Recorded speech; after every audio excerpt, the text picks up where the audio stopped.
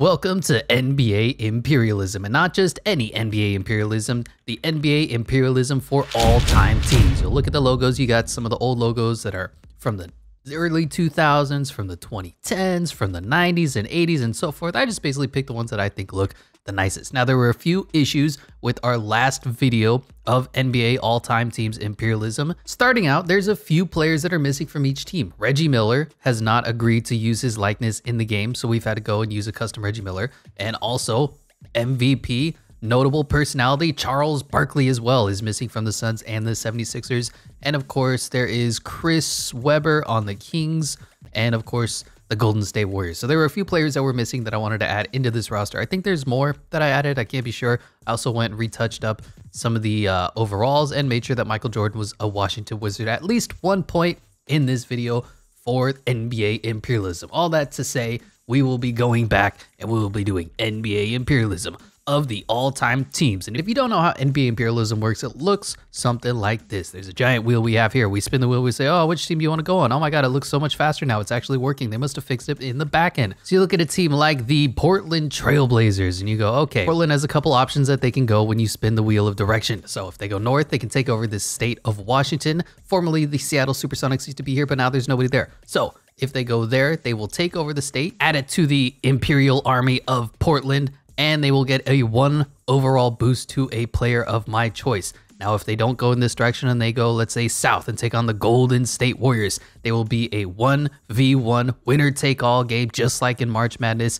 And whoever wins gets to steal one player from the other team and they get an overall point as well. So they get a little bit of more uh, reward, but at the same time, they have the possibility of being eliminated. So let's say Portland actually loses, then Golden State takes over all of the territory. Portland is eliminated from the Imperialism tournament, and the Golden State Warriors would grow their army and probably steal somebody like Damian Lillard. If that's too confusing, just stick along. We're going to have a good time. And we'll go to the wheel to spin it and see who is the first team of NBA Imperialism, the first move, and that's going to be by the Dallas Mavericks. The Mavericks are always a fun team to pick because they're in Texas. Three teams are in Texas. There's not really a direction they can go that they can avoid taking on a team. You've got the Oklahoma City Thunder, also formerly known as the Seattle Supersonics, so I kind of merged their logo together. I could have made it look nicer. I'm not very good at Photoshop. You got the Houston Rockets to the south, you got the San Antonio Spurs southeast, you got the Pelicans slash New Orleans Hornets to the east, and you got some empty states. So literally, they could go in any direction. We will go over to the wheel and we'll say, Dallas,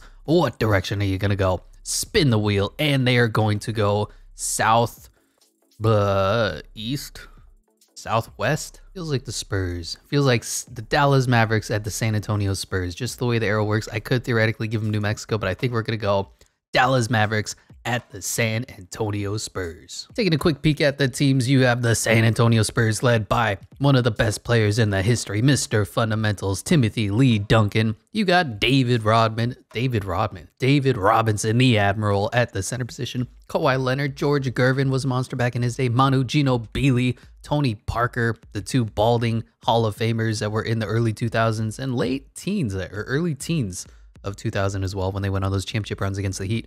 James Silas, Louis Dampier, Larry Kiernan, Sean Elliott, Bruce Bowen, Lamarcus Aldridge, Artis Gilmore, Johnny Moore, and Avery, the coach Johnson. For the all-time Mavericks team, you've got Dirk Nowitzki, one of the most legendary players in the history of basketball, the best player in the Mavericks organization, and honestly a little underrated, even though he went on and beat the Heat. He's won a championship, he's won an MVP, one of the first stretch bigs in the history of basketball. You got Luka Doncic. When I downloaded the roster, I actually had him at a 99 overall. A little ridiculous if you ask me at this point in his career. Rolando Blackman, Kyrie Irving, Mark Aguirre, Derek Harper, Michael Finley, Jim Jackson. I don't know if he's an 87 overall. Jamal Mashburn, an old or young Jason Kidd, take your pick. Same with Stephen Nash, Jason Terry, James Donaldson, Brad Davis, and Kristaps Porzingis. Only an 84 for the Mavericks. His time in the Mavericks was not very glamorous. In the first game of NBA Imperialism 2, the Leaning Towers they're so tall, their heads are being blocked by all-time team titles. You got Luka Doncic versus Tony Parker, gonna be a good one. Rolando Blackman versus Manu Ginobili. Mark Aguirre versus Kawhi Leonard. Tim Duncan versus Dirk Nowitzki. And James Donaldson versus David Robinson. Gonna be a fun one. We'll see which team comes out on top. My guess and my money is always going to be on the San Antonio Spurs during these experiments experiments because they just have so much history on their side. They had like four Hall of Famers on the roster playing simultaneously, which is why they were such a dominant team. They could beat a prime LeBron James on the Miami Heat. And Luka Doncic is going to go around, pull up, lay up, easy two point lead for the Dallas Mavericks. Manu bringing the ball up the other way. Manu is such an underappreciated player. He was just an all time great. I don't know how else to describe him. He was clutch, solid, smart defender. Y'all remember the block that he got on James Harden in the playoffs from behind? And David Robinson gets his shit rejected. Orlando Blackman coming the other way. What's he going to do with the ball being picked up by Manu? Now Luka has the ball being picked up by the much smaller guard and Tony Parker. Y'all remember Tony went to Charlotte for a season because Kawhi wanted him out? Really weird. And a great pass from Luka Doncic 4-0 for the underdog Dallas Mavericks. But we'll be hopping into Simcast. We're not going to be watching the entire game. We'll watch the first half of We'll watch the first few possessions and then we'll watch the last few possessions if it's close. Also, I forgot to mention the team on the attack, the team on the offensive is going to be the away team. The team that's getting attacked will be the home team in NBA Imperialism, and this is a complete blowout. Oh my God, look at the scoreboard 110 to 90. The Spurs are winning. I thought they were going to win by 40. It's a little bit closer, but I don't think anything good is going to happen here. Spurs up by 20. No need in hopping in. Two minutes left, and this game is all but over 143, 122. Disappointing game, but we kind of expected it. For the Mavericks, Luka Doncic had an okay game, 21, 5, and 7. Dirk was close to a triple double. That's a little weird. 21, 9, and 11. Never forget, Rolando Blackman was okay. Jason Kidd. They were solid, but the Spurs were just better, man. Manu had 25. David had 25 and 9. Tim Duncan, 26 and 5. Kawhi Leonard, 19, 10, and 5. This was back when he was healthy, back when he was good for about we'll say two seasons of his prime in San Antonio. George Gervin was good, James Silas, Larry Kernan, and Tony Parker had a really quiet game. 5, 2, but 11 assists as the San Antonio Spurs win. And we'll be giving that one overall point to David Robinson as well. He officially joins the 99 overall squad. So you got Tim Duncan 99, David Robinson 99. And no surprises, Dirk Nowitzki going to be coming over, but he's not going to be starting. I think he's going to be coming off the bench as the six man, which is bizarre, but that's just how good the front court is for the San Antonio Spurs. And We'll make sure we go over to Photoshop. I said Photoshop. And unfortunately, Dallas, after the first game of NBA Imperialism, is gone. Give San Antonio their nice gray, give them a logo boost in size as well. And only Houston is left in the Texas area. And of course, the Seattle Supersonic Thunders are waiting in the wings. Next team on the wheel is going to be BAM! Spin, spin. Wait, I forgot to take it off. Wait, ignore this, ignore this. Nothing is happening. I'm sorry. I apologize. Don't. Uh, it's not the Knicks. It's not the Lakers.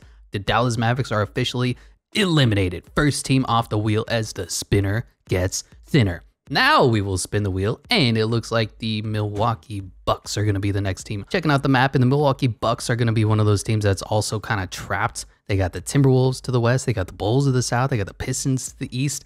Theoretically, the Raptors, I don't think they could fit that, but they could steal this state that certainly is off the top of my head, which is Iowa. Yeah, they could go after Iowa, right? anyway, go over to the wheel, spin, spin, spin the wheel. Which way do you want to go? And it looks like the Milwaukee Bucks are going to be. Uh, that's that's Detroit, right?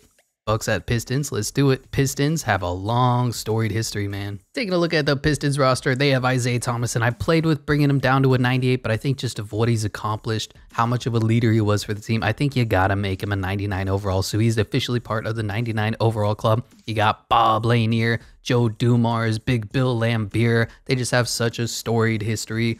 Chauncey, Big Game Billups, Grant Hill, minus the injuries, Ben Wallace, six foot eight center defensive player of the year, Dennis Rodman, Rip Hamilton, Dave Bing, Dave DeBusschere, Jerry Stackhouse, Bailey Howell, Andre Drummond, and Kelly Tripucka as for the Bucks. They're kind of top heavy. Look at the roster. Giannis, of course, Kareem Abdul-Jabbar, Oscar Robertson, Sidney Moncrief, and then it kind of drops off a little bit.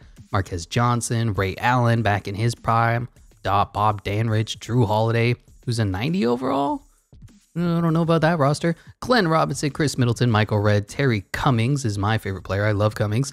Vin Baker, Junior Bridgeman, Brian Winters. Gonna be a good one here. Oscar Robertson versus Isiah Thomas, 98 versus 99. Sidney Moncrief versus Joe Dumars, Grant Hill versus Marques Johnson. Yeah, on his first day to Boucher, Kareem Abdul-Jabbar versus Bob Lanier. Like I said, the Bucks are top heavy. If they can string together a couple wins, they might be able to go on a run here. At the same time, the Pistons have a ton of depth and a ton of history on the side, and they are the home team. Isiah Thomas bringing the ball up the court, immediately kicks it to Joe Dumars. picked up by, I think, Johnson, pulls up for a midi, misses, and Kareem grabs the rebound.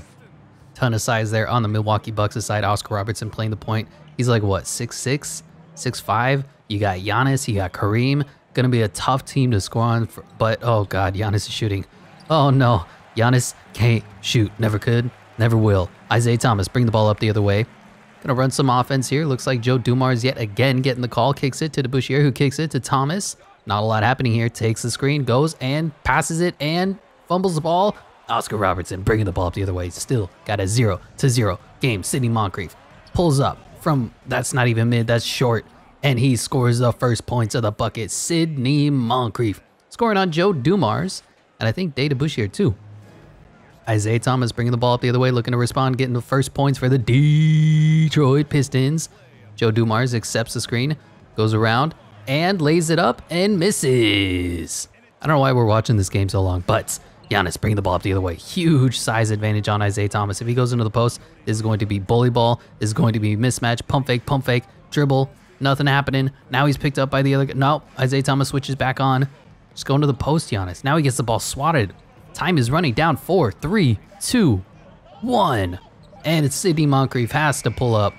Misses. Bob Lanier brings the ball up the other way. Dumars kicks it to IT once again. The other IT, not that IT. And let's see, is this play for Grant Hill? Getting a screen there from Lanier.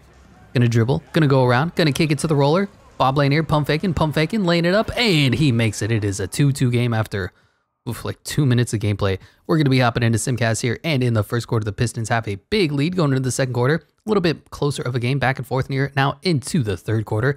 And at the fourth quarter, this might be one of those games that we watch Bucks versus Pistons. Bucks have a little bit of a lead here, about five minutes left in the game. 97 98, 99 99, tied up, back and forth, tie it up. And we'll hop in with about a minute and a half left, 112 107. Why are we looking at Bob Lanier? What did he do? He did this last.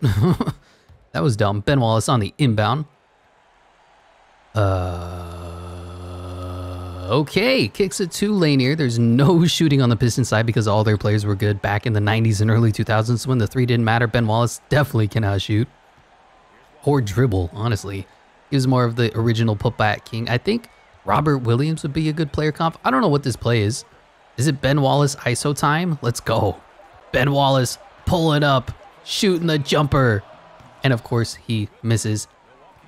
Uh, I don't know who Dandridge is, but he's bringing the ball up the other way. Again, not a historian of the NBA, just know a little bit about basketball. Try to help spread some knowledge as Oscar Robertson throws it away uselessly. Chauncey Billups bringing the ball up the other way. Crossover, crossing over, posting up.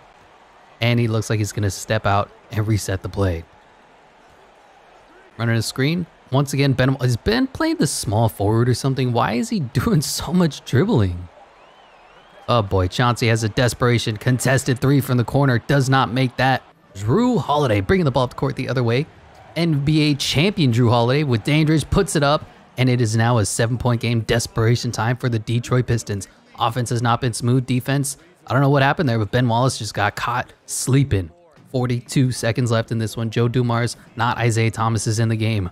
I don't know why. 99 overall, Isiah Thomas isn't getting any love, but King Chauncey for three, and he misses. And that is probably going to be game. Bucks just going to dribble out the clock here. Ray Allen with a headband on, pulls up, jumper, misses. Yeah, this one's over. I don't know why I'm watching it still. Let's see what they're going to do. What's the offense? Joe Dumars? Nope. Ben Wallace? Nope. Joe Dumars for three. Bang! It's only a four point game. That's why we're watching. Now all the starters are officially back in since there's 16 seconds left, and they give it to Giannis for the free throws. Giannis can't shoot. Career what, 60, 70% free throw shooter, and he misses the first one. There's still a chance for this Pistons team. They got the starters back in. Grant Hill. I'm sure Isiah Thomas, 99 overall, is in the game. And timeout. We'll see what kind of offense the Pistons elect to run here. Isiah Thomas going to get the ball. This camera angle is terrible. What is happening? I can't see anything. There you go. DeBusschere kicks it. Thomas kicks it. DeBusschere shoots it. Oh, and he misses, and the Pistons needed that, and that is going to be game. The Detroit Pistons fall 117-113. Isiah Thomas had a good one, 24 and 12. Chauncey, also off the bench, 22 points in 28 minutes. Data Bouchier, 17, 3, and 5. Joe Dumars, not great, not terrible, 16, 7, and 10. And Grant Hill was the only scorer in double digits. Just for the Bucks, Ray Allen gave him 19 points, 5 of 8 from the three-point line. Sidney Moncrief gave you 18. Marques Johnson gave you 16. Giannis gave you 16, 8, and 5. Bob Dandridge, 12, 6, and 6. Oscar, 11, 1, and 10. Bit of weird stat line for him. And Kareem, only 11 and 10. But they just had a ton of help. Almost everybody scored in double digits as the Bucks do advance. And the young Studley Isiah Thomas is going to be coming over and getting the 99 overall squad growing for this Bucks team. So Giannis is officially 99 overall. Kareem Abdul-Jabbar is officially 99 overall. Isiah Thomas is officially 99 overall. And with the one overall bump, Oscar Robertson, formerly 98, 98 overall, is now part of the 99 overall club as well. Four 99s on this team. I don't know how they're going to make everybody fit. Looks like they want Isiah Thomas to start and Oscar to come off the bench. A little bit funky.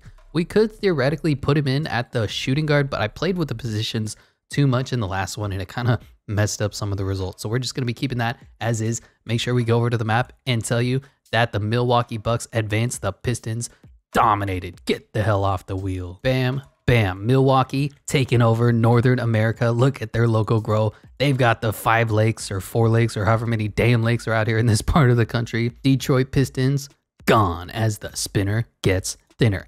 Next team that's going to be on the list, and you know what I forgot to do is take off the teams that have already gone because I don't want to see repeats here in the first round, but we'll do that later as the Denver Nuggets are going to be next on the list. We look at them on the map and we can say, okay, Denver, you are you're kind of in an interesting spot. They get a whole bunch of empty states here that they could take, get a free overall point, grow their empire. They got the Jazz immediately to the west of them, got the Sonics Thunder to kind of the southeast of them.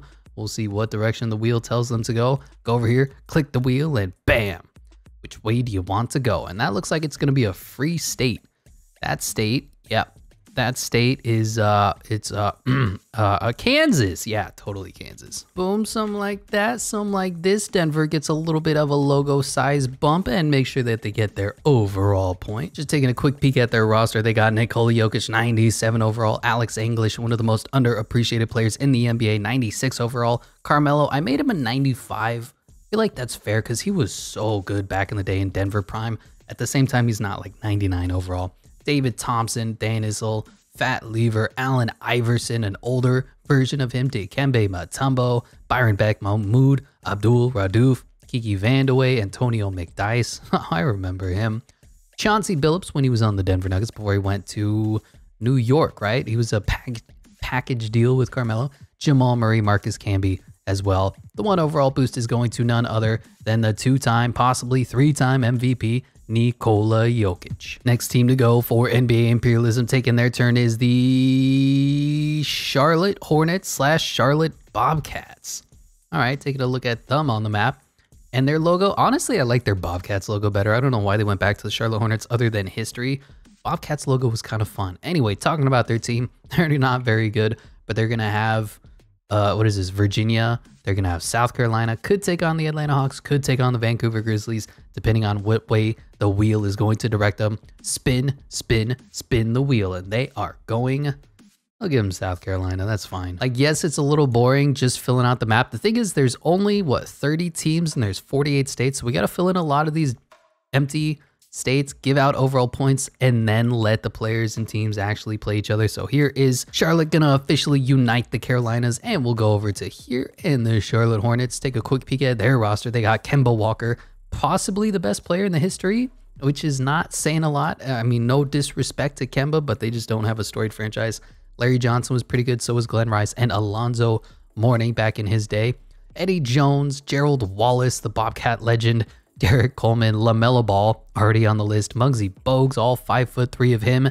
Baron Davis, Vlade Divac before he, let's see, did he get traded to the Lakers after this or the Kings? I forget. Dell Curry, father of Steph Curry and Seth Curry, Kendall Gill, PJ Brown, and Stephen Jackson. And we'll be giving Kemba Walker that one overall boost Mr. Smilin, 93 overall officially. Pop the Hornets off for round one and let's spin the wheel one more time. Who's going to go next? And it looks like it's the Celtics. Yes. Okay, Celtics often get stuck not being able to play, but they're one of these teams that is in a weird spot because only the Knicks are directly in contact with them. So they got Rhode Island, they got Connecticut, they got Vermont, New Hampshire, and Maine that all needs to be filled out. At the same time, they have so much history. They have so much talent on their team. Long story short, they don't even need to really play or spin the wheel or get any teams and play any teams and get overall boost because they're already so good. But we'll be spinning the wheel, see which way should they end up. And I don't know if they can go that way, but it's probably just going to end up being Rhode Island here. Small state, but one state equals one state equals one overall point. Boom, boom. The tiniest state in all of America is going to Boston. Hey, park the car. Anyway, gonna be giving the one overall boost to somebody. Larry Legend is already 99 overall, no need there. Bill Russell already 99 overall, no need there. So I guess John Havlicek is next up on the list, going to go up to a 98. Look at the rest of the team. Kevin McHale, the legend himself, not a great head coach, but a damn good basketball player. Bob Cousy, Kevin Garnett, Jayson Tatum somehow made his way onto this team, already a 94 overall as well. Bill Sharman, famous for his toilet paper. Dave Cowens, JoJo White, Robert Parish, Paul Pierce, Kyrie Irving even made his way to this team. Rajon Rondo, Jaylen Brown, only an 86 overall, rounding out the Celtics squad. Okay, spinning the wheel one more time. The next round is going to go to the Brooklyn Nets, also known as the New Jersey Nets. And you go over and look at them on the map. I use their old logo, but they're still in Brooklyn. The Nets are a little bit weird because they're literally a bridge away from the New York Knicks. So I kind of gave them this southeastern, the main part of New York, if you will. So they're kind of sandwiched. They could take on the Knicks, could take Delaware, could take Connecticut. We'll see which way the arrow wants them to go. Bam. Spin, spin, spin the wheel. Which way do you want to go? And just for the sake of filling out states, I'm going to call that New Hampshire. Nope, New Jersey. I know the East Coast. I'm so smart and intelligent when it comes to East Coastian things. While we're here, let's change up the Brooklyn Nets like kind of weird off black color to that fun blue that they had back in the New Jersey Nets days. So there you go. New Jersey Nets officially taking back New Jersey, gonna give them an overall boost as well. And Kevin Durant officially joins the 99 overall club with that Of course, you have Julius Erving, Dr. J, one of the original Nets, Jason Kidd when he was still a good basketball player, Brook Lopez, commonly known as the best Nets player in their short, brief history. Vince Carter was a legend for them. Kyrie Irving, y'all already know. Drazen Petrovic was pretty good, so was Dick Jefferson. Derrick Coleman, Kenyon Martin was a beast back in his day, just a bully. Buck Williams, James Harden didn't really have a great stint out here for the Brooklyn Nets. Kenny the Jet Smith, nope, that's Kenny Anderson. Otis Birdsong and Keith Van Horn rounding them out. Look at that picture. I don't know how Keith Van Horn did anything in the NBA just looking at him. All right, pop New Jersey off the wheel, and we will be spinning one more time. Next team on the list is going to be the Oklahoma City Thunder slash Seattle Supersonics. Long storied history of their franchise. Go over to them.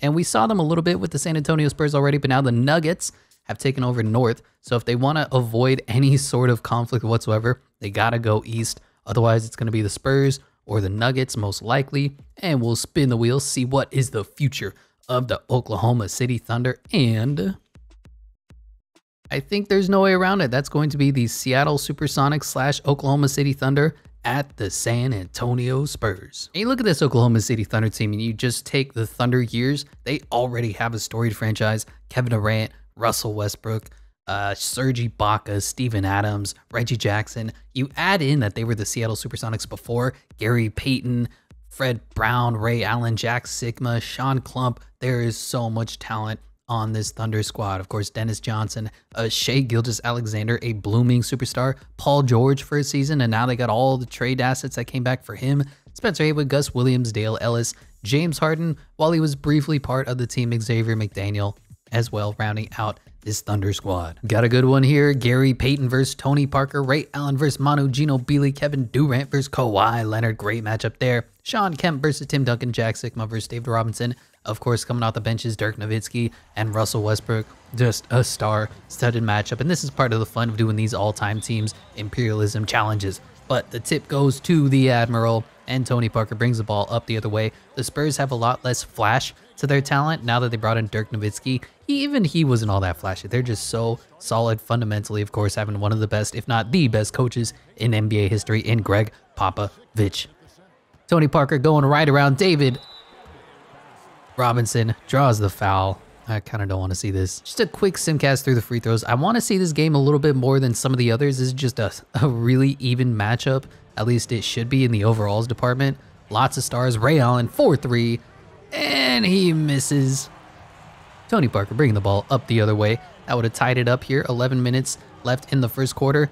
Manu Ginobili takes a funky off-balance layup and he misses. Kevin Durant bringing the ball up the other way. Gary Payton as probably a better point guard than Russell Westbrook was for the Thunder to pair alongside a young Kevin Durant at the time. GP goes right around, floater misses, and Tony Parker brings the ball up the other way. You got Kawhi Leonard, the claw, stepping back. There you go, Kawhi Leonard posting up. Got a Ray Allen on him. That should be a mismatch going to the post. It, I don't know what Tim Duncan is doing. He was just getting in the way. It doesn't matter as Kawhi Leonard hits the fadeaway jumper, looking a little Michael Jordan-ish there. Kevin Durant bringing the ball the other way. No stranger to being a stud in the mid-range. Looks like they're just ISO. Kevin Durant, Kawhi Leonard pulls up for three. Bang! Kevin Durant. And that's why we want to watch these games because the stars come out. But we'll have to hop into Simcast because we are really early into this first round of NBA Imperialism. Got a Taiwan here going into halftime. Just a really close back and forth game. Still back and forth going into the fourth quarter. The Spurs have extended to a little bit of a lead, 30 to 15 third quarter. And now it's a 20 point game. Looks like the Thunder cannot keep up offensively with this fundamentally solid, sound San Antonio Spurs squad. Sad enough S's for you as the Spurs do go on to win.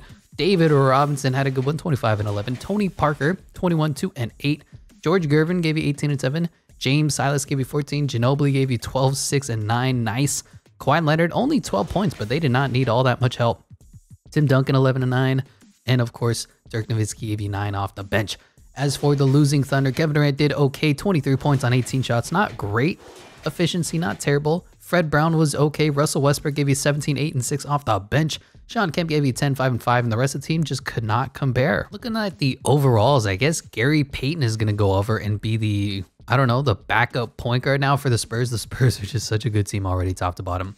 But Gary Payton, 97 overall, going over, and the one overall boost should go to We'll give it to Kawhi Leonard. I know Dirk could join the 99 overall squad, but he's kind of a free agent, whereas Kawhi Leonard is homegrown talent up to a 98 overall. So their squad is starting to look mean. Tim Duncan, David Robinson, Kawhi Leonard, Dirk Nowitzki, Gary Payton, George Gervin, Manu Ginobili, Tony Parker, just a whole bunch of talent on this Spurs team. And they're looking like they're the early favorites for this as well as the Oklahoma City Thunder Sonics are gone. And the Spurs logo continues to grow, just marching. Houston is the only team left in their way in this southern part of America before San Antonio starts to take over a middle America. And the Oklahoma City Thunder officially eliminated as the spinner gets thinner. Next team that's going to be going in NBA imperialism is the Utah Jazz, it looks like.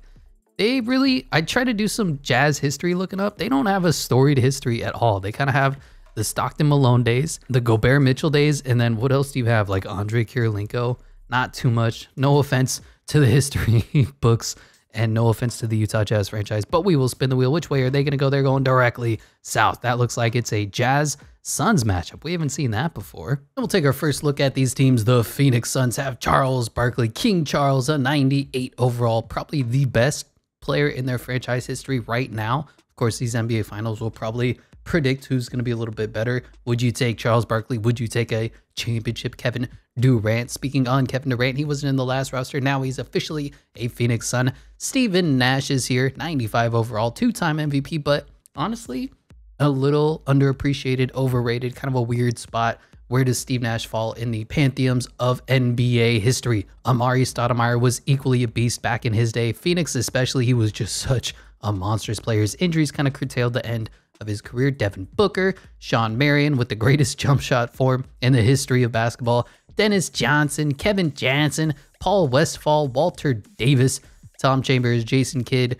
Charlie Scott, Dick Van Arsdale, one of my favorite players in the world. Dick was just so big. He was huge for the teams that he played on. Dan Majerle as well. Looking at the Jazz roster, they have Karl Malone, Don't Let Him Around Your Kids, John Stockton, Pistol Pete Maravich, and then more of the more recent players, Donovan Mitchell, Adrian Dantley, Rudy Gobert, a 91 overall. I was interested in kind of playing with that overall, but 91 seems about fair. He is a multiple time Defensive Player of the Year winner. Mark Eaton, Andre Kirilenko, AK47, Carlos Boozer, Gordon Hayward, one of the more uh, weird NBA careers we've seen. Darrell Griffith, bald as hell. Deron Williams back when he was supposed to be good. Thurl Bailey, Truck Robinson, and Jeff Hornacek. And we got a good one. John Stockton versus Steve Nash. Battle of the white point guards. Pistol Pete Maravich versus Devin Booker. Adrian Dantley versus Kevin Durant. Karl Malone versus Chuck. And Rudy Gobert versus Amar'e Stoudemire. Very similar skill sets, talents. I don't really know who I would if uh, if I had to predict. I mean, I would take I'd take the Suns because of Kevin Durant and Charles Barkley, but you cannot sleep on John Stockton and the male man, Adrian Dantley, bringing the ball up the court, getting a screen, had an open three, but he's alley-ooping it? Sir? Devin Booker bringing the ball up the other way, kicks it to a Kevin Durant who just goes behind his head and gets the wide open layup for Amar'e Stoudemire. Quickly a 2-0 lead for the Phoenix Suns. Pistol Pete bringing the ball up the other way, being deed up by Devin Booker, who's no slouch on the defensive end, grabs the screen, goes around. Is this a layup? It goes, and he misses. Pete Maravich blows the layup in the Suns, bringing the ball up the other way. Charles Barkley doing a little bit of everything. Rebounding, shooting, dribbling, MVPing. And Devin Booker gonna kick it, and Charles Barkley does get the rebound or the steal or whatever that was. His AK-47 tried to step inside for the pass and missed. Pete Maravich bringing the ball up the other way. Nope, not AK-47. That was Pete Maravich. Karl Malone probably has a little bit of a size advantage here in the post. Surprised they're not going to it. John Stockton pulls up for a long two. Not a great shot selection there. Kevin Durant bringing the ball up the other way. Kicks it to Chuck. Who kicks it to Steve Nash? Who kicks it back to Chuck? Barkley too close to the basket. Fades and makes it. And that is a commanding 6-0 lead for the Phoenix Suns. Hopping into Simcast holding on to that lead in the first quarter. Got a back and forth game going into the second and the third quarter. Suns still holding on to this lead and they're extending it a little bit. 20 point lead. They dropped 51. They dropped a 51 to 26 third quarter, and that'll do it. Doesn't matter how good the Utah Jazz play in the fourth, you can't compete with the 51 point quarter. And balance, too. Look at this. Charles Barkley almost had a triple double 21, 10, and 8. Kevin Durant 25, 6, and 3 steals. Amar'e, 25, 1, 1, 2. Dennis Johnson 19 and 8, Devin Booker 16, Paul Westphal, 16, Kevin Johnson 15, Shawn Marion 12, 6 and 5, Stevie Nash 11, but then 13 assists. Every single player on the Suns scored in double figures. As for the Jazz, Pistol Pete was really good 31, 2 and 10. Karl Malone was good 24, 7 and 7. John Stockton 22 and 8, and then that's about where the help fell off. Carlos Boozer was fine, 12 points in 17 minutes. Adrian Dantley, not too good, 10, 4, 3, 5 turnovers. Not good. Rudy Gobert is never good. Donovan Mitchell, 6 and 6. Kind of weird. And AK 47, Mr. Quintuple 5, didn't do all that well. Sad game for the Utah Jazz. And we could take John Stockton or Karl Malone. I'm going to go with the higher overall, 98 John Stockton. I know that he's just going to be end up, he's going to be a backup, but Steve Nash is already here. Is that two overall boost really important? No, I think a little bit of depth would be better. Eh, it's a tough decision, but we're going to be taking Karl Malone, 98 overall, and of course, Charles Barkley. Sir Charles Barkley has joined the 99 overall squad with the one overall boost. Looking like a mean, menacing team. I don't know. I mean, they're they're pretty much set. Like, yeah, you could get a Michael Jordan upgrade on a Devin Booker or a Oscar Robertson on a Steve Nash, but this this roster has depth size. It's competitive. I like everything about this Phoenix squad. Phoenix Sun squad. Wow, say that five times fast. Phoenix Sun squad. Phoenix Sun squad. Phoenix Sun. and Utah goes on the offensive and they fall. Officially eliminated from NBA imperialism of the all-time teams. Meanwhile, the Phoenix Suns are starting to grow their empire. And like I said, Suns. I mean, they're going to have to compete with the Lakers. That's always going to be a problem. And the Spurs. Honestly, this whole lower West Coast part of America is a tough run for teams not named the Lakers, Suns, Spurs. I'll go ahead and take the Jazz off the wheel. Bam! And the spinner gets thinner. Next team going on the offensive for NBA imperialism is going to be the Chicago Bulls. And I always have problems with the Chicago Bulls in these imperialism videos. I don't know what it is, but 2K Simulation does not love Michael Jordan. And then the rest of their team's history isn't great. You know, Derrick Rose and of course uh, Dennis Rodman, Scottie Pippen. But for whatever reason, the Bulls never seem to do all that well in imperialism. Gonna spin the wheel, and they're going directly east. That looks like a Bulls at Pacers matchup. Looking at these rosters, the Bulls have Michael Jordan, Scottie Pippen. I only made him a 97. It's still undecided how great he is comparatively. I mean, his time in Portland wasn't all that good, but his time in Chicago was legendary. Derrick Rose, a prime pre-injury Derrick Rose, I think everybody's favorite player when he was playing in the NBA at this time before those injuries just took him out. Artis Gilmore rocking the center position. And of course, Dennis Rodman. No spacing, but no spacing needed. You got Jimmy Buckets coming off the bench. Joakim Noah back when he was good. He was an all star. He was a, I think he may have been a defensive player of the year. Zach LaVine, pretty good player on his own. Jerry Sloan, the coach. Bob Love, Horace Grant, DeMar DeRozan, 89 overall. I mean, he's okay. BJ Armstrong, Toni Kukoc, pivotal to those championship runs, and Reggie Theus. As for the Pacers, another player who was not in the last video, Reggie Miller. I mean, what he did in the the quality of teams that he carried throughout the playoffs during his tenure, going to I think Game Seven against Michael Jordan. I mean, Reggie is just one of the greatest players in the history of basketball, the best pacer in the history of basketball, and severely underappreciated because, like Charles Barkley, never won that championship. Paul George is here. He was really good as a pacer, then had that horrible break of his leg and has just never been the same player since then. Jermaine O'Neal was a monster for the Pacers, not really elsewhere. He was um know, he was a bit of a controversial player. Rick Smits, Mel Daniels, Ron Artest, pre the brawl, pre the malice in the palace, Ron Artest was on the fast track to being a future superstar in this league. George McGinnis, Victor Oladipo might be a bit overrated.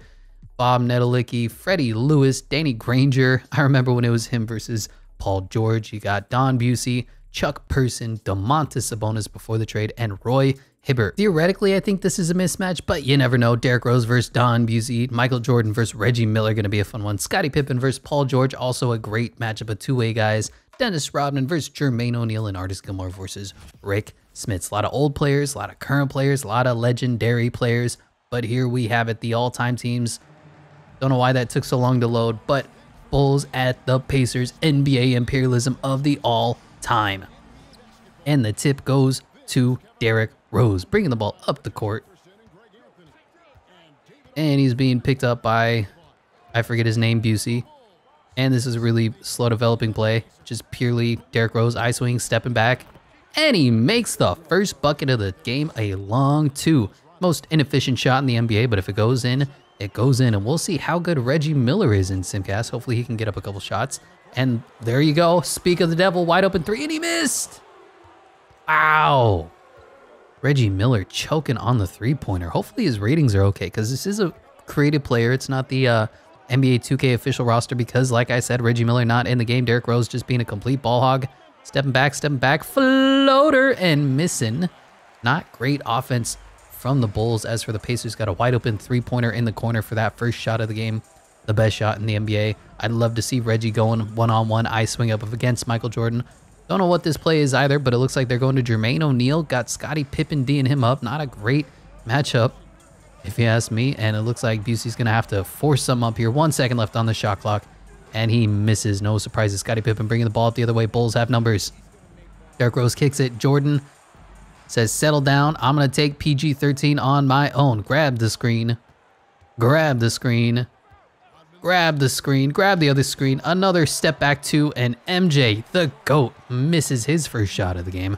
Kind of a low scoring, ugly game here, but this is what 90s basketball was all about. Ugly, low scoring, long twos, inefficient shot making, and not a lot of player movement. Paul George open for three, and so, oh my gosh, he misses two. I thought he was going to splash that for sure. PG-13, known for his three-point prowess. Derrick Rose being picked up by Reggie Miller.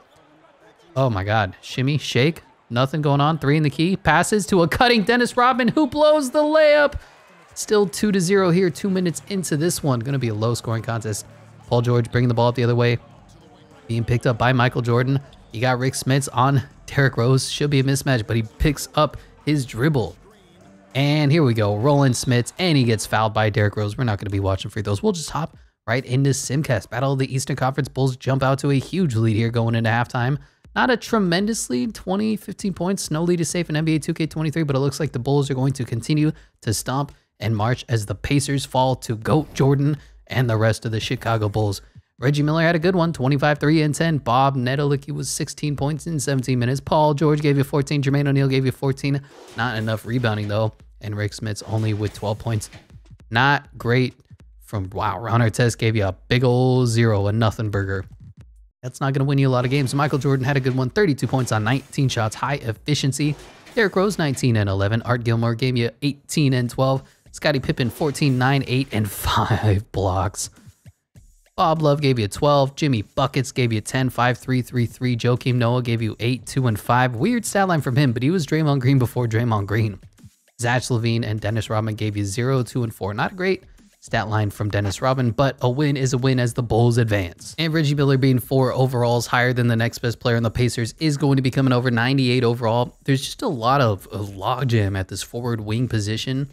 I guess theoretically you could move Scottie Pippen to the four play Mike or Reggie at the three and then Derrick Rose at the two. They need this is a team that needs, you know, the Kareem Abdul Jabbar, Oscar Robertson coming over and filling up that point guard and center role respectively. But Michael, Jeffrey Jordan, already a 99 overall, so we'll be giving this one overall boost to Scott, is now officially a 98 overall. And as always, going into Photoshop and saying thank you, Indiana, for everything that you have done for this team, but you are officially gone. Get off my map. Bulls burnt red continues to spread as their logo gets just a little bit bigger. Gonna try to take over middle America here. And the Pacers officially eliminated off the wheel as the spinner gets thinner. Next team on the list is going to be the Philadelphia 76ers. Said that in the most manly way I could. And first of all, I love the 76er logo. Just everything about it screams Allen Iverson street ball. There was just so much fun and hype around this team. Made the finals, never stood a chance, but 76ers always going to be in our memories as one of the best teams in the NBA. Look at them. They're going to have to play a whole bunch of teams. Thank God they have a ton of good players. And this looks to be 76ers at Wizards, right? Right, because we go to we go here. You could say like right here they could take West Virginia, but Philadelphia's more here-ish. Wizards are just kind of waiting. I could fill out what is this Delaware, right? Not looking at a map right now to tell you, yeah, Delaware. We could fill out Delaware theoretically. And that's what I'm to do. Yep. So Wizards, you need to move a little bit while we fill this out Or your Philadelphia 76ers. Like I said, a little bit of busy work. Whenever we do these imperialism videos, we need to just fill out some of these empty states. So Philadelphia, still rocking the old blue, to be taking over Delaware. You got the Wizards with Michael Jordan. And peeking at this Philadelphia 76ers squad, just another team that has no use with all of this talent. There's no need for them to just arbitrarily play other teams when they can get free overall points. Wilt the Stilt Chamberlain, 99 overall, just a generational player, historical player, possibly the best statistical player in the history of basketball. Joel Embiid is here, but because he's a center, I'm going to give the one overall boost to Dr. J. Bring him up to a 98 overall just because there's so much big man depth already on this all-time team. Julius Erving now a 98, small forward. Joel Embiid, Moses Malone, Allen, the answer, Iverson, everybody's favorite player, 96 overall. Chuck was in Philly for a few years. Dolph Schayes, Hal Greer, Billy Cunningham, great history here. James Harden, somewhat a different version of his Houston Rockets James Harden self. Bobby Jones, Andre Iguodala, Ben Simmons somehow made his way on this team. George McGinnis, and Doug Collins, not the head coach. And just pop the Philadelphia 76ers off this wheel as it looks like we're about halfway through the first round of every team getting their chance in NBA imperialism. The Memphis Grizzlies are going to be next up on the list. Go ahead and take a peek at what the Grizzlies have in store for them. They got the Bobcats to the uh, east of them, and then a whole bunch of empty states everywhere. Could possibly, theoretically, take on the Atlanta Hawks. Seems unlikely. And let's spin the wheel. Spin, spin, spin to win. Which way do you want to go? That is going to be northwest. I feel like this is a Missouri play, right? Missouri, yeah, that's the one with the funny little tail there. That's a Missouri play, right? Arrow, bam, let's do it. And don't don't worry, the irony is not lost on me that the Vancouver Grizzlies are still in Tennessee. I just love this old Grizzlies logo. There was some, you know, fiery, visceral about the old Grizzlies with the bear and Mike Conley. No, this was uh, Mike Bibby, Jason Williams days. Their logo was just so much fun. Anyway, going to the Grizzlies, Marc Gasol is the highest overall player. They have a bunch of really good grit and grind players, not generational carrying you to a championship team players, but Marc Gasol, best player I would say in the Grizzlies franchise, going to get the one overall boost. Ja Morant has the potential, but we just need to see consistently and make sure that he stays healthy. Zach Randolph was great for them. Pau Gasol before he got traded to the Lakers. Memphis Mike was just a beast in his day. Tony Allen, probably top five defender of all time.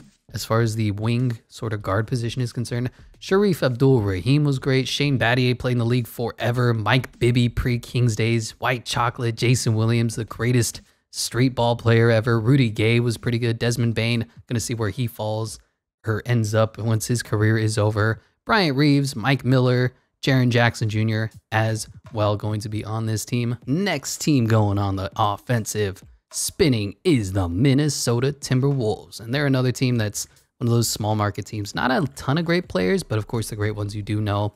Anthony Edwards looks to be like a future superstar. Kevin Garnett and Kevin Love on the team as well. What direction is Memphis? Nope, Minnesota gonna go. They could take on Toronto, they could take on the Bucks, and there's a whole bunch of empty states for them to take as well. And I think I'm gonna end up giving them Iowa. Just makes too much sense to me. There's a bunch of empty space there. So fill that out. Bam, let their logo grow a little bit. The imperialistic empire of Minnesota. Minnesota gonna get a one overall boost, and we'll be officially bringing Kevin Garnett into the 99 overall club. Looking at the roster, KG was great. Kevin Love statistically was great. Impactfully, not so much. They had a ton of losing seasons with him. Is the blame more on him? Is it on the fact that the team is impossibly poorly constructed ever since they were created? Uh, Karl-Anthony Towns, I just moved him back to center position because that was his natural position before Rudy Gobert came over. Speaking of Rudy Gobert, don't know what's wrong with his eye in this picture. Sam Cassell, one of the ugliest men I've ever seen. Wally Szczerbiak, uh, Colin Tyrese Haliburton a scrub. Irony is not lost on me. Tom Gugliotta, Anthony Edwards just having a great career at this point. Stephon Marbury was super good. Jimmy Butler here for one season. Terrell Brandon, Ricky Rubio, Doug West, Christian Laettner, and of course, former number one overall pick who got traded for Kevin Love and Andrew Wiggins. All right, we're just cruising through the round one here. Only a few games that we played to this point, and we're going to spin the wheel to see that the Los Angeles Clippers are playing. And there's just no way around it for this Clipper squad. They got to go through the Lakers, and there's never a chance that they win in these all time games. Clippers at Lakers. Taking a peek at these rosters, you got Kawhi Leonard. If only he could stay healthy. When you go into like the uh, the character creator and you're like, all right, I want to create the best possible player ever. I want him to be locked down on defense, have crazy long arms, have a crazy nice touch, be good from long range, be good from the three, be good from mid, still be athletic. Kawhi Leonard is by all accounts the perfect NBA player. The problem is he just cannot stay healthy. He has the knees of an 80 year old man. He is the knees of Riley Reed. He just cannot keep those boys healthy. You got big, big Bob McAdoo as the starting center, just one of the better players in the NBA. He's been on a lot of teams, but he's been really good everywhere he went. Cliff Paul had his, uh, I guess, second career in Los Angeles because he had the Hornets, and then he went to the Clippers, and then he went to the Rockets, and now he's on the Suns. Had that one season on the Thunder. Cliff Paul kind of been around the league quite a bit.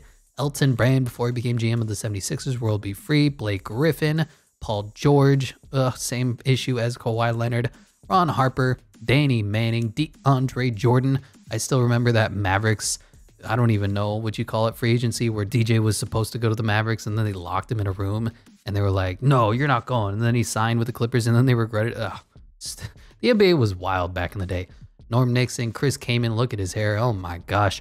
Corey Maggette, haven't heard that name in a while. Trez Harrell and Patrick Beverley rounding it out. I don't think they're they should be on this list of best all-time Clippers, but they're just really memorable high effort, high energy players.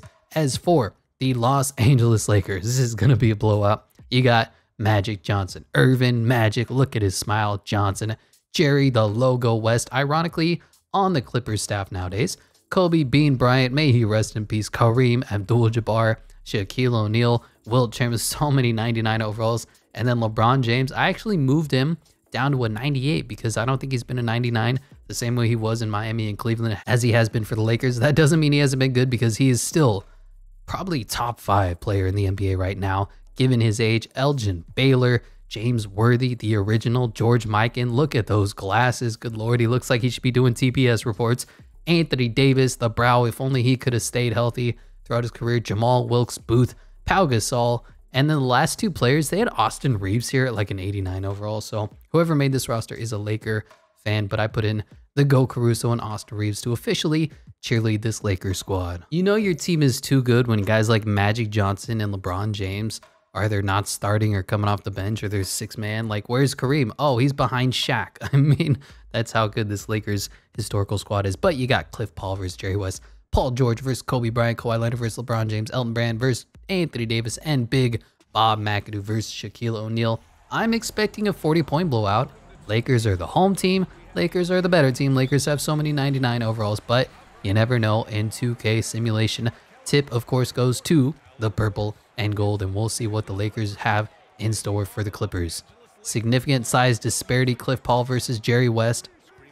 Not great, but, uh, you know, Cliff Paul is a former defensive player.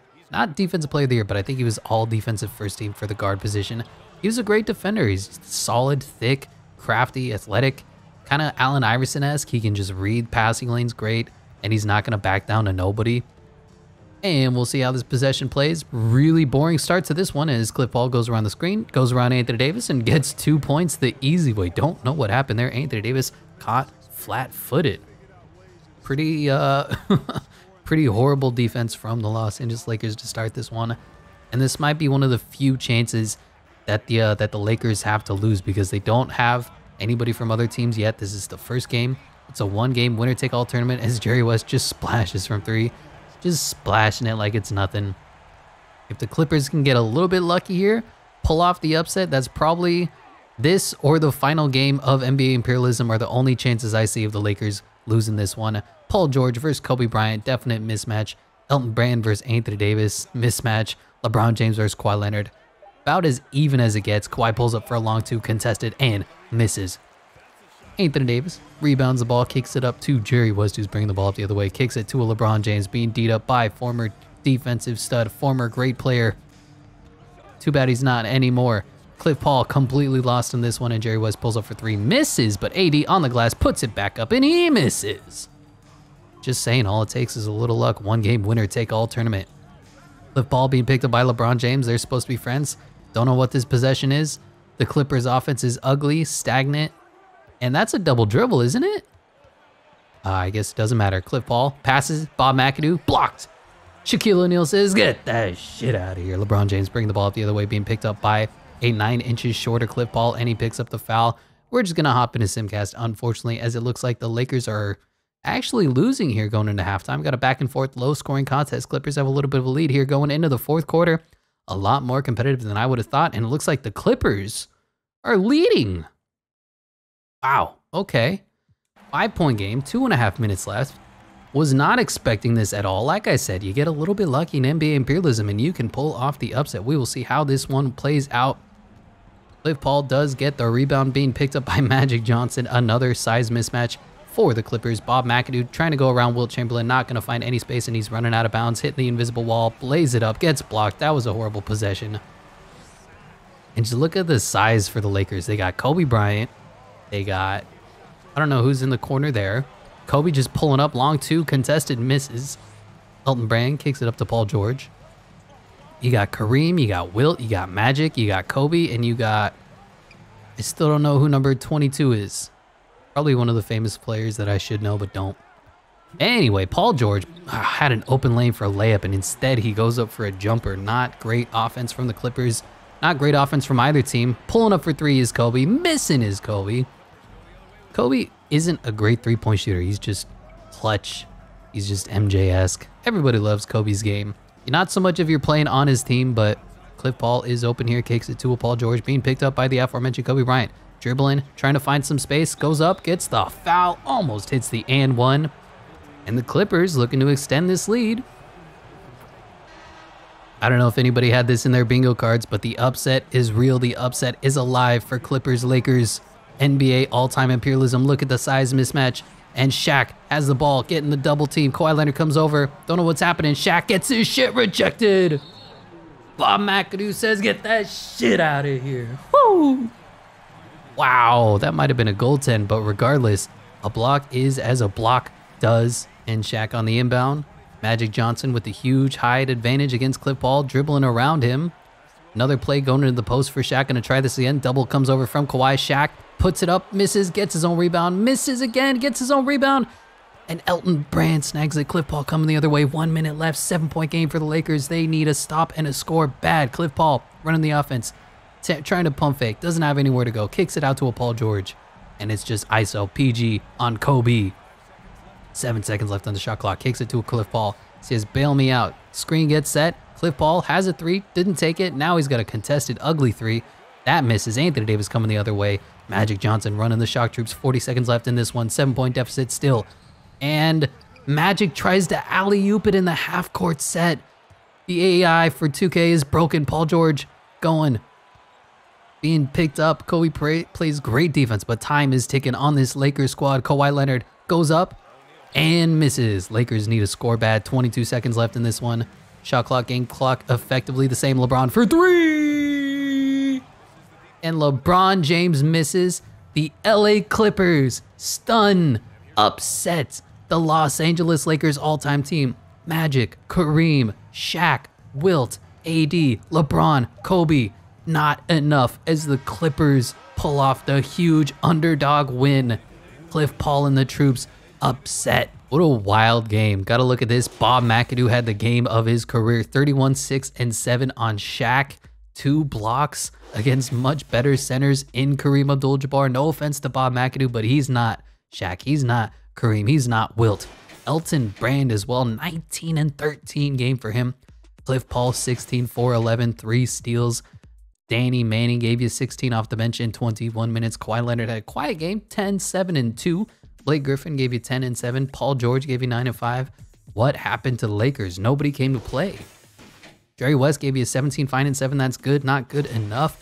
Magic 17, 5 and 6. Kobe Bryant only gave you 15 on 14 shots. Shaq gave you 14 and 12. Elgin Baylor gave you 12. Anthony Davis 11 and 10.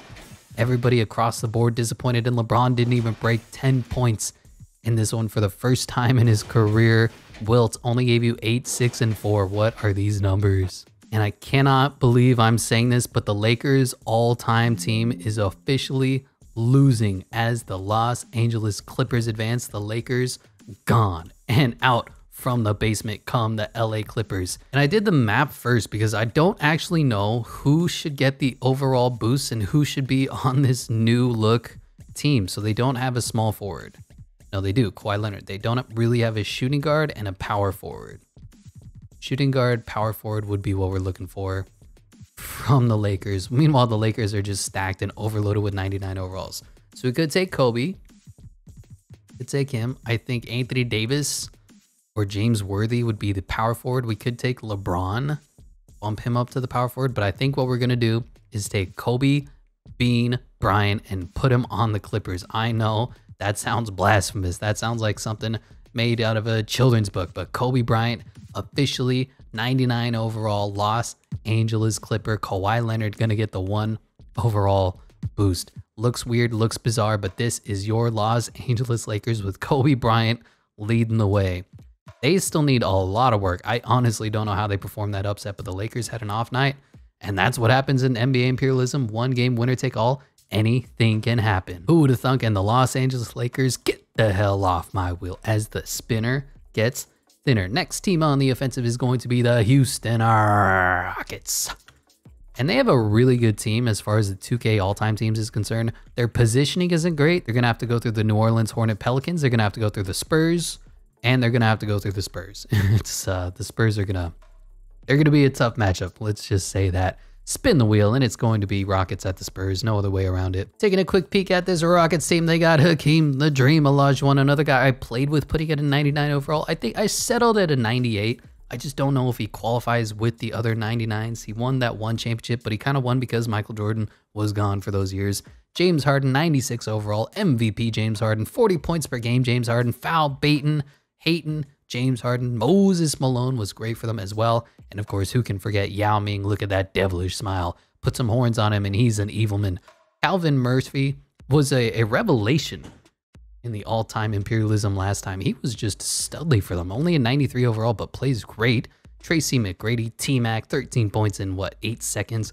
Clyde, the Glide, Drexler, Rudy Tomjanovich, Cliff Paul, Russell Westbrook, Ralph Sampson, Elvin Hayes, Steve Francis, Kenny Smith, Otis Thorpe, they just have so much talent on this squad. Here we are, Rockets at the Spurs. And I think last time the Rockets actually did the upset against the San Antonio Spurs. Spurs are my early season favorites, especially with the fact that the Lakers are gone. But you look at it, Calvin Murphy versus Gary Payton should be a mismatch, but Calvin Murphy played great in simulation. James Harden versus Manu Ginobili, battle of the left-handeds. Rudy Tomjanovich versus Kawhi Leonard definitely goes to the claw. And then you got the 99 overall Tim Duncan versus Elvin Hayes, Oof, and Moses Malone versus David Robinson.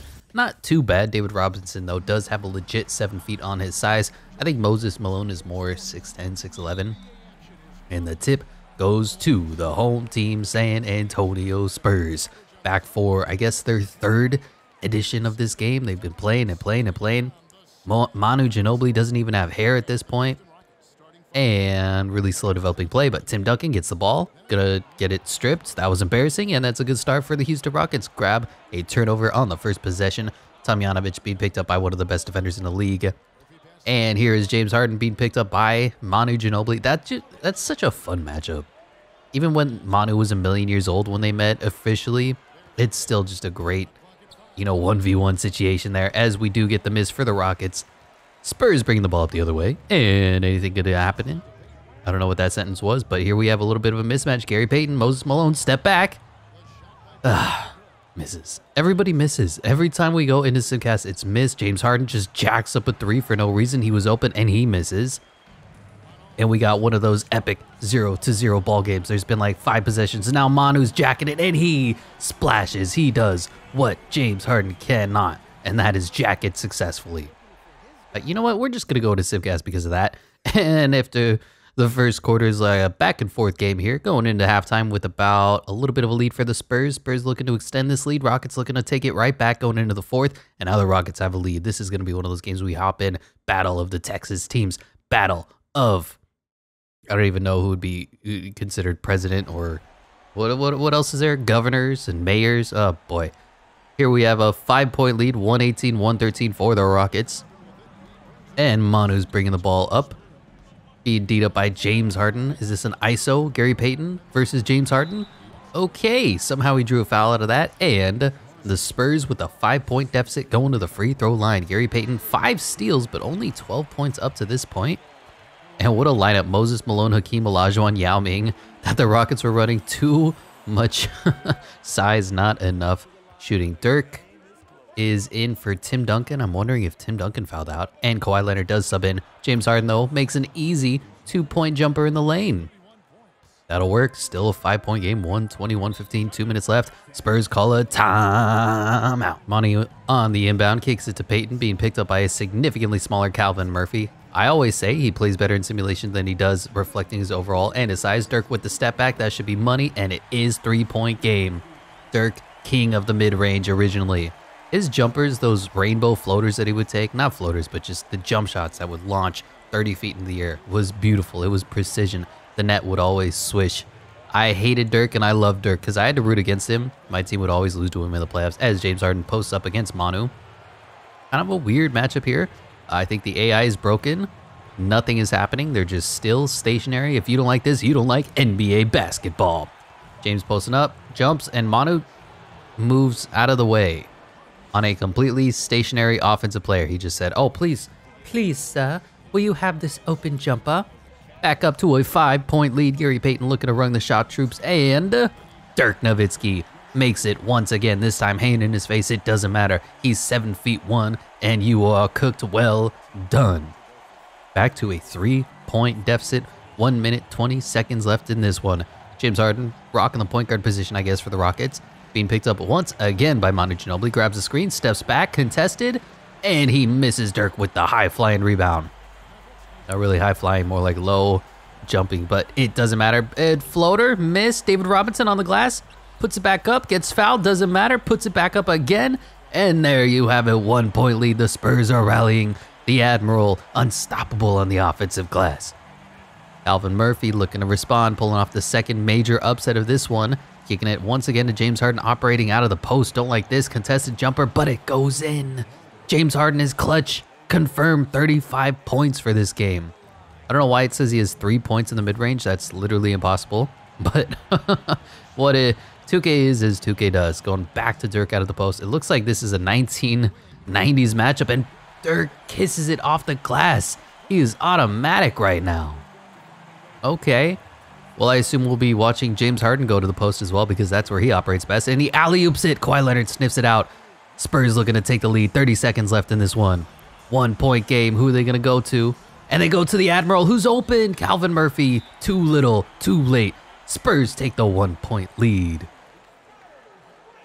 I don't know what's going on with this fan in the front row, but he was going crazy. 24 seconds left in this one. One point game. Are the Rockets going to dribble out the clock or they're going to try to get their score early going to James Harden in the post again? Bad idea. Does it work? Miss. And Dirk once again grabs the rebound. Manu going to the free throw line. And now the Rockets are starting to look a little bit desperate. No timeouts. Going to be down probably by three after these free throws from Manu Ginobili. And the second one is up and in. Three point lead. Spurs fought back. This is kind of what we were expecting. The fact that the Rockets were even leading, let alone close. Rudy Tomjanovich for three. And that's game. Bad possession there to close this one out as the Rockets fall. I was going to say, the fact that the Rockets were even close in this one is a testament to how good or how lucky they were this one. But David Robinson, 25 and 8, 1 1 2 1. Dirk Nowitzki was hugely clutch. The stats don't show it, but he was a monster. Tim Duncan, 19 and 18. Wow. Only four fouls, five fouls. Don't know why he wasn't playing. He's a 99 overall, but it looks like the move paid off for head coach Gregg Popovich. George Gervin was okay, 16 and 5. Gary Payton gave you a 15 and 16. Manu gave you 11 and 9. Kawhi gave you 10. Great production from the depth, depth other than James Silas. As for the Rockets, James Harden was unreal, 35, 6 and 9. Nice. Hakeem the Dream was okay, 18 and 4 for him. Moses Malone gave you a quiet 13 and 10. Clyde Drexler only 13. Yao Ming 12. Calvin Murphy 10, 2, and 9. I talked him up and he played like trash. 5 of 12 from the field. T Mac, kind of a, a nothing. Rudy Tomjanovich, 7 and 6. Not a great game from him as well. Good game, but the Rockets ultimately fall. This is another one of those incidents where the 98 overall, I'm not going to bring over to the new team because James Harden fits a little bit better. So you look at the Spurs roster, they already have De David Robinson, they already have Tim Duncan who can moonlight as a center. And on top of that, now they have Dirk Nowitzki as well. So let's go ahead and get some guard depth. Not, right now, Manu Ginobili, 94 overall, comes off the bench anyway, and we will flip him out for, I don't know, Bruce Bowen. So the Spurs' new roster is going to look like Gary Payton, James Harden, Kawhi Leonard, Tim Duncan, David Robinson, and off the bench, Dirk Nowitzki. They are now the winners of what, three games in a row. The Spurs are rolling. And like I said, they are my favorites to win this whole damn thing. Rockets, their fun old school logo, gone. And we'll go ahead and give the Spurs a little more. What is this grayish? And they are taking over all of Texas. They're ready to branch out. Are they going to go left? Are they going to go right? They're going to go east? They're going to go west. The Spurs are ready to take over America. And with the Lakers gone, honestly, unless there's any major upsets, I would say probably the Celtics are the best team to get in their way we will go over to the wheel. And unfortunately, who do they play? The Rockets. Get the hell off my wheel as the spinner gets thinner. Next team in this round one is the Sacramento Kings. The Kings are always in a precarious spot when you look at this.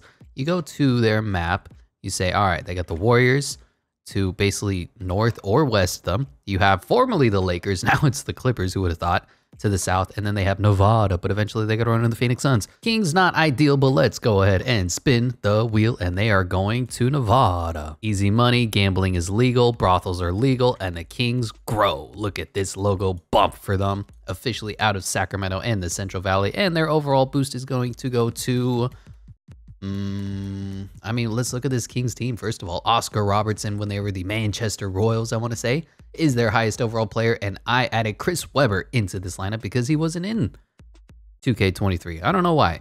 Jerry Lucas right behind him, 95 overall. Mitch Richmond was really good in his prime. Tiny Nate Archibald, Boogie Cousins, Wayne Embry, and then you have the rest of the 2000 squad. Vlade Divac, Peja Stojakovic, Mike Bibby, Bobby Jackson should be in here somewhere. Otis Birdsong, the current De'Aaron Fox, who is having an incredible season. So is Domantas Sabonis, Eddie Johnson, and Doug Christie, defensive stopper.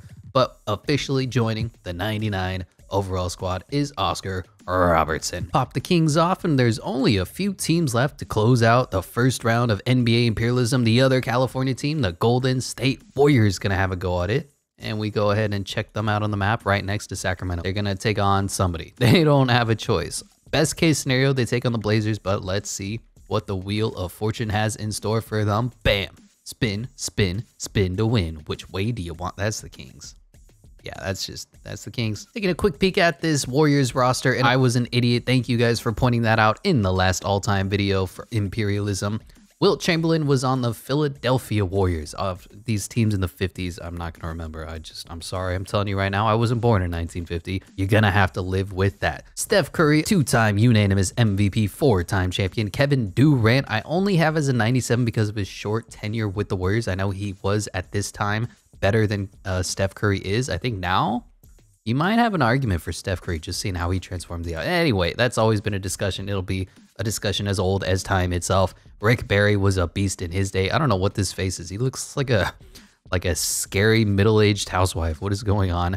Paul Arizin pretty good. And Chris Mullin then you have Klay Thompson Killer Klay two-way Killer Klay Nate Thurmond Baron Davis Draymond Green only a 91 overall and a young Chris Webber at this time. That doesn't look like Chris Webber at all. Tim Hardaway I guess Tim Hardaway Sr., Sleepy Floyd, Jason Richardson in those fun early 2000s days, and Purvis Short. And generally, I would expect that the uh, Warriors should win this one. You know, Steph Curry versus Oscar Robertson, that's about a push. Klay Thompson versus Mitch Richmond, Rick Barry versus Peja, Chris Webber versus Draymond Green is the one aspect where the Kings are definitely better. And then Wilt Chamberlain versus Boogie Cousins. Oof. Like, I know Boogie can put it up offensively, but two-way, there's none better than Wilt the Stilt. 99 overall. And the tip does go to the 99 overall Wilt Chamberlain as the Warriors bring the ball up the court. Sacramento is the home team, so you can hang your hat on that. Didn't work out for the Lakers. I, I still can't believe the Lakers lost in round one. Steph Curry almost pulls up for three. Wilt has a little on him. Killer Klay for three. Bang! First three is automatic for Klay Thompson. And the Kings looking to respond the other way. If this is a game of threes, the Warriors are definitely going to win this one. Peja was a kind of sharpshooter back in his day, but you compare him to the shooting splits of, of modern three-way or 3 and D players, he's nothing. Chris Webber never really had a three. Peja gonna jack up a three. Peja gonna miss baby. Anytime it's contested in 2K, it's over. Draymond Green bringing the ball up the other way, kicks it to Steph Curry, who kicks it back to Draymond Green, who's being guarded by Boogie Cousins. That means Wilt the Stilt Chamberlain has a mismatch on him. But hey, this is the battle of Chris Webbers. I forgot. Chris Webber versus Chris Webber. Who you got? I got Steph Curry missing from three. Yeah, I don't know. 2K hates Steph Curry shooting threes in simulation. I it's just it's frustrating when you're watching games like this. Steph Curry should go off for 50. Peja for three. Miss. The the three pointer already doesn't fall, and then when it's moderately contested, it, it the chance it falls is like zero. And what is this shot selection? Steph Curry fading 30 foot three pointers. That's not the shot that he takes. Come on, game. Klay Thompson, though, makes another one, and it is officially 6 to 0. Golden State Warriors ahead. Kings pull away in the first. Going into the second quarter, they have a little bit of lead back and forth game here after the halftime. And we got a really high scoring contest one. And we got a really good one here as well. About a 9 point, 10 point lead here for the Golden State Warriors. Thought we were going to hop in, but the Warriors are rolling here. 10 point lead, 9 point lead, 1 minute left, 7 points, 9 points, and the Golden State Warriors win by 11, 129, 118. Oscar Robertson did all he could, 29, 5, 11, 5 steals. 10 and 15 from the field. Chris Webber had a good one, 17, 6, and 7. Mitch Richmond was okay, 13 for him. Boogie Cousins just got outworked, 13 points and 4 rebounds. Ain't going to cut it for your starting center. Wayne Embry was okay. Peja gave you 10. Jerry Lucas, Nate Archibald, Vlade gave you 6 and 5. As for the Warriors, Chris Mullin Give him 19, 1 of 5. This is one of those balance games. Wilt does still gave you 18, 9, and 6. Steph Curry gave you 17. Paul Arizin gave you 17 and 9. Klay Thompson gave you 16 and 5. Rick Barry gave you 14, 10 and 4. Nate Thurmond gave you 11. Draymond Green gave you the annual traditional 9, 6, and 8. Kevin Durant only gave you 8 points, but somehow the Warriors prevailed. And while we could bring over Chris Webber to rock a double Chris Webber lineup, I'm going to bring over the 99 overall Oscar Robertson, who just got his final overall boost as well to the Golden State Warriors. How is he going to mesh with Steph Curry? No idea, but their lineup now looks like this Steph Curry, Klay Thompson, and Oscar Robertson 99 overall coming off the bench. With that as well, Steph Curry going to get the one overall boost, and he is officially a 99 I would think about playing Oscar Robertson at the two. He's got the size. Is uh does he have a secondary boom boom boom? What's it called? Secondary position? Yeah.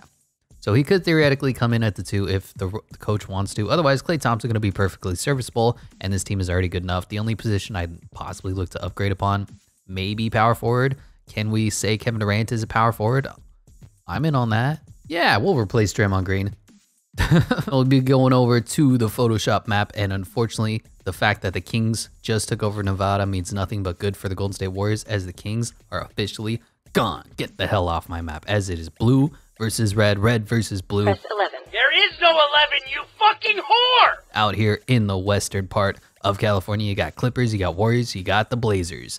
And nobody has taken Seattle, Washington just yet. Go to the wheel and we'll spin for the next team. Spin, spin, spin to win. And the Washington Wizards are going to be the next team on the map. We go over and look at them.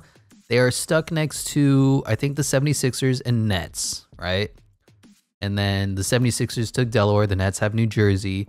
Virginia's wide open, both of the Virginias. So if they go south, they're going to get a free overall point. If they go north, they're probably going to lose to whoever they end up playing. But let's spin, and it's going to go west.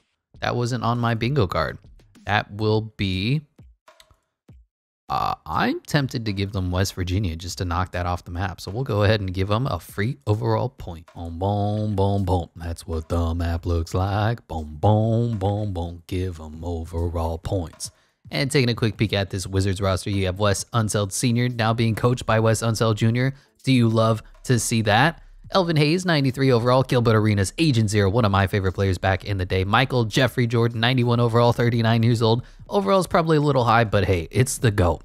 Russell Westbrook, even for the one season, was pretty good here. Jonathan Wall, Bradley Beal, Earl Monroe, Moses Malone, Caron Butler, Phil Chenier, Jeff Ruland, Antawn Jamison. Wasn't he a number one overall pick or something? Number four? Who was the number one overall pick that was? Kwame Brown. That's right. Uh, I don't know why that popped in my head. Dan Ole, Bernard King, rounding out the rotation. And the one overall boost is going to go to the 95 now overall, Wes Unseld Sr. Rocking the fro, beast back in his prime. Washington Wizards, get the hell off my map as the spinner gets thinner. Though they didn't get eliminated, this is just round one. And the New York Knicks, finally, New York, stand up, gonna get their official first time playing spinning and they usually take on the Brooklyn Nets, but they could take on the Raptors, they could take on the Celtics here, or they could.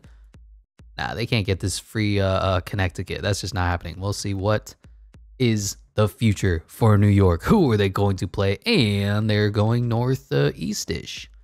That was um that one state that I totally know that I'm not looking up right now. That is uh, Vermont.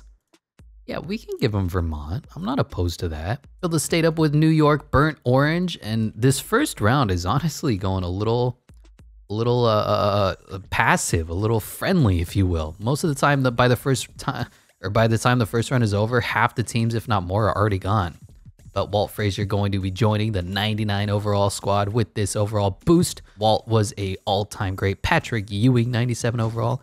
Willis Reed, Carmelo Anthony, Big Bob McAdoo, Earl Monroe, Dave DeBusschere, Amar'e Stoudemire before the injuries completely sapped him. Michael Ray Richardson, Allan Houston was a sharpshooter back in his day. You got Richie Guerin, you got Bernard King, you got John Starks, you even have Latrell Sprewell, another one of my favorite players from back in the day. And Julius Randle made his way under the all-time team. Kind of curious. I think Jalen Brunson should probably be replacing him, but that is for another day. I just choked on my spit there.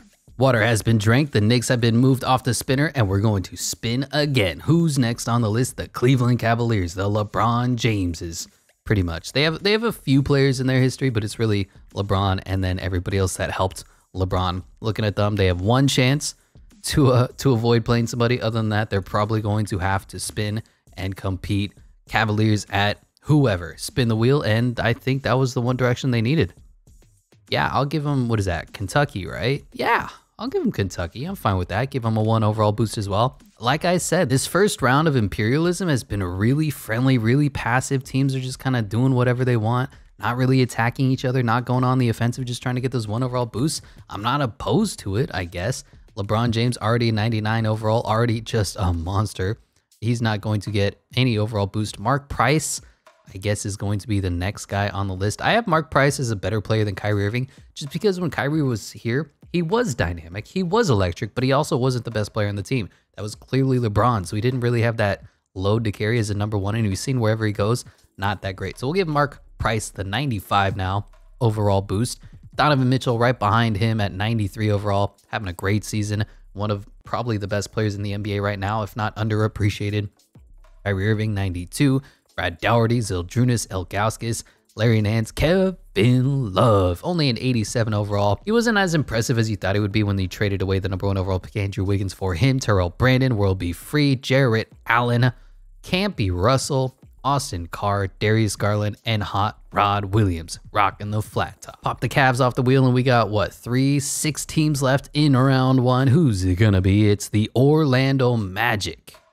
And the Magic and the Heat really have to play each other at some point. The Magic could look to get a little bit better before they actually take on the Heat, or they could try to take on the Hawks.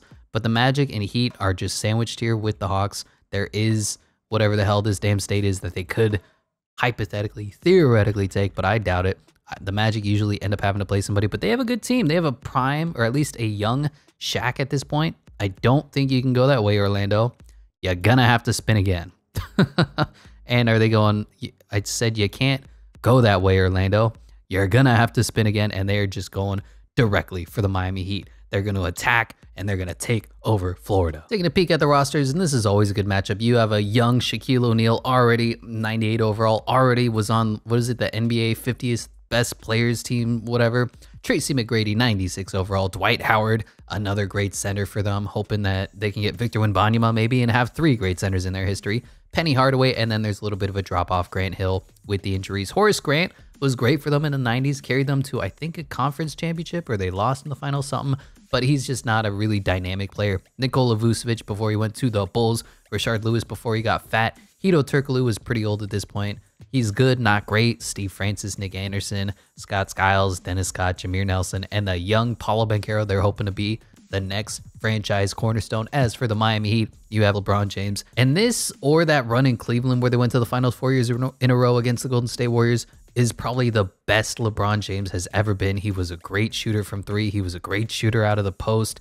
He just developed his offense, his defense. He was an incredible, unstoppable freak of a player. And he had Dwyane Wade to carry him and lead him whenever he needed help, whenever it was the clutch moments. Jimmy Buckets having a really great end of his career, but he's starting to hit that point where he's a little too old to carry the team. Alonzo Mourning, Tim Hardaway Sr., and an old Shaquille O'Neal, still good enough to bring a championship alongside Dwyane Wade to Miami. And then Chris Bosh kind of had to be a lesser version of himself to fit alongside LeBron James and Dwyane Wade. You had Glen Rice, Bam Adebayo, Hassan Whiteside when he was a monster, Ronnie Seikaly, Goran Dragic, Eddie Jones, Steve Smith, and Udonis Haslem has to be on every single team labeled Miami. Got a good one. Penny Hardaway versus Tim Hardaway. Battle of the Hardaways. McGrady versus Wade. Grant Hill versus LeBron James. Horace Grant versus Christopher Bosh. And Shaq versus Alonzo Mourning.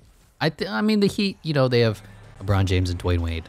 Clearly. But there is a chance that Shaq could carry the team. The Penny Hardaway Shaquille O'Neal connection. Grant Hill was a physical specimen before the injuries tore him up you know, there's there's a chance. That's all I'm saying. And as we saw with the Lakers elimination, I know I continue to bring it up, but that's just how shocked I am. Every time there's a chance, there's a chance. Penny Hardaway pulls up from the elbow, and he makes it 2-0 already for the underdog Orlando Magic. And D Wade pulling up for three. That's not his specialty. He's like a 30% three-point shooter. I looked at uh, Dwyane's career stats, which, by the way, he spells Dwyane Wade so weird as Grant Hill just throws it down over Alonzo Mourning. Look at him put a put that man in a poster. Also, uh, kind of got fouled. Alonzo Mourning's entire body clipped through Grant Hill. I was looking up Dwyane Wade's stats, which, by the way, the way he spells Dwyane is the most bizarre thing I've ever seen in my life. He's like a 30% three-point shooter, shot in the 20s a lot. And uh, there's that, and the fact that he spells Dwyane D. What is it? D W Y A N E. What a freaking nutcase.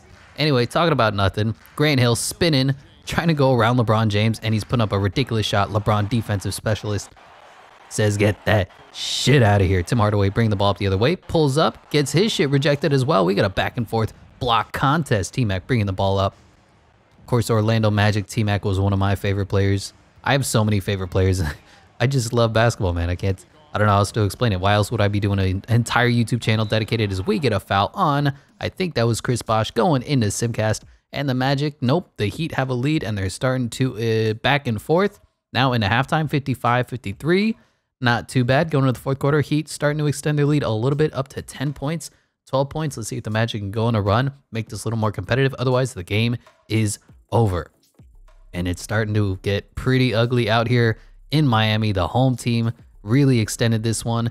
It was a close kind of hang around game for the entire one, but nine points. The Magic do fall 114 105. Chris Bosh had a good one 25 6 and 2. And he's capable of this, man. He was a multiple time All Star.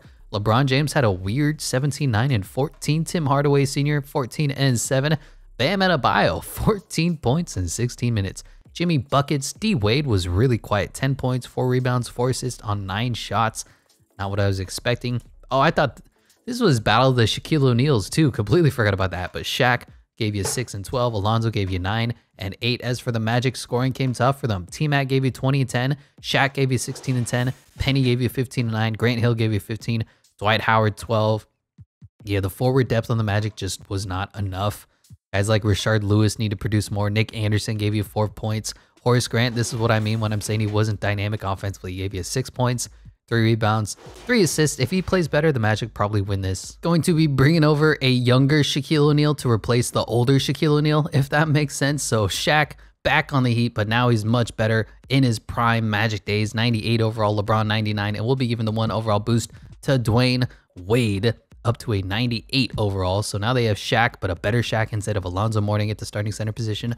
Tim Hardaway Sr. at the point guard isn't great. You'd like to improve upon that, but you have LeBron James you have Dwyane Wade, you have Chris Bosh, and now you have a monstrous Shaquille O'Neal. And we'll go over and make sure that the Orlando Magic officially eliminated from NBA imperialism. The Heat going to take over all of Florida and very proudly say, This is now Heat burnt red.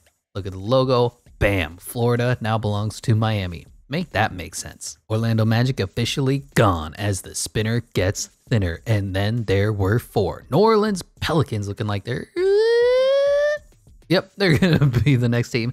Don't ask me what that sound was. And the New Orleans Hornets Pelicans have the Spurs to contend with, which yikes. Or more preferably, they'll take on some of these empty states and get a one overall boost because I don't see any chance of them going into San Antonio and winning a close one. Spin, spin, spin the wheel. Guys. Are you sure about this? Taking a quick peek at the Pelican Hornets, and they have basically two players that are going to carry this team, and the rest are going to have to kind of overexert themselves, play better than their overall reflex. You got Clifford Paul when he was monstrous back in Charlotte. This was when he was getting traded to the Lakers, and then David Stern said, nah, because Cliff Paul was too good. He was going 1v1 versus Kobe Bryant in the playoffs. Anthony Davis was just an athletic freak back in this time. He's a little bit more polished now, but if you go back and watch old Anthony Davis highlights, he just was special, man. Number one overall pick for a reason. Baron Davis, electric, dynamic, bouncy, explosive player. David West, just a really solid fundamental guy. Went to a bunch of teams and helped them win a lot of basketball games. Jamal Mashburn was pretty good. Zion Williamson. 2K is always trying to make him better than he is. They want him to be a 99 overall. He just can't stay healthy. Brandon Ingram, Jrue Holiday, pretty good player for them. He kind of got a lot better once he went to the Bucks, but PJ Brown was here, Boogie Cousins for that one season. Tried to rock a Twin Towers lineup and then injuries just derailed his career. Jonas Valanciunas has been pretty good. David Wesley, not to be confused with David West, you got CJ McCollum, he's okay. Julius Randle had one season here, and Peja Stojakovic. Cliff Paul versus Gary Payton. You got James Harden versus Jrue Holiday, that's a mismatch. Jamal Mashburn versus Kawhi Leonard, that's a mismatch. David West versus Tim Duncan, that's a mismatch. And Anthony Davis versus David Robinson. That'll be fun, but like I said, unless the two superstars of New Orleans carry this team, they have no chance, and it's going to be a complete blowout. Taking on a complete team like the Spurs, who have 99s in the lineup, 98s, great depth, great positional flexibility. They have everything that you need to win NBA imperialism, but it is a one game winner take all. Cliff Paul has a headband. That is how young he is back in this day. Kawhi Leonard getting a screen from Tim Duncan. Man, that was just something out of a, a fairy tale back when this was actually happening. Of course, the ages didn't really match up, but a Kawhi Leonard, Tim Duncan two man game is unstoppable. Speaking of unstoppable, Cliff Paul just pulls up from the free throw line, makes it And the Pelicans have a 2-0 lead here. Two defensive point guard specialists, Cliff Ball and Gary Payton, picking each other up. Kawhi Leonard cutting, kicking it. Tim Duncan shooting. Tim Duncan missing. Still getting zeros for the San Antonio Spurs here. Almost a minute into this one. Cliff Ball now has a mismatch. David Robinson. Who are they going to go to? Give it to Mashburn. Let him back down Gary Payton, maybe? Or give it to Cliff Ball. Let him go around David Robinson. Or give it to Jrue Holiday and do nothing. All right, Anthony Davis going to attack Kawhi Leonard. Not really the best. Oh, wow. Kawhi just picks that man's pocket. Oof, that's almost embarrassing how ugly that was. Kawhi not being picked up by anybody. Now Anthony Davis D'ing him up. And the Spurs going to run some offense. That's David Robinson versus Cliff Paul. No chance. David, man, just throw that down. Dunk it, yam it, posterize that man as David Robinson gives the Spurs a 2-2 tie. And we'll be hopping into Simcast here as the Spurs jump out to a lead and this is going to get ugly. Take your bets, place your picks, who is going to win. And it's actually closer than I would have thought. Eight minutes left in this one, about a seven, five point game, eight point game. I would have thought this would be a 30 point game by now. It's about seven, six points, five points, six points, six points again, eight points, five points. Yeah, we'll hop in. I don't mind watching five point games here in Imperialism, even if it's the Spurs at the yuck, Pelicans.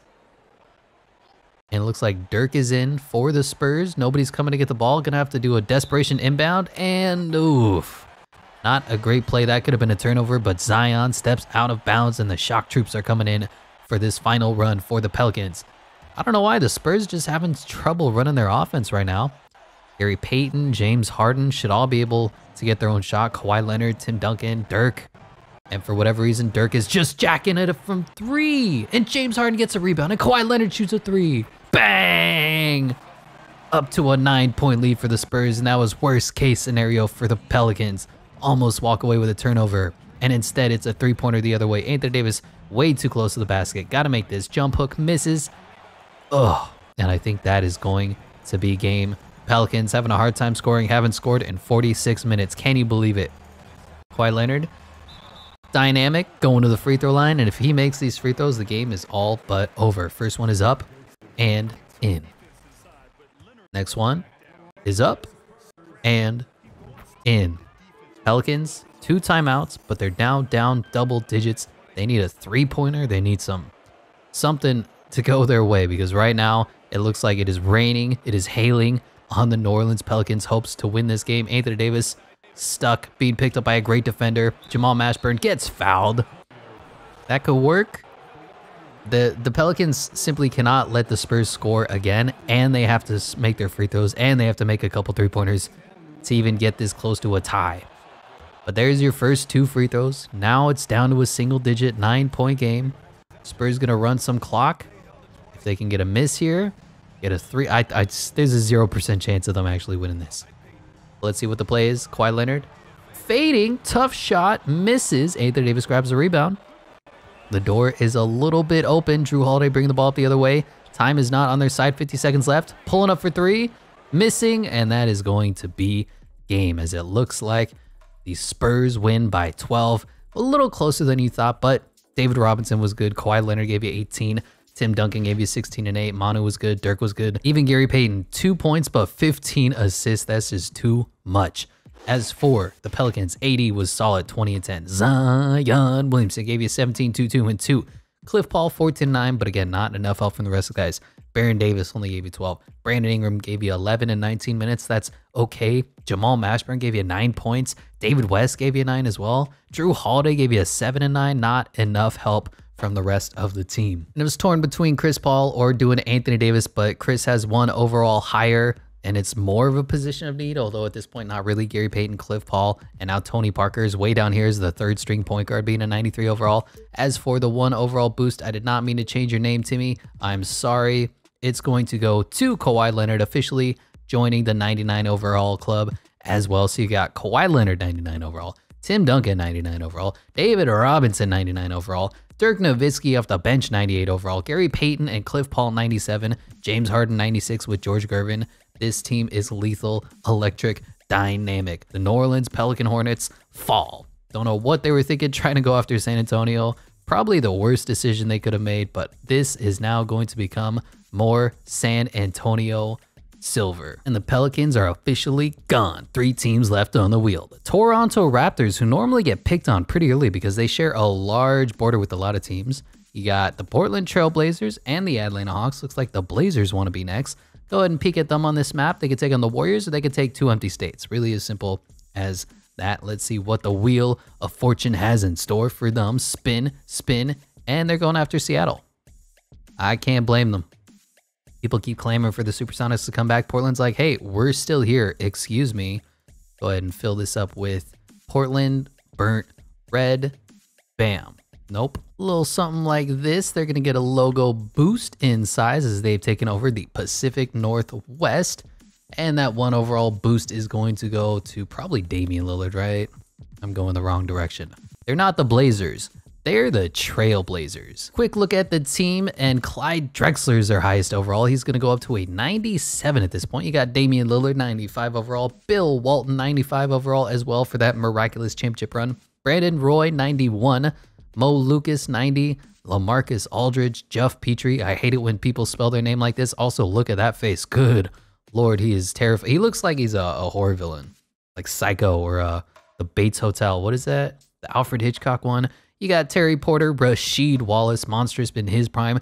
Arvydas Sabonis, father of Domantas Sabonis, Jerome Kersey, CJ McCollum was pretty good for them. Kiki Vandeweghe, Jim Paxson, and Kevin Duck worth. Pop the Blazers off the wheel, and there's only two teams left who have not gone in this first round of NBA imperialism. You have the legendary, the famous Atlanta Hawks going to be next up. And they're kind of cornered in. You could take on this empty state. You could take the Grizzlies. You could take the Hornet Bobcats, or you could take on the Miami Heat. Let's see what the wheel has in store for them. Spin, spin, spin to win. And I think that's a free state. You could make an argument that it's Florida, Miami, but we're going to say that this is that free state, which is totally not being looked up by me on the map. Alabama! Totally. I know everything about Alabama. I've been there all the time. They've got football teams, college football teams. Anyway, Atlanta going to get a little bit of a logo boost, and we'll make sure that they get their one overall boost as well. And we'll take a quick peek at the Atlanta Hawks all time roster, starting with the highest overall Bob Pettit, 97. A little older of a number one overall player for franchise history, but he was damn good in his prime. So was Dominique Wilkins, just did a video on him. Cliff Hagan, Lou Hudson, Dikembe Mutombo, no, no, no, and Trae Young rounding out the 90 overalls. Then you got Joe Caldwell, Big Al Horford, Paul Millsap, Pistol Pete Maravich, Kevin Willis, Doc Rivers, the coach, Dennis Schroeder, probably should be replaced with Jeff Teague, if we're being honest.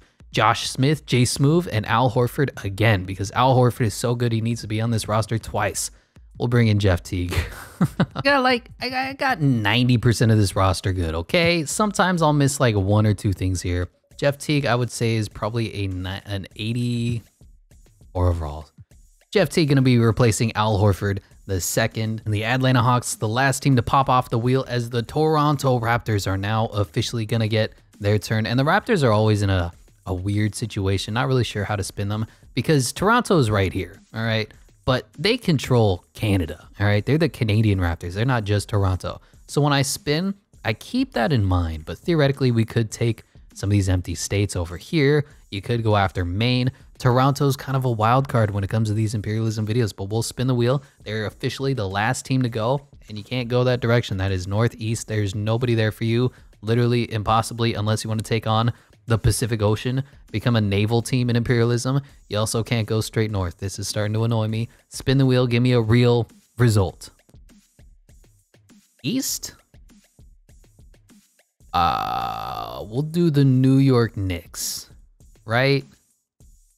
Think that makes the most sense.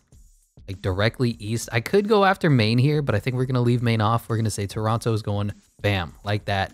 Toronto Raptors taking on the New York Knicks. And looking at this Raptor squad, their best player in their history is Kawhi Leonard. Came over for one year, won the championship. It's as simple as that. Then you got Vince Carter, Kyle Lowry, Mr. Toronto, DeMar, gave us heart and soul to the team, but he was just not quite the same caliber player as Kawhi Leonard is. Chris Bosh was really good for them before he left. Damon Stoudemire, Pascal Siakam, Spicy P. Who knows how long he's going to be here. Same thing with Fred VanVleet. You got a young Tracy McGrady alongside that Vince Carter athletic dynamic duo. Antonio Davis, Morris Peterson. It drops off here. Andre Bargnani, Doug Christie, and Scott Barnes. They're hoping something comes out of him. And Jonas Valanciunas, a young Jonas at this time, was pretty good. Damon Stoudemire versus Walt Frazier, the 99 overall mismatch. DeMar DeRozan versus Allan Houston, going to be a fun one. Carmelo Anthony versus Vince Carter, also going to be a fun one. Dave DeBusschere versus Chris Bosh, and Andre Bargnani versus Patrick Ewing, complete and total mismatch. Don't know how Andre Bargnani even made it on this all-times roster, but maybe that is just how shallow the all-time centers are for the Toronto Raptors. They do win the tip, and Damon Stoudemire bringing the ball up the other way as New York is the home team. We're playing in Madison Square Garden. New York stand up a weird three for Damon Stoudemire, and he makes it. Um, interesting start to this one. I guess Walt Frazier just decided not to play defense, rocking the short shorts, rocking the uh, mutton chops. That's what they're called. And let's see what the play is here. Might be going to Carmelo Anthony. Nope, they're going to Allan Houston for three. Answers right back. 8% covered. It doesn't matter. We got a 3-3 game. Allan Houston, sharp shooter back in his day. Damon Stoudemire losing, dribbling into a double team. You got DeMar DeRozan. No three-point shooting for him, but if it's anywhere in the mid-range, he will pull up and score. And there is a little bit of a floater. Misses the offensive rebound, and it's Raptors ball. Looks like it was off DeMar, but okay. Y'all know DeMar DeRozan has a Joker tattoo on his shoulder. Damon Stoudemire for three again. Wow. Damon just trying to take this game over. The little man, shortest man on the court, says, I'm going to be the best player on the damn court. And Carmelo pulling up for a fading three here. Bad shot selection from him, and it is a 6 to 3 lead for the City of Canada. The city in Canada, the city for Canada. Chris Bosh puts it up, and it is 8 to 3. New York having a disappointing start to this one. New York was pretty good last time in the all time imperialism video, and we have a tie game going into halftime. Back and forth game here in the third quarter. New York starting to take a little bit of a lead here, about five, four points in the fourth quarter. And back and forth, five point game. Might be one of those that we hop in, tie game. About two minutes left. Yeah. 124, 122. Watching a highlight of something that we never saw. Oh no, that was the last highlight I skipped over. New York Knicks inbounding the ball. Walt Frazier, 99 overall, bringing the ball up the court. What is he going to do? What are they going to do? Willis Reed with both legs healthy. Injuries are turned off. Patrick Ewing out of the post going versus Andre Bargnani. Let's see what happens here. Jump hook and in and out. Bob McAdoo, though, on the glass. They have Bob McAdoo, Willis Reed, and Patrick Ewing all on the court at the same time. Can you say rebounding? And Amar'e Stoudemire. Oh my gosh, they're rocking a single shooter lineup. If you don't like that, you don't like 1980s basketball. Kyle Lowry being beat up tremendously. Oh, he gets around Walt Frazier. Back to a two-point game, and the Knicks need a timeout. One minute, 34 seconds left. Carmelo Anthony dribbling the ball. Being picked up by Kawhi Leonard, and Kawhi Leonard fouls. In the clutch, four fouls now on Kawhi Leonard. Carmelo Anthony going to the free throw line, looking to make this a two-possession game. First free throw is up, and in. Carmelo, no stranger to the big moments honestly such a question mark why he never won a chip. I know the league went out from under him. He was a mid-range killer, back to the basket kind of post score when he was in his heyday, and the league transitioned into three-point motion offenses while he was a black hole. But still, I feel like he was good enough to win a chip if the rosters were well constructed. Kawhi Leonard hits a dagger, fading mid-range jumper, and we just got back and forth, mano y mano. Carmelo Anthony in his prime versus Kawhi Leonard in his prime. Melo pulls, fading, three, bang! Five point lead for Carmelo and the New York Knicks. What a huge shot. How are the Raptors gonna respond? By Leonard dribbling the ball, looking for something to set up. He's getting a screen from Chris Bosh. Big deep drop coverage answered from three, and Kawhi misses. And that is the difference between Carmelo Anthony and Kawhi Leonard is Carmelo hits those shots. We got an alley-oop in the clutch, and the Raptors are going to need a timeout. Willis Reed on the alley from the oop. New York Knicks rolling through Toronto right now. Seven point game, 44 seconds left. No timeouts being called yet. Kawhi Leonard forcing the issue, putting up a tough two. Gets the putback from Andre Bargnani, who just kind of floated, levitated up there. Full court press from the Raptors. Giving it to the 99 overall Walt Frazier. Haven't mentioned his name yet. And Damon Stoudemire, flagrant fouls him. What was that? He just launches him into the stands. First free throw for Walt is up and in. Next one, this is pretty much dagger. The game's over, but what a game. What a couple of shots from Carmelo. What a couple of shots from Kawhi. And we'll see if the Raptors have any way to respond. Being picked up by Carmelo Anthony, who's not a great defender, but he is a competitor. Grabbing a screen from Andre Bargnani. Drop coverage again. Kawhi for three. Bang! Exactly what they needed. Knicks need a time out of their own. Walt Frazier going to be getting fouled by Damon Stoudemire. That's his fifth foul. Need to be careful of that. Walt going to the free throw line. Four point game. Looking to make this a six point game. First free throw is up and in. Thank God they don't show the actual free throw when they're shooting clutch free throws. Why would I want to see if it's a make or a miss? Two for two. Raptors call their last timeout. And what do the Raptors have drawn up if they can get a three? That's down to a three point game. Let's see. Running, running. Give it to DeMar DeRozan. Okay, now they're going to Damon Stoudemire. Hit two threes early, and he misses this one, and that is going to be game. Knicks going back to the free throw line, and Knicks advancing, taking over Canada. They win 141-34. Really good game, closer than I thought. Carmelo was huge. 25, 6, and 6. Bob McAdoo, 22 and 8. Allan Houston gave you 20. Walt Frazier, 19 and 15. What a game from him. Patrick Ewing, 12. Amar'e Stoudemire, 11, 11, 11, 8. Great contributions from the bench. And a good game for the Raptors as well. Damon Stoudemire was dynamic. 9 and 11. Never forget, 3 of 5 from 3, 26 points, 9 assists. That is a, almost a perfect game for somebody who's like 5 foot 10. Kawhi Leonard was going back and forth against Carmelo Anthony, ultimately coming up short 24 for him. Vince Carter, 19, 8 and 5. Chris Bosh, 18 and 11. Andre Bargnani, not bad. 14 and 8. Mr. Toronto gave you 11 and 9. Never forget, DeMar DeRozan gave you 10. And we'll be taking a Kawhi Leonard in and he's going over to the New York Knicks team now looking like this. Walt Frazier, Allan Houston, Kawhi Leonard, Dave DeBusschere, Patrick Ewing, uh, Carmelo Anthony. I guess we can bump him up to the power forward position. He did play a lot of power forward in his career, so I'm not I'm not opposed to that as I am opposed to other positional changes. He actually goes up in overall, weirdly enough. And Patrick Ewing yeah, we'll give Patrick Ewing the one overall boost. He is now a 98 overall team. Starting to look a little spicy. If we can upgrade on Allan Houston, you got 99 overall Walt Frazier. You got 97 overall Carmelo Anthony. Nope, Kawhi Leonard. You got Carmelo 94, and now you have Patrick Ewing 98. Willis Reed, Bob McAdoo, great size off the bench. Need a little more scoring, but this team is looking spicy. Go over to the map and make sure that we let everybody know that Canada has now been taken over by New York. New York stand up. Fill that up with New York burnt orange and the Toronto Raptors gone as New York has officially taken over now. One state and one country. Pretty impressive way to round out the first round of NBA imperialism. Beginning round two of NBA imperialism for all time teams, the Redux, the Redo. And we'll just do a quick recap of how round one looked. The Portland Trailblazers, they did a fine job staying alive. The Golden State Warriors took out Sacramento. And the big surprise, the big upset, the Los Angeles Clippers upset the Lakers with all the 99 overalls. They are just not good enough. And they got Kobe Bryant. Phoenix is looking pretty good themselves with a Charles Barkley, who was not in the last one. The Denver Nuggets are doing just fine. The Spurs have taken out all of Texas, the Oklahoma City Thunder Supersonics, and the Pelicans. Timberwolves holding steady. Bucks Knicks have taken over Toronto. The Chicago Bulls and Cavaliers are still alive. It's going to be Battle of the Goats for sure.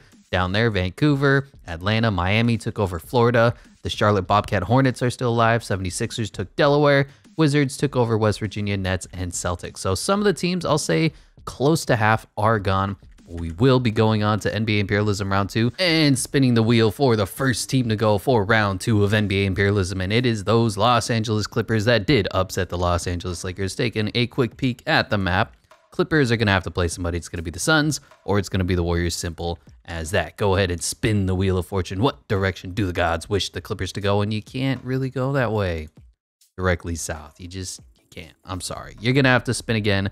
I'm sorry, LA Clippers stands. And it looks like instead of going directly south, now they want to go directly north. And I know the Clippers aren't the 99 overall stacked Los Angeles Lakers, but they do have a good team here. Chris Paul versus Stephanie Curry has always been a great matchup whenever they go in head to head in the Western Conference Finals or the Western. I think the second round was when the Clippers and Warriors really went at it. Kobe Bryant as a Clipper is weird going up against Klay Thompson. Kawhi Leonard versus Rick Barry. Kevin Durant versus Elton Brand. And Big Bob McAdoo versus Wilt the Stilt Chamberlain. If I had to put money on it, I would say in the overalls department, I think the Warriors are the better team. But if you take into account that Kobe Bryant is now a Clipper, that they magically overcame probably the best team in the NBA, I gotta say the Clippers could be a, a sleepy underdog that you might want to look for. Steph Curry almost pulls up a three here. Kevin Durant now being picked up by, uh, was that Elton Brand? Not going to be a good matchup for him as Kevin Durant swishes the two early. Cliff Paul bringing up the troops the other way. And what do the Clippers have in store for their offense? I think it's just go to Kobe Bryant and let him cook. There he is, almost pulls up three. Klay Thompson guarding him. Gonna get a screen? Yes, he does. And he's gonna pull for three anyway. And he misses. Yeah, not a great shot for Kobe Bryant. Not known for his three-point shooting because the entire NBA wasn't known for his three-point shooting. You can hit the three to some extent, but for the most part, the mid-range was king, and somehow Kawhi Leonard picks up a foul on Rick Barry. They're going to go into Simcast, and the Clippers have a lead going into the first first quarter. Second half, we're about a tie game, high-scoring contest going into the fourth quarter, and we got a back and forth one here. This might be one of those games that we do, in fact, hop in. Uh, the Warriors have a little bit of a lead here. Five points, three points, six minutes left. We'll do a quick simcast. Two minutes left, four point game. Yeah, we'll hop in to watch this. I don't mind watching good games. Elton Brand, Chris Mullin, who's this? Paul George, Steph Curry. I don't know who's playing defense for the Warriors here. Uh, is Oscar Robertson in the game? He is. He is a 99 overall. I don't know how they're going to do that. Wilt Chamberlain playing a little defense here. Paul George just gets left wide open, blows the jumper though. Paul George is not clutch confirmed, and the Warriors have not scored in 46 minutes. That never gets old. Uh, it's Paul Arizin. Never seen his game in my life. Let's see what he has. Has a pull-up three? Not really. And by three, I mean two. And Bob McAdoo brings the ball the other way. The door is open for the Clippers, and Paul George is just jacking, floating threes and greening. Wow. Terrible shot selection, poor shot quality. Doesn't matter as Paul George hits a big three Clippers only down by one. The starters are going to be checking in for the Golden State Warriors. Steph Curry run off a couple screens. Was open for a second. Might be open here. He gives, gives it to Oscar, who's being picked up by Kobe Bryant. Could you imagine Oscar versus Kobe? That just sounds fun. Pull up two. Miss again. The Warriors are struggling to find any offense right now. And Paul George going to be clutch again. Bob McAdoo pretty close to the basket, being picked up by Wilt. And good contest. Gets his own rebound. Puts it back up, and the Clippers have a lead. 52 seconds left in this one. That is the first lead for the Clippers, even though it wasn't because Simcast. Steph Curry going to be running off some screens here. Doesn't look like he's going to get a shot, does he? No. Being picked up by the much bigger Oscar Robertson. Pump fakes, shoots, and the Warriors getting blanked right now. 34 seconds left in this one. Probably want to call a timeout. Still a one-point game. Paul George operating. Kobe Bryant out of the corner. Dagger misses. Wilt Chamberlain brings the ball the other way. They're not going to call a timeout. They're just running the offense. Paul Arizin bringing the ball up the court. What kind of shot selection are they going to get here? Paul Arizin going ISO Oscar Robertson now with Kobe D'ing him up, accepts the screen, pulls up for two, and he makes it. Oscar Robertson was right there. And if he missed, Wilt Chamberlain had perfect positioning to put it back up. So the Golden State Warriors have a one point lead, 13 seconds left. What do the Clippers have as an answer, or is their Cinderella run coming to an end? Elton Brand on the inbound. 13.3 seconds going to Paul George. Don't go to Kawhi Leonard for some reason. Don't go to Kobe Bryant. They're going to PG 13. Clock is ticking. Time is running out. Four, three, two, one. Paul George has to put up a three, and he chokes it. He misses, and the Clippers fall by one point to the Golden State Warriors. Wow, that was a close one. Wow, Wilt Chamberlain, 38 points, 10 rebounds on 17 shots. That is, um, wow, he went 10 of 19 for the free throw line as well. That's not very good. Rick Barry had a nice game, 21, 6, and 9. Nice. Steph Curry, 16 and 11. Paul Arizin, 16. Klay Thompson, 10. Nate Thurmond, 10. Kevin Durant, miraculously quiet, 6 points in 31 minutes. Bob McAdoo was the best performer on the Clippers yet again. Paul George had a good one. Elton Brand, 17 and 10. Kobe, 16 and 20? Wow.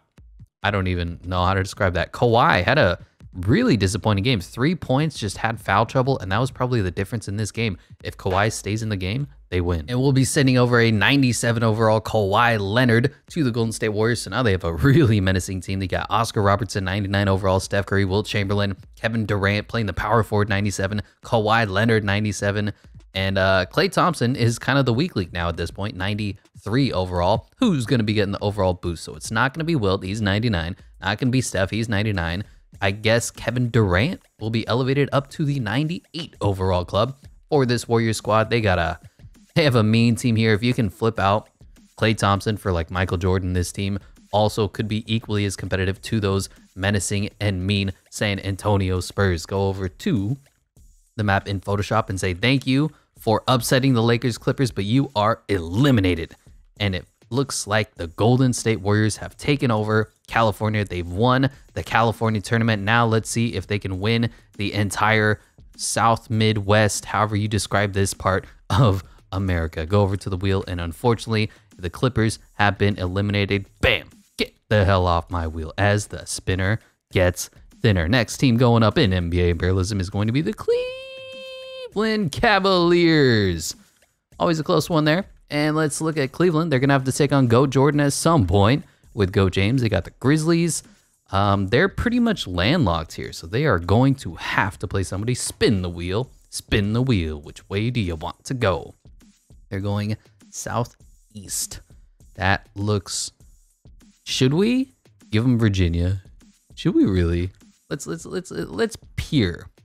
I mean, it should be the Wizards, 100%. But, but, yeah, we'll do that. We'll do Cavs at the Wizards. I was really tempted to give the Cavaliers Virginia or West Virginia, whichever Virginia was available. But whenever you can get a goat on goat situation, you got to take it. And it's, it's the Wizards, Jordan. I get that, but still. Mark Price versus Gilbert Arenas, Agent Zero. Donovan Mitchell versus Michael Jordan. LeBron James versus Caron Butler. Elvin Hayes versus Kevin Love. Brad Daugherty versus Wes Unseld Sr.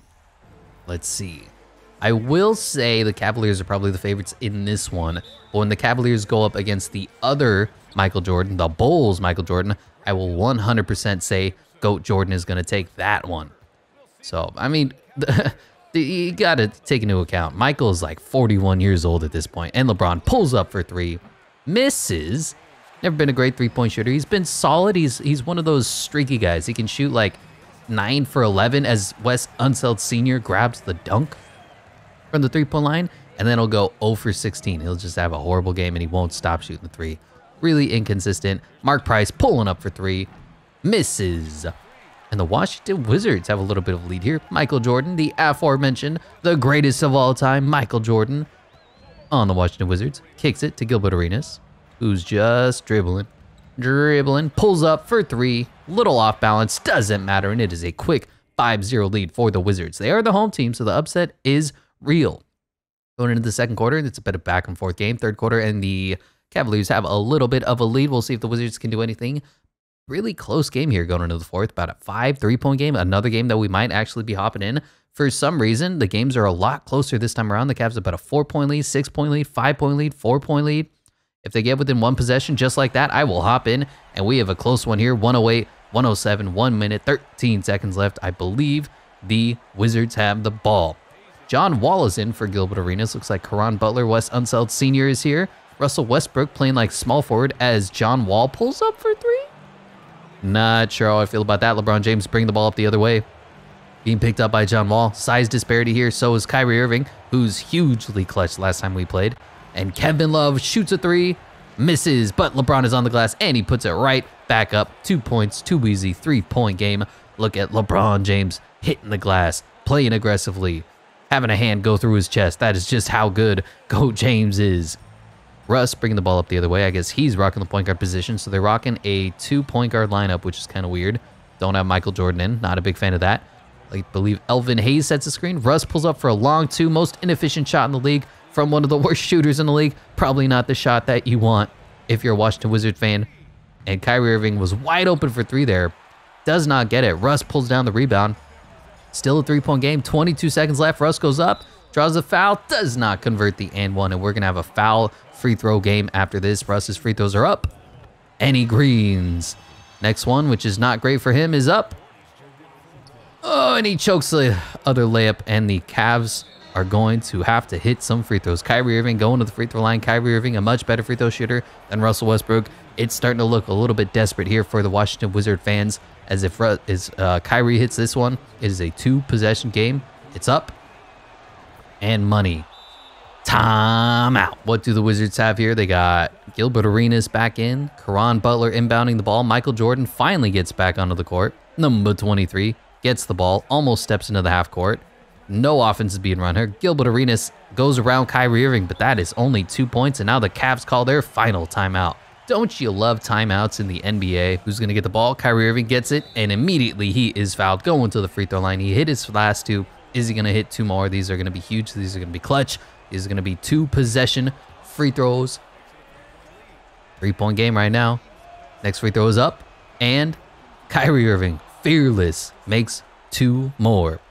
Four point game. I think the Wizards need a three at this point, and it's going to Caron Butler, which is probably not the shot they drew up, and that is going to be game. Unfortunately, the Wizards do fall to the Cleveland Cavaliers 116 to 110. Gilbert Arenas was pretty good 22, 5, and 10. Russ gave you 15, 2, and 6 on 10 shots, but missing that free throw was ugh, a big struggle. Wes Unseld was okay, 14 and 11. Elvin Hayes, 13, 12, and 8. Bradley Beal gave you 13. Mike gave you 12, 6, and 4 just a different version of Michael Jordan, not the one that we're all used to seeing, which is why him being on the Wizards was so not sad, but just kind of weird, I guess is the best way to describe it. Caron Butler gave you 10. As for the Cavaliers, just a really balanced game for them. 18, 9, and 9 from Coach James. Kyrie Irving gave you 15, 1 and 4. Donovan Mitchell gave you 14, 4 and 6. Brad Daugherty, 14, 14. Terrell Brandon, 13. Mark Price, 12, 3 and 7. And Zydrunas Ilgauskas, Big Z gave you 11 and 12. Off the bench, Larry Nance gave you 10. Kev in love. Only nine and five. Not a great game from him, but they didn't need that. Wes Unseld Sr. going to be coming over and being the new starting center for the Cleveland Cavaliers. And I guess Mark Price is going to be getting this overall point again, now up to a 96 overall. Kind of needs some more wing help. A shooting guard, a power forward, whatever you can fill at that point. Kevin Love is still the starting center, which is not great. Can anybody, can Wes Unseld play? Theoretically, he could play. He's six foot seven, really? Yeah, theoretically, he could play the power forward position and then bring in Brad Daugherty to play the starting center. Yeah. Anyway, enough talking about the Cavaliers as they do advance the Washington Wizards. Unfortunately, they fall. Gone. Eliminated. And this weird stretch of land that we created for them is now going to be part of the Cleveland Cavalier Nation. Fill that up, give them a little bit of a logo boost, and they're going to have to go through the 76ers, through the Bulls, and that's probably it until they reach like the Celtics and Knicks. But we will go over to the wheel and say thank you, Washington Wizards, for what you have done, but you are officially gone, eliminated from the wheel as the spinner gets thinner. Next team going on the offensive is the Golden State Warriors again. Okay, I'm not opposed to it. I don't hate seeing a team get to uh, get to go multiple times in a row. That's what imperialism and random wheels are all about. Looking at the Warriors, they could take I believe this is Idaho, or it's going to be Phoenix or the Portland Trailblazers. And if it's Portland, I got to say good luck, man. Portland is not in a great spot compared to the Suns. And uh, I think, yeah, we'll give them we'll give them Idaho, right? I'm not opposed to that. I like making funny shapes in these imperialism videos, so the Warriors get a little bit bigger. They kind of built a wall that the Suns and the Blazers have to go through now, but they will get one overall point, and those other teams are still alive. So who is going to get the overall boost? I believe this makes Kevin Durant officially part of the 99 overall club. A little bit of boom, and there you have it. Kevin Durant now part of the 499 overall squad that you have going on here in Golden State. Next team on the wheel, which is this button, not that button. Bam. Spinning the wheel. Next team is the Nuggets the Nuggets just barely. We go over to the Nuggets. So there's this big stretch of America that nobody seems to want to take, you know, the Montanas, the Dakotas, and I get that, but the Nuggets are sitting here. I think they want to avoid the the San Antonio Spurs if they could. So Grizzlies or Suns would be a much better matchup for them and we'll spin the wheel of fortune. What direction are the Nuggets going to go? And uh, is that the Suns? I believe uh, yeah, we can do the Suns. I, I should give them New Mexico, but we can just leave that state for now. Fun one here. Fat Lever versus Stephen Nash. Devin Booker versus David Thompson. Carmelo Anthony versus Kevin Durant. Charles Barkley versus Dan Issel. And Nikola Jokic versus Karl Malone. The pickup, not free agent pickup, but the pickup from the Utah Jazz game. And I gotta say, outside of Joker and maybe Melo to a lesser extent, I think the Suns should win this one handily. We'll see how that prediction plays out. We got Stephen Nash bringing the ball up the court, running the offense. Devin Booker, offensive stud, having a great postseason. And uh, Charles Barkley gonna have the ball here. Don't know what's really happening. He pulls up for a contested two, misses pretty ugly. Looks like Fat Lever bringing the ball up the other way. Nikola Jokic is gonna be playing point center for them. Right now we got David Thompson dribbling, dribbling, pulling up. Nope, kicks it. Who Joker kicks, passes up an open shot. Not sure how I feel about that. We have an offensive three second violation Really ugly game for the first 31 seconds of this one. And here is D-Book dribbling. Kevin Durant going around, gets a screen and kicks it to a rolling Karl Malone who throws it down. The mailman receiving passes from Kevin Durant. Kind of funny because Kevin Durant, I think, is taller than Karl Malone. That's just the way the new NBA is. These taller, better, faster, stronger players. And Carmelo pulls up for two, and he splashes right back. Two to two game. Carmelo, king of the mid range. And the Nuggets have a lead here in the first quarter. Going to the second quarter, it's been a back and forth game at halftime. Third quarter, still a back and forth game. Close one into the fourth. The Suns have a little bit of a lead. Let's see if the Nuggets can respond. And they do. Still a really close one possession game going back and forth. Might be a game we hop in. Nuggets have a little bit of lead here. Six point game, nine point game. And it looks like the Nuggets are going to win this one, actually. Five point game, three point game, 37 seconds left. I'm always going to make sure to see what happens. Look at Carmelo shoot the mid range from the first quarter. Wasn't his shot stroke pure and beautiful? 37 seconds left. Phoenix Suns need to stop and a score bad, and they give up a backdoor cut. Oh no, worst case scenario right out of the inbound play. What are you doing? I don't know who that was. Phil Westphal, what is wrong with you? Karl Malone trying to go around, gets two points, and he does not convert the N one, but he's going to the free throw line. We'll see if the mailman can hit his free throws. Not really a strong suit. He has that weird sort of falling back when he's shooting the free throw animation that kind of that kind of messed it up. But now we are going to be watching a foul game as the Nuggets call their final time out. Desperation time for the Phoenix Suns. They're going to need a foul. They're going to need to score three. Going to need to foul again and probably score another three. But Kevin Durant going to the free throw line. Not the person that you want to foul. KD. Nope, that's not even KD. he looks like Kevin Durant. Well, Fat Lever making both free throws and it is a five point game. Phoenix Suns call their final timeout. Desperation for the Phoenix Suns. And who's going to get the ball? Who's going to get the ball? Who wants the ball? Steve Nash does. Almost pulls up for two. Karl Malone puts up two points, but that's just wasting time. You got to get a steal here. And defense in 2K is kind of dumb because they just let you get wide open. Fat Lever going to the free throw line yet again. Devin Booker picking up his fourth foul. Let's see if he's able to convert both free throws. First one is up and in. Next one for Lever is up and four for four, just like Kyrie Irving. Lever has no fear of the free throw line. Five point game, 16 seconds left. Timeouts are all gone. Kevin Durant just going to pull up for three and miss. And that is going to be game. The Nuggets survived the Phoenix Suns in advance. That's an interesting one. Karl Malone had a good one, 38 and 6. Kevin Durant had a good one, 28, 4 and 6. How did they lose? Amar'e was okay, 11 and 5. Chuck, 10, 5 and 8. Kind of a weird stat line for him. Phil Westphal, not great. Paul Westphal, I don't know why I said Phil, 9, 2, and 8. Steve Nash was really bad. 3 of 8 from the field, 8 points. That's not going to cut it. So was Devin Booker. Yet the depth for the Suns did not prevail in this one. As for the Nuggets, David Thompson gave you 34 and 5. Lever gave you 22, 5 and 8. And those clutch free throws. Carmelo gave you a strong 21, 5 and 6. Dan Issel gave you 15, 5 and 6. Nikola Jokic had a 10, 11, 8, 2 and 1 stat line. No turnovers. Alex English only 10, 6, and 7, and Allen Iverson gave you 10 off the bench as well.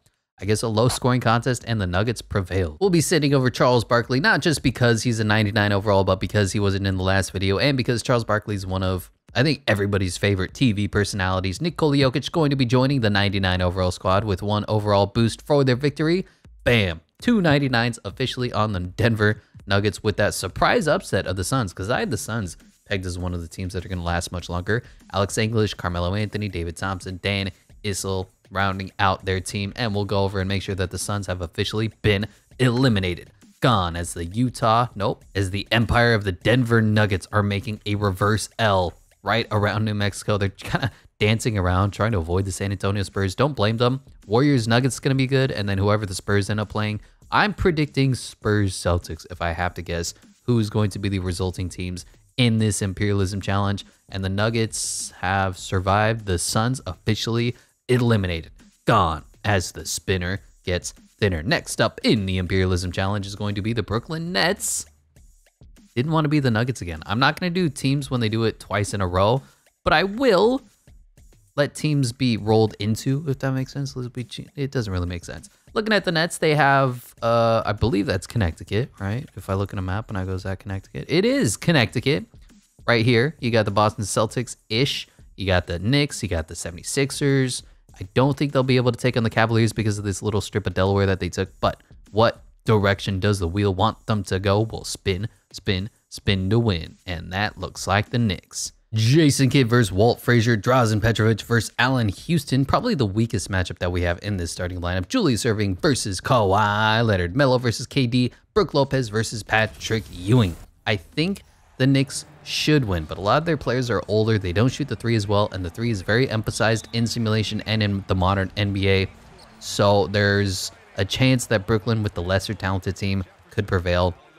I got to put my money in the Knicks. I got to put it on Walt Frazier rocking the mutton chops. And this play is slowly developing for Carmelo. Gets it stripped and turnover. First play of the game. Bad sign for the Knicks. Kevin Durant just punked a prime Carmelo Anthony. And New York is going to be inbounding the ball. I love the throw that they put on Dr. J. Kevin Durant rocking the point forward position for them. Jason Kidd is here, uh, but this is just straight ISO. KD versus Carmelo. And KD goes up and puts it in punks him, strips the ball first possession, scores on him the second possession. Kevin Durant says, You know who I am. Let's see what the second play is. Walt Frazier actually running some offense, giving it to Melo. Now he's got Jason Kidd on him. Patrick Ewing being picked up by Brook Lopez. Not really a mismatch, kind of an ugly shot. Patrick Ewing, though, gets his own rebound, misses again. Wow. 0 for 2 for Patrick Ewing. Let's see what Kevin Durant has here going around. And Dr. J's open the corner. Doesn't matter. He misses the layup. And we got an ugly one here, 2 to zero, one minute into this contest. Kawhi Leonard being picked up by the smaller Jason Kidd. They don't try to exploit that, and Brook Lopez says, Get that shit out of here. Yeah. when 2K plays 2K, it's uh, not a good game. Kevin Durant, oh my God, just goes right around the speed burst, the acceleration. What happened? He just went right around Patrick Ewing, and he did the Statue of Liberty dunk because he's in New York, right? Anyway, we're going into Simcast. The Nets have a big lead here in the first quarter. Going into the second quarter, and this is what I mean when I was saying that the the the Knicks have a better overall team, but their offense is going to be as good. So if this turns into a high scoring shootout, the Nets might be the upsetting team, and it looks like they will be. Knicks trying to make a little bit of a comeback here. Still a 14 point game, four minutes left, 10 point game, eight point game, six point game. Can they get it any closer? Five point game? I just don't think there's enough time for the Knicks to upset and they lose 122 127. Patrick Ewing was solid. Look at the depth on this team. Walt Frazier gave you 14 to 12. Bob McAdoo gave you 17 11. Kawhi gave you 16 4 and 6. Melo gave you 13. Allan Houston gave you 12, but 0 of 7 from the three point line. That's brutal. And you look, they just did not have a lot of three point attempts compared to the Brooklyn Nets. 5 of 10 for Richard Jefferson. Drazen Petrovic gave you 5 of 6 from the three point line. Kevin Durant gave you 24, 7 and 12. 23 21. Dr. J, 14 5 and 8. James Harden even gave you 13 3 3 3. Yeah, good game from the Nets. Walt Frazier is going to be coming over, joining the 99 overall club of Kevin Durant on the Brooklyn Nets. And that means Dr. J is going to be getting the overall boost up to a 98 overall. They need an improvement at the shooting guard position. Jason Kidd is officially the shooting guard for them. That's not great. And then maybe the center position over Brook Lopez. Looking at the map, looking at the map. How we doing looking at the map? Whole lot of area to be picked up here by the Brooklyn Nets. They just took over New York, took over Canada. They have arrived. New Jersey, Brooklyn, doesn't matter where the Nets from, they win. Look at that blue and the New York Knicks officially gone, eliminated. Pop the Knicks off the wheel as the spinner gets thinner. Next team up on the imperialism wheel is going to be the Miami Heat. Right now, currently sitting as the Florida Heat since they took out the Orlando Magic. They're going to have to go through the Hawks. Yeah, the, the Heat are in such a precarious spot. No matter where they are, they have to go through a couple of teams just to get out from under. And the Hawks are pretty good looking at their franchise history. Tim Hardaway Sr. versus Trae Young, Joe Caldwell versus Dwyane Wade, Dominique Wilkins versus LeBron James, Bob Pettit versus Christopher Bosh, and Shaquille O'Neal versus Dikembe Mutombo. I definitely have the Heat in this one. They got the 99 overall, perfect at this point in his career. LeBron James, who did everything, they have an improved version of Shaq now. Dwyane Wade is inching up to the 99 overall club. I think this Heat squad is going to rock and roll. And honestly, when Trae Young is on the other team, it's a defensive liability every single time. Don't know what this play is. D Wade gonna get a screen from Shaq, I suppose. He's gonna kick it to the rolling Shaq, and he gets blocked. Dikembe Mutombo says, "Get that shit out of here," as he's known to do. Wiggle wags the finger, and Trae Young being picked up has an open three, fading and splashing. It doesn't matter. Trey Young is clutch. Ice Trae shakes his shoulders. LeBron bringing the ball up the other way, being picked up by Dominique. What a great matchup for him. And he's going to get a screen from Chris Bosh, as he did many times in his career. Kicks it to a Chris Bosh, who's kind of open. Didn't really know what to do with the openness. Tim Hardaway being picked up by Trae Young, gets a screen. And step back to open. Bang. 3 to 2 game, and this might be a good one. Hopping into simulation, and the Hawks have a lead here in the first quarter. They are the home team going into the second quarter, and the Heat struggling to find offense. Wow, they're being blown out by 25. They're the better team. This is another ridiculous upset. I don't know what is happening, but there are upsets aplenty these days. As, uh, wow, blown out. The Hawks just destroyed the Heat. What happened? Trae Young was incredible. Bob Pettit was incredible. Haven't mentioned his name enough. 32, 9, and 4 for him. Dominique gave you a solid 29. Joel Caldwell gave you 17. Lou Hudson, Cliff Hagan. What happened to the Heat? LeBron had a good one, 33, 3, and 7. D Wade had a really good one, 16, 7, but 14 assists. Chris Bosh was okay. Shaq gave you 14 and only four rebounds. Alonzo gave you 12 and 6. I guess the depth just did not show up. Tim Hardaway was the weak link, 4, 4, and 9. Disappointing end for the Miami Heat. And the Hawks immediately pick up two 99 overalls. Bob Pettit joins the 99 overall squad, joining LeBron James, who's coming over as the free agent acquisition. What a big improvement for these Atlanta Hawks with that surprise upset, all of a sudden turning themselves into contenders as well. Miami Heat has officially been eliminated from the tournament. I really was not expecting that. I thought of the Easter Conference, the Heat were definitely going to be it. But for some reason, the Hawks always seem to do really well in simulation in these tournaments. And the Hawks have taken over. Look how big they are growing. Gonna have to run through the Charlotte Bobcats, pick up a Kemba Walker, and hopefully they get through the Grizzlies as well. And then it's gonna be Hawks, Spurs, Nets. There's still a lot of teams left. It's too early to start making predictions, but we do have to say thank you for everything you have done, Miami, but you are gone. Eliminated as the spinner gets thinner. Next up on the offensive is the Chicago Bulls. It's the Bucks. Been a while since we saw the Bucks. Looking at them on the map, they've only gotten oh they went through uh Detroit. Yeah, so they have a nice thousands of uh, lakes or whatever is here. I don't know. I'm not a geologist. I'm not a lakeologist. All right. I just spin the wheel and I say, what direction do the Milwaukee Bucks want to go? And that looks like they're going to be immediately taking on the Minnesota Timberwolves. So I think it's going to be a blowout, but you have Isaiah Thomas from the Pistons versus Ricky Rubio, Sidney Moncrief versus Jimmy Buckets, Anthony Edwards versus Marques Johnson, Giannis versus KG, going to be a fun one, and then Kareem Abdul-Jabbar versus Rudy Gobert. That will be, frankly, embarrassing to watch, but the Minnesota Timberwolves are the home team since the Bucks are on the offensive, and the Minnesota Timberwolves win the tip. That's a good sign of things to come as the best starting point guard in the history of Minnesota Timberwolves is Ricky Rubio? If that's true, I get what Sam Cassell, Mike Conley, D'Angelo Russell. Yeah, yeah, that's probably fair. Anthony Edwards open for three in the corner, misses, and Giannis brings the ball up the court the other way. Isaiah Thomas calling for it. Giannis says, I got this. I got size, I got speed, I got strength, and I got Jimmy Butler on me, and I draw the foul and hit the and one. And we won't be watching free throws from Giannis because that will take all day. Hopping into Simcast, Bucks have a big lead here in the first quarter. Going to the second quarter, still holding on to that lead at halftime almost a back and forth game, closer than I thought here in the fourth quarter. Only a six point game. We'll continue to simcast. Five point game. Timberwolves just hanging around, and now they have tied it up. Now they've taken a lead. What are these upset? What is happening? It's 115, 116, one minute, 55 seconds left. I will certainly be watching this.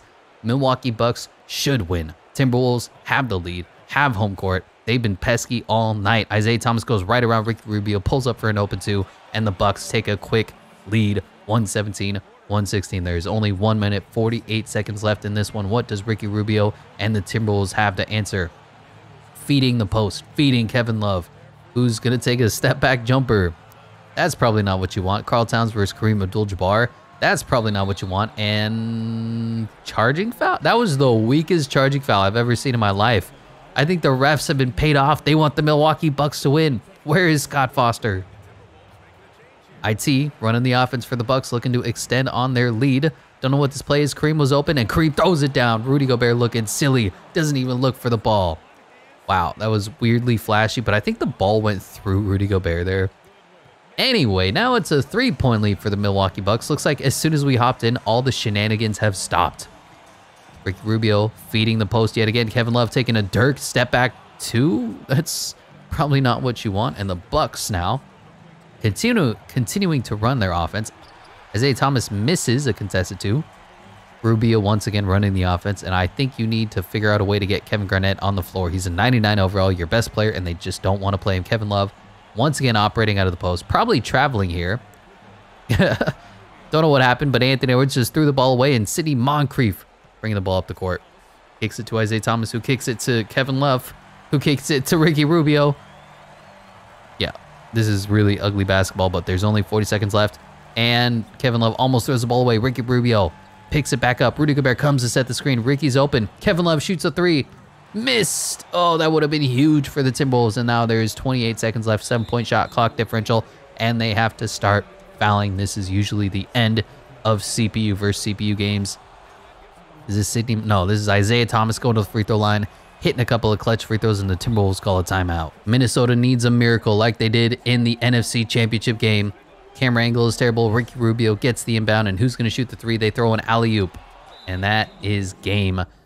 They have to play the foul game, and I don't know what Ricky Rubio was doing, but he loses 124, 118. Anthony Edwards had a really good game, 29 points. Not great efficiency, though. Jimmy Buckets gave it 24. Kevin Garnett only played 28 minutes. Don't know why he wasn't in the closing stretch. He had six fouls. Yeah.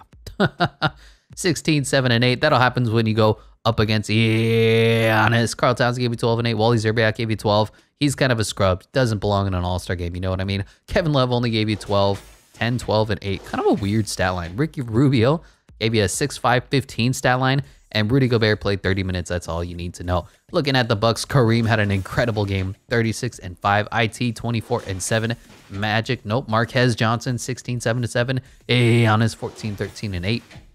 Good game. Oscar was kind of quiet, only 5 3 and 8, but they didn't need any of that help because they walk away victors. Kevin Garnett coming over, and now they're starting to get a little bit of depth. Oscar Robertson is a 99 overall. Giannis Antetokounmpo is a 99 overall. Kareem Abdul-Jabbar is a 99 overall. Isaiah Thomas is a 99 overall. Kevin Garnett is a 99 overall. And now Sidney Moncrief is officially a 95 overall.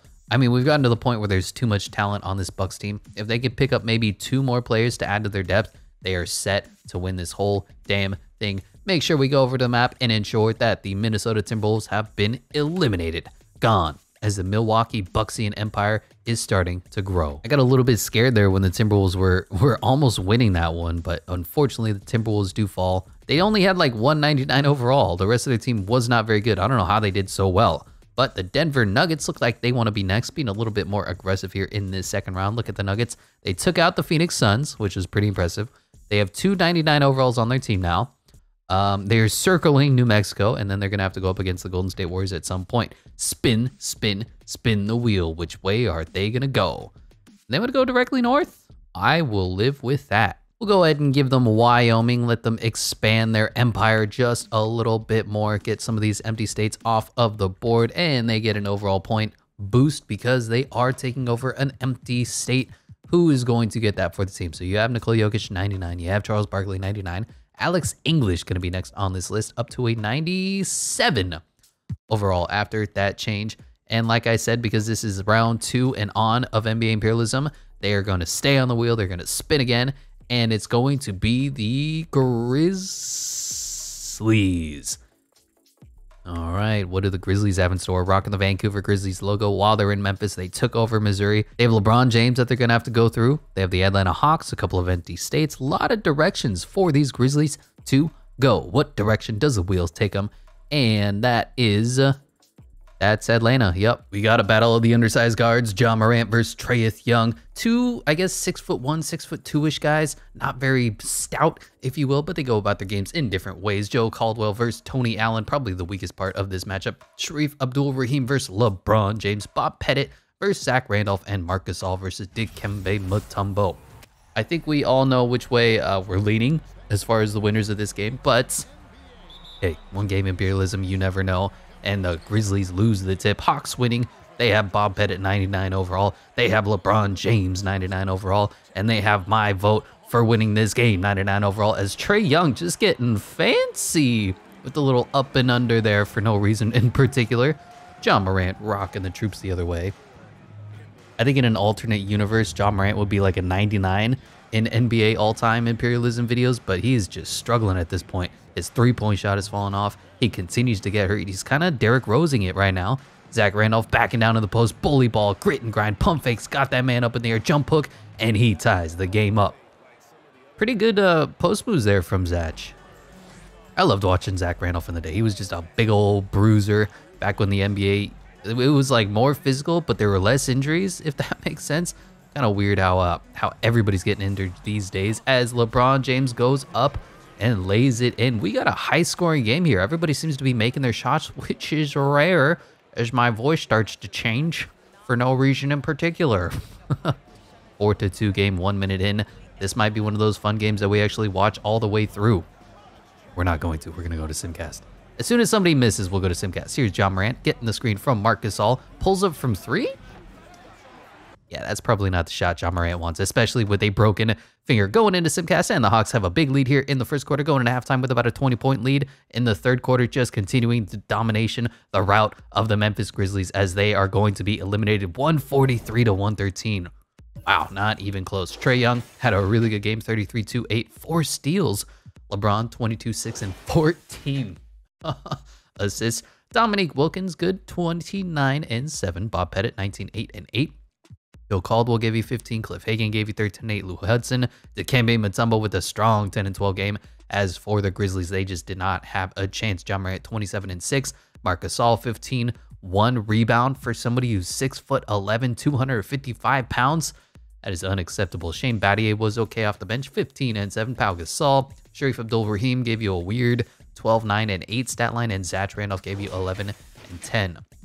Yeah, they just came up short. Wow, Tony Allen gave you three points. You love to see it. Defensive stopper, offensive disaster. I guess Marc Gasol is the highest overall player from this Grizzlies squad, so they'll be going over to the Atlanta Hawks and taking Dikembe Mutombo's space, I guess. And only 91 overall. Hmm, not sure how I feel about that. Marc Gasol, was he a better player than Dikembe Mutombo? That is an interesting debate. But the one overall point boost is going to go to probably Dominique Wilkins, now up to a 97 overall, as they have a mean team here. Imagine if they play like Dominique at the two, LeBron at the three, Bob Pettit at the four, and then they get a better point guard over Trae Young. In the center, I guess Pau Gasol is good enough. Maybe they figure out a way to steal a Wilt Chamberlain. Hawks always are a pretty fun team to watch in these simulations. Going over to the map, and unfortunately, the Grizzlies have been eliminated. Gone. We'll be filling this space with nice Atlanta burnt red, kind of a little too similar to what the Chicago Bulls look like. I wonder, should we should we change it to maybe that the yellow that they have on the little claw of this logo?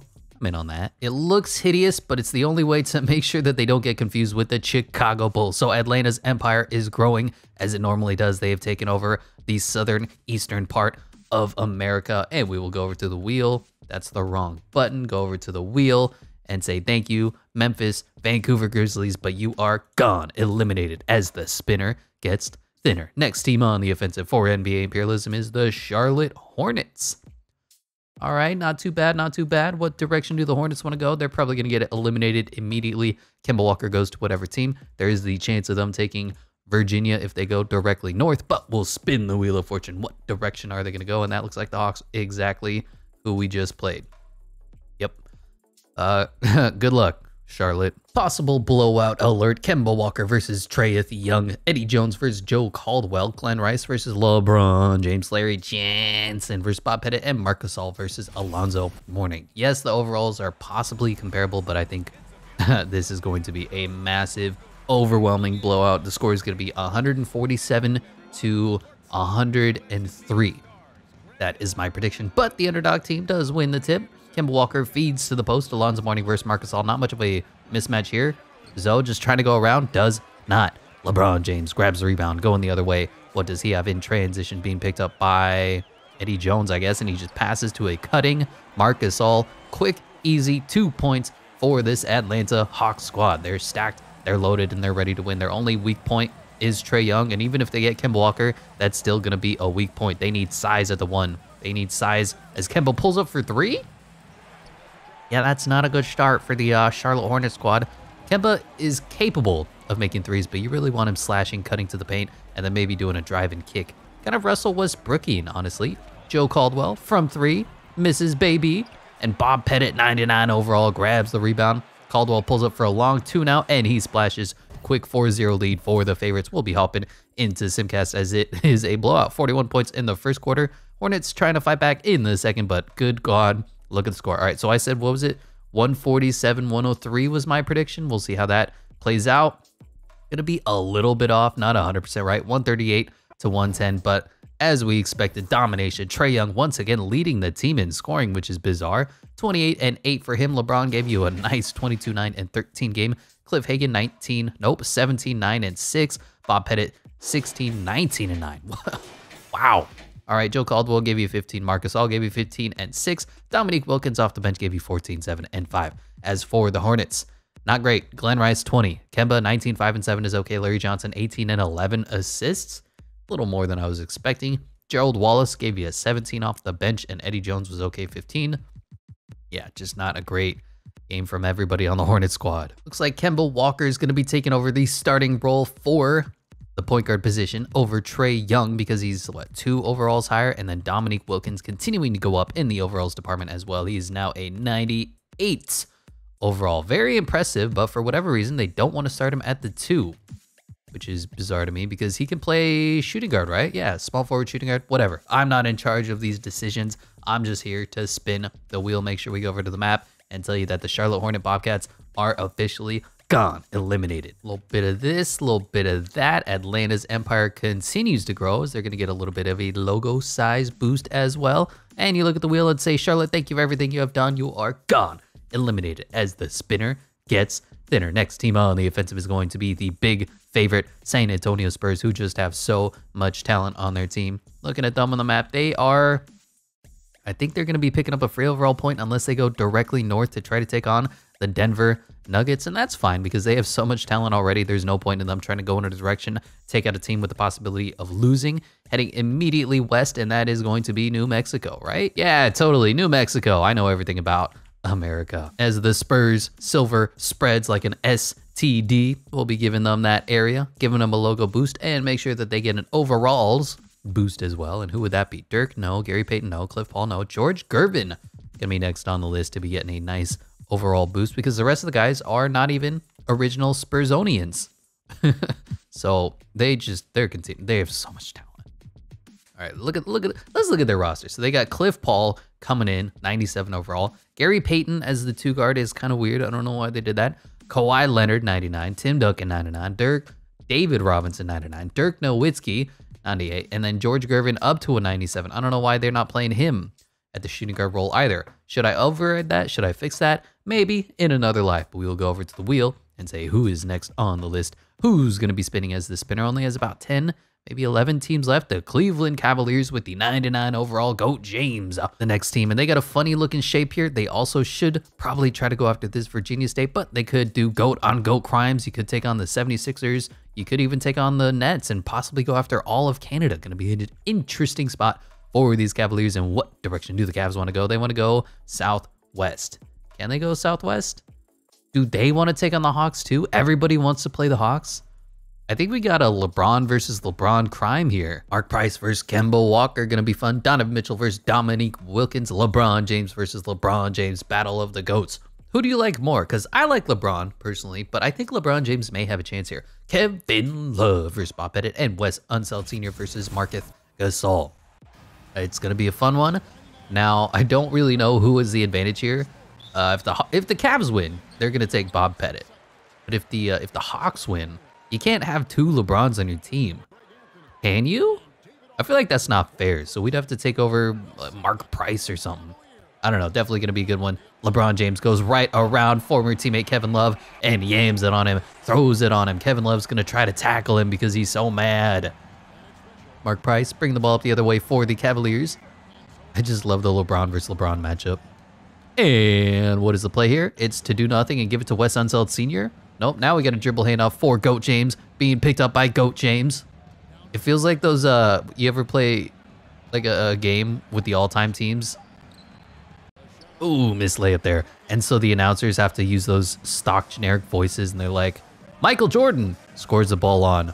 Michael Jordan, pull up two, misses, and Marc Gasol is there on the glass once Unseld Senior, only six foot seven, not big enough. LeBron bringing the ball up the other way. What do the Cavs have in store to answer? They are down 4-0. LeBron James being D'd up by LeBron James pulls a kind of a fading long two. Zeros across the board right now for the Cleveland Cavaliers. Bob Pettit pulls up for a long two of his own and he splashes 6-0 lead for these Hawks. We'll see what Simcast has in store as the Cavs are losing in the first. Look at this ridiculous score 49 43 in the first quarter. Teams used to not score that by like the third quarter sometimes. Boy, have the times changed. And we are in the fourth quarter now, about a 12, 15 point game. I think the Hawks are a better team top to bottom, but I think the Cleveland Cavaliers LeBron James is better than the Miami Heat LeBron James by a little bit, but it's not going to be enough as the Cavaliers do fall 125 to 152 ridiculous numbers. And nobody even had a breakout game. They just all played well. LeBron, 23 2 11, three steals. Kemba Walker, 22 4 and 11 in his debut. Dominique Wilkins, 21 4 4. Marcus Gasol, 21 7 and 6. Bob Pettit, 20 11 and 6. Lou Hudson, 19 off the bench. Cliff Hagan, 13. And Dikembe Mutombo gave you 8 and 5. As for the losing LeBron James, he had a great one 32 2 and 7. Donovan Mitchell gave you 19 1 5 1. Mark Price gave you 17 and 10 not great. Kyrie Irving, 14 and 7. Yeah, Cavaliers just come up short. So I said I wasn't going to do it, but LeBron James is the best player on the Cleveland Cavaliers, and they have two separate pictures anyway. So this is the Cleveland LeBron James now coming over, a little older, a little wiser, a few championships under his belt, learned how to play the game from Dwyane Wade. Whereas the Miami Heat, LeBron James is still figuring this out, and he still wears a headband. You know, his hairline isn't completely on the top of his head like Stephen A. Smith and then the one overall boost is going to go to Dominique Wilkins. So not your conventional roster when you have four 99 overalls, but three of them are small forwards, one of them's a power forward, and two of them are LeBron James and LeBron James. I mean, fun team for sure, but the Cavaliers do fall. Make sure we eliminate them off the map. And the Atlanta Hawks have this weird kind of global, globally, globally goop shape going on here. I don't even know how to describe it, but the Chicago Bulls are definitely going to have to go through the Hawks if they want any chance of winning. Unfortunately, Cleveland Cavaliers have been eliminated, gone as the spinner gets thinner. We're coming down to the home stretch as the Denver Nuggets look to be the next team on the offensive forward this year's imperialism. And what direction do the Nuggets want to go? They're going to have to go through the Spurs. Uh, the empty state of New Mexico has already been taken. There's a couple of free states up here to the north but we'll see what the Wheel of Fortune directs them to do. Spin, spin, spin the wheel. Which way are they going to go? I think that is the Warriors. I don't know if I can mold this to be a, a Montana play.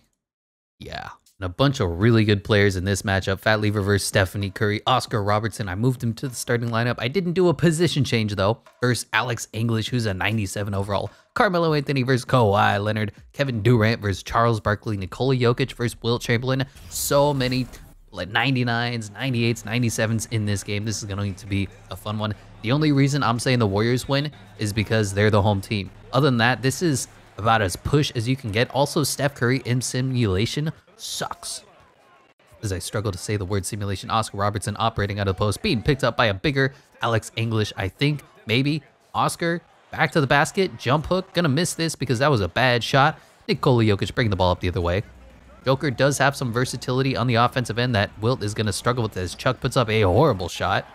But at the same time, Joker can't play defense. Kevin Durant bringing the ball up the other way, being picked up by a much shorter Charles Barkley. And Steph misses a wide open three. Ugh.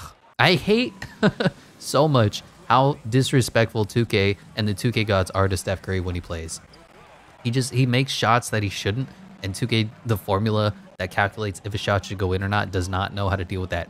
Oscar being D'd up by Charles Barkley, Sir Charles Barkley, and Kawhi Leonard gonna accept the screen, take a long two, and misses. Ooh, Wilt on the rebound, but he misses because that was a weird shot. Charles Barkley grabs the rebound of his own. Now he's bringing the ball up the other way. Has Steph Curry guarding him? And does he just go right to the post? No, he does not. We're going to Fat Lever, who's being picked up by the best defender on the other team, Kawhi Leonard. And now, there you go. Go to the post with Chuck. Goes right around Steph Curry, and he throws it down. The reverse dunk. Sir Charles Barkley gets the elevation. That's, uh, I mean, yeah, that's exactly what you call for. I don't know if Chuck could dunk like that in his heyday, but uh, especially not when he was fat hopping into the Simcast, and the Nuggets have a little bit of lead back and forth game here going into halftime. Now the Warriors have a small lead. kind of a lower scoring contest than you'd expect. Still a small lead, and this is definitely one of those games that we're going to have to hop in. I say that, and the Warriors are extending their lead. Look at this 10 point game, five minutes left, 14 point game. The Nuggets are stuck at 19 points. Finally get some scores in the fourth quarter, but they just completely collapsed out here in the fourth quarter as they fall 115 101. Steph was really good, 19 5 and 9. Kevin Durant gave you 19 5 and 6. Rick Barry, 19 6 and 5. Wilt gave you 17 and 13, and Oscar gave you 14 and 11 as for the Nuggets. Alex English was incredible, 26 points for him. David Thompson off the bench gave you 20, but the starters did not produce. Nikola Jokic only 13, 12, and 6. Charles Barkley only 11 and 9. Dan Issel 11 off the bench. Carmelo only gave you 9 points, 3 of 12 shooting. That hurts. And Fat Lever gave you a big ol' 0.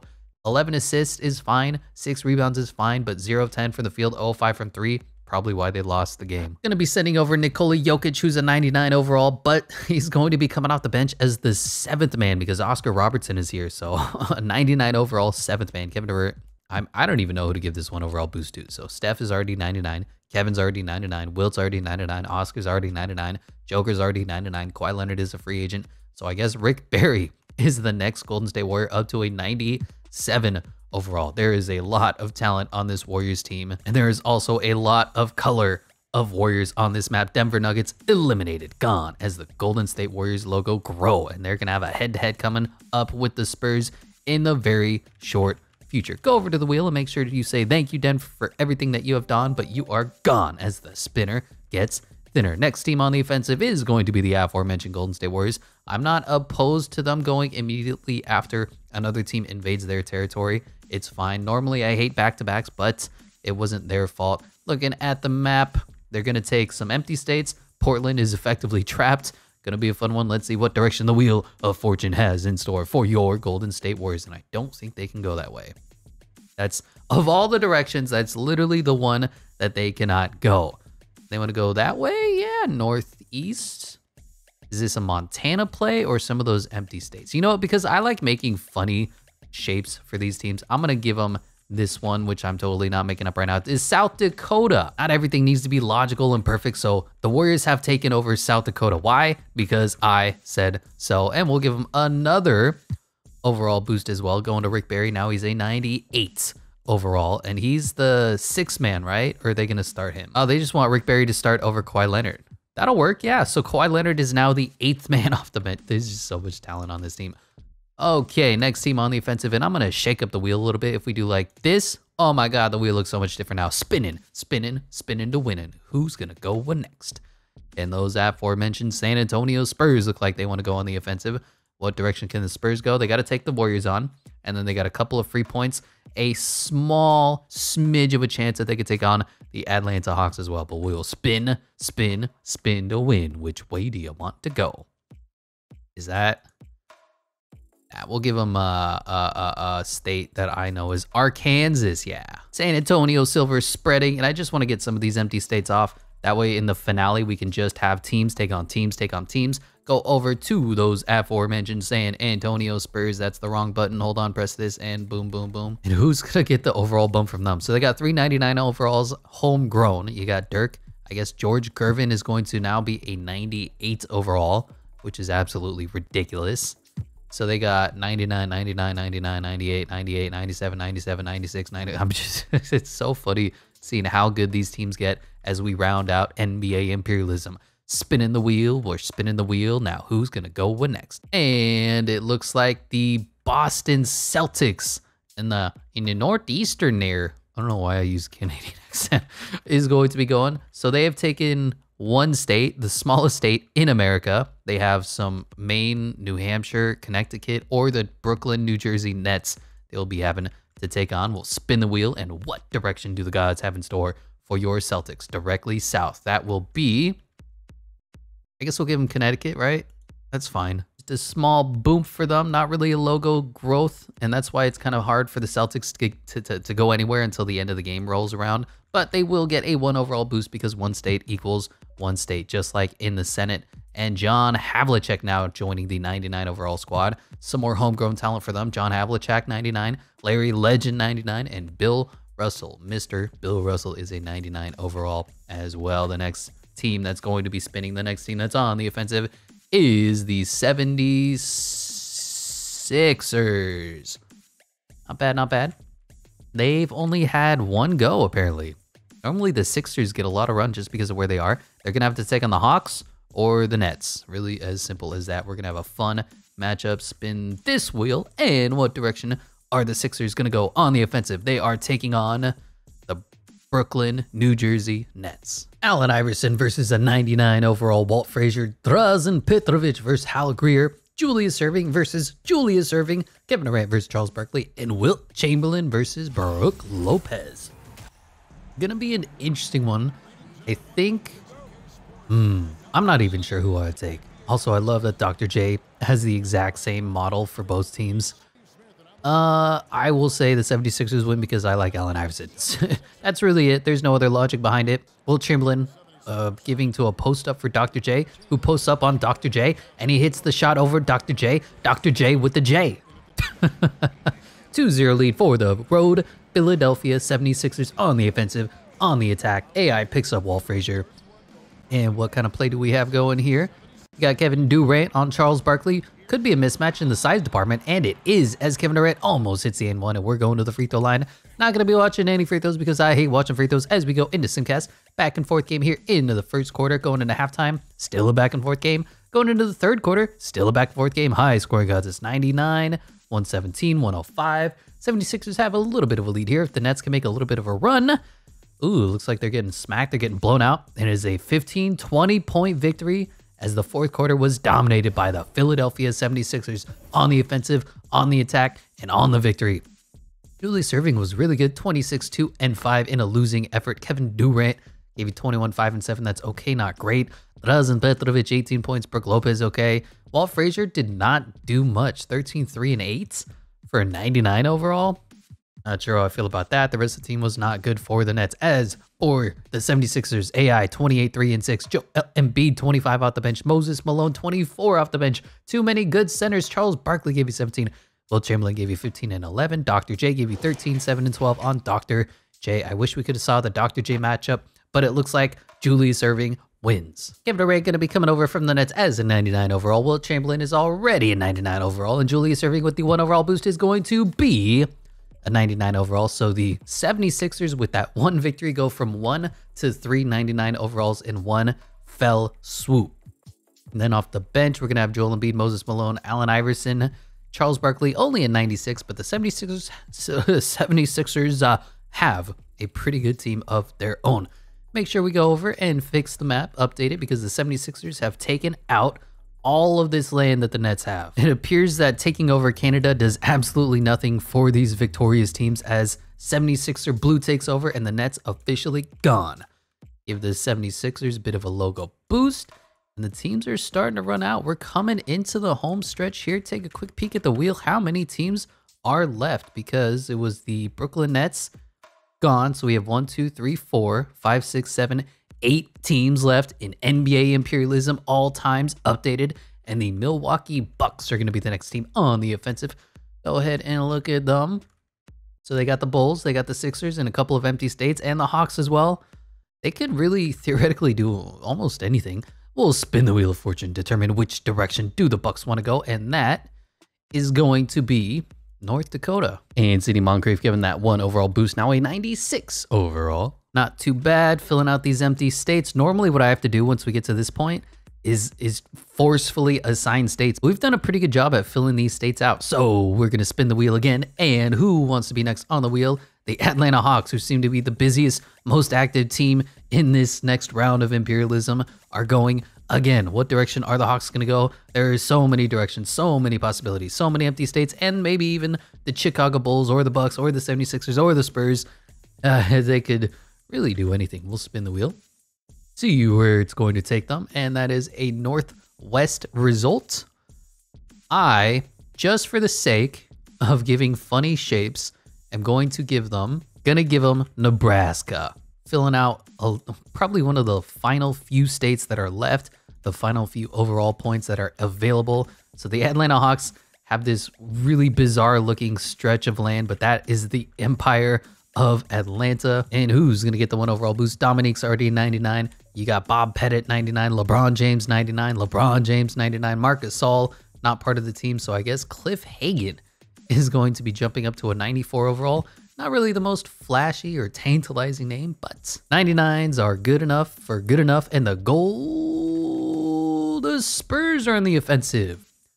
Been a while since we saw them. One team that we are not seeing whatsoever is the Bulls. Kind of disappointed, but we'll look at the Spurs. There's one empty state, then it could be Warriors or Hawks. Not too many options are left as we spin the wheel. What direction do the San Antonio Spurs want to go? And is that going to be the final state? That should be the Hawks. But you know what? For the sake of me, we're going to give them the final state that is Mississippi. Just clear off this final state here. Make sure that everybody is doing what they should. A little bit of a logo boost. San Antonio is taking over the southern part of America. And MISS ISS IPPI is officially part of the San Antonio Spurs Silvers. And I believe that makes George Gervin joining the 99 overall squad, pairing him up with the other homegrown talents Duncan or Robinson, nope, David Robinson, Tim Duncan, and Kawhi Leonard, who's going to go on the offensive next as we spin the wheel. Eight teams left. Somebody's going to have to play somebody at some point, and the Chicago Bulls finally get to go. Unfortunately for the Bulls, they have no empty states. They're going to have to play somebody. It's going to be the Hawks or going to be the Bucks. Yeah, that's it. They can't play the 76ers. They the Hawks have taken over this really bizarre stretch of land, so they're going to have to go through Atlanta to the south, Milwaukee to the north. Let's see what the wheel determines. And that's Milwaukee. Definitely a tough matchup for GOAT Jordan, but I have full faith in him. Derrick Rose versus Isaiah Thomas, but Michael Jordan versus Oscar Robertson. Everybody 99 overalls there. Scottie Pippen versus Giannis. Dennis Rodman versus Kevin Garnett, and Artis Gilmore versus Kareem Abdul-Jabbar. If you remember, the Bulls have Reggie Miller. I played with going a little bit small. I just think that Dennis Rodman is needed for defensive purposes. Giannis is too tall.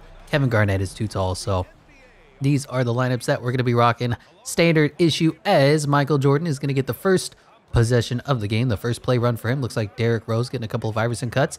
Passes, open for three. Can he shoot? He cannot. Wide open and he chokes. And the Bulls probably are the underdogs if we're being completely honest here. I mean, there's just so many 99s on the Bucks, but then again, the Bucks don't have much depth. Also, the Bulls don't have a lot of great shooting. Looks like Giannis is just going right into the paint, throwing it down. Don't know what happened to the defense. They fell asleep. And we'll see how Michael Jeffrey Jordan can respond. He's going to take 8,000 shots and miss 8,000 shots, but he will hit his 8,001st as the pass to Artis Gilmore, to Jordan in the post, to a jump hook. Kind of weird offense being run here for the Chicago Bulls to start out this one. Kevin Garnett bringing the ball up the court, being picked up by Michael Jordan. Weird mismatch there. And we got a post up for Kareem on Gilmore. Look at the froze, look at the hair, look at the facial hair, look at the mutton chops, and Kareem hits the sky hook. Most unstoppable shot in the NBA. Hopping into Simcast, and the Bulls have a lead here, but it's a back and forth game going into halftime. Now the Bucks have a little bit of a lead here, nine points, eight points. Pretty close. Not going to call this one just yet. Low scoring contest, six minutes left. Now the Bulls have a lead, and this is definitely going to be one of those games that we watch as they close out. Two minutes, 10 seconds left. Bulls have a 106 103 lead. We're watching highlights of stuff that happened in the first quarter. You'll love to see it. Isaiah Thomas being picked up by, I think, is that Ron Harper? Wide open for three. IT cannot hit, and Scottie Pippen brings the ball the other way. I don't see Michael Jordan. That's Reggie Miller. I forget they didn't have Reggie face scan, so he just looks funny. Reggie getting a screen from Michael Jordan. Never thought you'd say that. Michael Jordan kind of open for three, doesn't take it. Oscar picking him up. And now they're kicking to Zach LaVine, and now it's a dribble handoff, and Michael's kicking it to a wide open Reggie Miller for three. Bang! Big shot from Reggie. Reggie in a Bulls uniform does not look right, but that three-point stroke does, as there is a six-point lead now for the Chicago Bulls.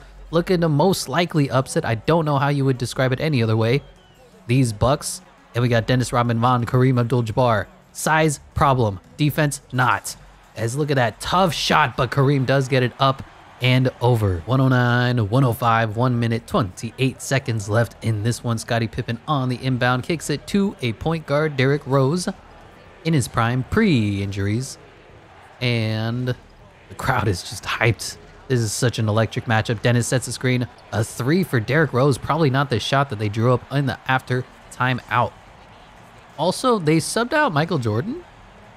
Coach, Coach, why would you sub out Michael Jordan? I know Reggie Miller's good as he comes over for a double team. Doesn't really work. Leaving a wide open Sidney Moncrief in the corner, and he misses. And Kevin Garnett grabs the rebound over Scottie Pippen. Uh, I can't root for Michael Jordan if he's not in the game. uh, uh, you know what? Whatever. 2K is as 2K does, and Derrick Rose pulls up for a long two, and he misses. That's an ugly shot. If only Michael Jordan took that shot. Isaiah Thomas bringing the ball up the other way. Still down by four. Two possession game for the Bucks. They're going to need to run some offense, get some defensive stops. Giannis cutting, kicks it to an open Sidney Moncrief again. Hand in his face. He misses. Giannis on the offensive glass. Kicks it to Isaiah Thomas, who drives on the closeout defender. Gets his shit rejected, but there is Kareem, who misses. Oh, the Bucks cannot buy a bucket. Yeah, that's probably the smart thing to do. Reggie Miller does get the ball, and he's going to the free throw line. Going to clutch this one out as it looks like the Bull, the Bulls, in spite of not playing Michael Jordan, win this one. Whoever made this character model of Reggie Miller was not very talented because good lord, that looks nothing like the man. Just gonna watch the final possession of this one as the Bucks are probably gonna run some horrible play because the CPU doesn't know how to play itself in 2K23. Neither does the camera for whatever reason. Here's Giannis on the inbound, just drives hard, kicks it. Sidney Moncrief gonna shoot. There it is. And he misses. And the Bulls do in fact win this one. The Bucks still try to play the foul game, but they come up six points short. Great defense from the Bucks. Giannis had a good one, 25, 11, and 5. Isaiah Thomas was pretty good, 21, 1, and 6. Oscar gave you 13. Marques Johnson gave you 13. Kareem gave you 12 and 13. Had to be a little bit more impactful. Kevin Garnett and Ray Allen were okay. As for the Bulls, Michael Jordan, they just subbed him out. He was their best performer. He wasn't in foul trouble. They just said, you know what, we want Reggie Miller instead of a 28, 4, and 9 with three steals. Michael, Jeffrey Jordan, Derrick Rose was pretty good, 23, 3, and 7. Reggie Miller gave you 13 and 6. Jimmy buckets off the bench, 13 and 22. Playoff Jimmy is real. Scottie Pippen gave you a 12, 7, 8, and Art Gilmore gave you 10 and 12. So we can pick any of three people. We got Oscar Robertson. He could take over Derrick Rose's spot. You have Kareem Abdul-Jabbar. He could take over Art Gilmore's spot. Or we have Giannis who can take over all the other spots. And I think I'm going to go with Giannis so we can take over for Scottie Pippen a little more offensive versatility while still providing that same defensive intensity because Art Gilmore, I mean, he's a center. Centers aren't that impactful in simulation. Also, look how blurry this picture is.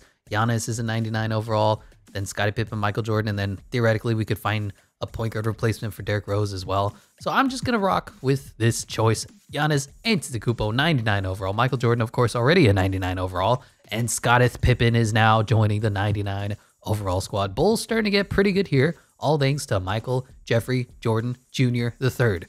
Going over to Photoshop, and the Milwaukee Bucks officially gone. As the Bulls get off to a late start in their seek and quest for empire, imperialism, domination, but they do have a large swath of land there. And go over to the wheel. Thank you, Milwaukee, for what you have done, but you are officially eliminated. Gone as the spinner gets thinner. And then there were seven. And the Boston Celtics are going to be next on the list. A Couple of storied franchises going back to back. What direction do the Celtics want to go? They have three states. They got the 76ers, or they could take out another state. Kind of funny spots that they're always in, but we'll spin the wheel of fortune. What direction does NBA imperialism want them to go? And I think that's directly taken on the Philadelphia 76ers. Bob Cousy versus Allen Iverson. John Havlicek versus a 99 overall Julius Erving. Kevin Durant versus Larry Bird. Gonna be a great one. Kevin Garnett versus Charles Barkley. And Wilt the Stilt Chamberlain versus Bill Russell, who Bill frequently got the upper hand on, even though Wilt Chamberlain's statistical numbers are unprecedented. Here we are in Philadelphia as the Celtics win the tip. They're the offensive team. They're looking to take out Philadelphia. That John Havlicek being picked up by Dr. J. And uh, okay, going to the post. Havlicek with a kind of a weird fading jumper that he runs into another player. Not sure what that position was, but Charles Barkley gives it to Allen Iverson. They're going the other way. AI, mean, crossover, lethal. But that's not going to show up in this game because 2K does not do fun dribble moves. Kevin Durant pulls up for a long two, being guarded by Larry Bird. It doesn't matter. Kevin Durant, so smooth.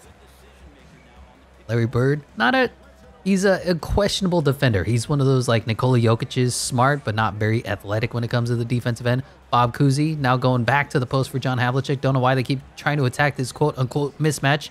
He misses, gets his rebound, misses again. Great defense from Dr. J, and he's running the other way. Let's see what Dr. J can do, baby. And they kick it to Allen Iverson for a long two. Not a great shot there. I mean, if it's at least a three, you gotta get that one extra point. If you make it, the point per possessions really matter when it comes to uh, uh, analytics, which I'm sure everybody loves. Got another ISO for John Havlicek here. Larry Bird grabs the three, misses. Everybody's missing this one. It is still a 2-0 game, almost 90 seconds into the contest. Dr. J gives up the pass, and Allen Iverson is going to run the offense. Who is this going to go to? It looks like Charles Barkley going to get an open shot. Isoing up on Kevin Garnett, spinning for no reason, and he goes to the free throw line, and we are not going to be watching that. Hopping into Simcast, 76ers have a little bit of a lead here going into the second quarter. Still a lead at a halftime, but a close enough game that we may hop in, and the Celtics now have taken the lead. Now they've got a 10 point lead. Wow, look at this fourth quarter. Might be close. 76ers need to go on a little bit of a run. 10 point game, 11 point game. It's close, but it's not close enough. Eight point game, five point game, one minute left. Eight point game, five point game, seven point game, four point game. They keep fighting. Here we go. Three point game, 139, 136, 45 seconds left. 76ers need to stop bad here. Larry calling for it. Cousy calling for it. And Larry does get the ball. He just immediately pulls up. No hesitation. Didn't even try to waste some clock. And the 76ers are coming the other way. Dr. J with the dribble moves. Down by three. They need a score. Cameraman is drunk. Here's Allen Iverson once again for a long two. And he misses. Bill Russell grabs the ball and they're not fouling. There's only a seven second clock differential. And now they do foul because the CPU is dumb. We got Bob Cousy going to go to the free throw line, make this a two possession game. And the Philadelphia 76ers are going to call a timeout right after the make. 76ers need a score bad. And what do they have in store for your team? Here's AI with the ball. Dribbling. Joel Embiid going to come set a screen on the wrong side of Bob Cousy. Nothing is happening here. Kicks it to a long two for Dr. J. Wide open and he misses. And that is going to be game. The Boston Celtics look like they are going to advance. 144 136, high scoring contest, but the 76ers do fall. Wilt Chamberlain was okay, 23, 10, and 9, almost a triple double for him. Allen Iverson as well, 21, 1, and 13. Dr. J was ugh, serviceable, 17, 8, and 5 on 16 shots. Kevin Durant was pretty quiet. Charles Barkley only gave you 16. Joel Embiid, they just couldn't play defense when it mattered most. Jayson Tatum, 24 points in 22 minutes.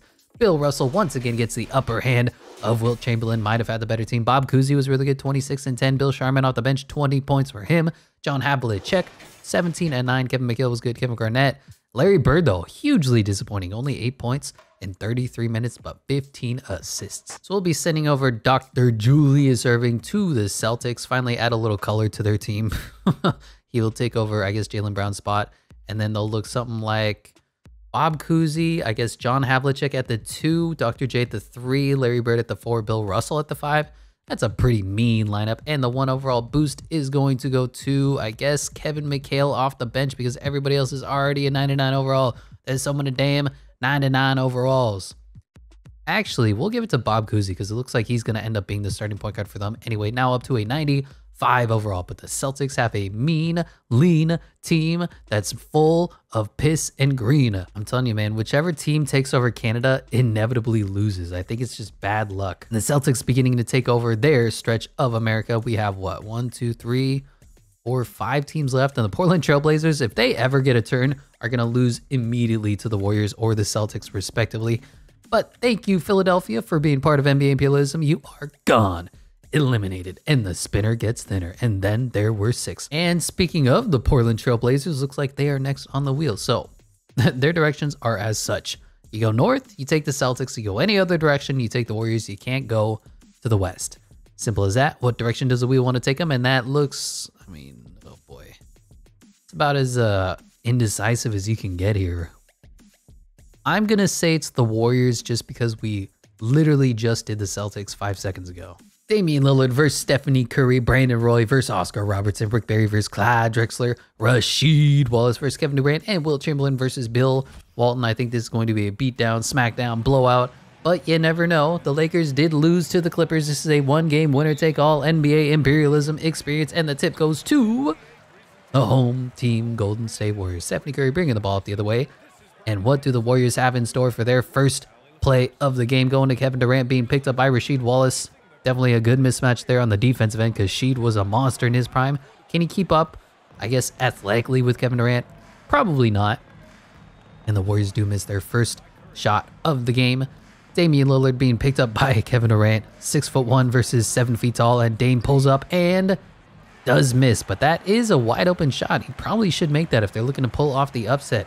Not a good start for the Trailblazers. Steph Curry goes right around Dame, gets him shook, doesn't take advantage. We have a mismatch. Double comes over. Kevin Durant takes the contested three, and he misses, but there's Wilt on the glass, and he gets his shit rejected, but he gets the ball back. Wow, wild first quarter, wild first minute. Steph goes right around and goes to the free throw line, and we are going to be hopping into Simcast mostly because this is not going to be a good game. Woo! What's happening? the Trailblazers are winning here in the first quarter. Now it's a back and forth game at halftime. That was probably about as close as you get to an upset because now the Warriors are starting to rock and roll. Game is it's out of hand. It's over. It's still a nine point game, but I mean the Blazers fought. You got to give them credit. You got to give them a plus for effort. They only lose by 17 as this one closes out ugly. First quarter was good. Kawhi Leonard 24 points in 25 minutes. Rick Barry 22, 4 and 8. Steph Curry gave you 18. Kevin Durant 17 and Wilt the Stilt 13 and 13.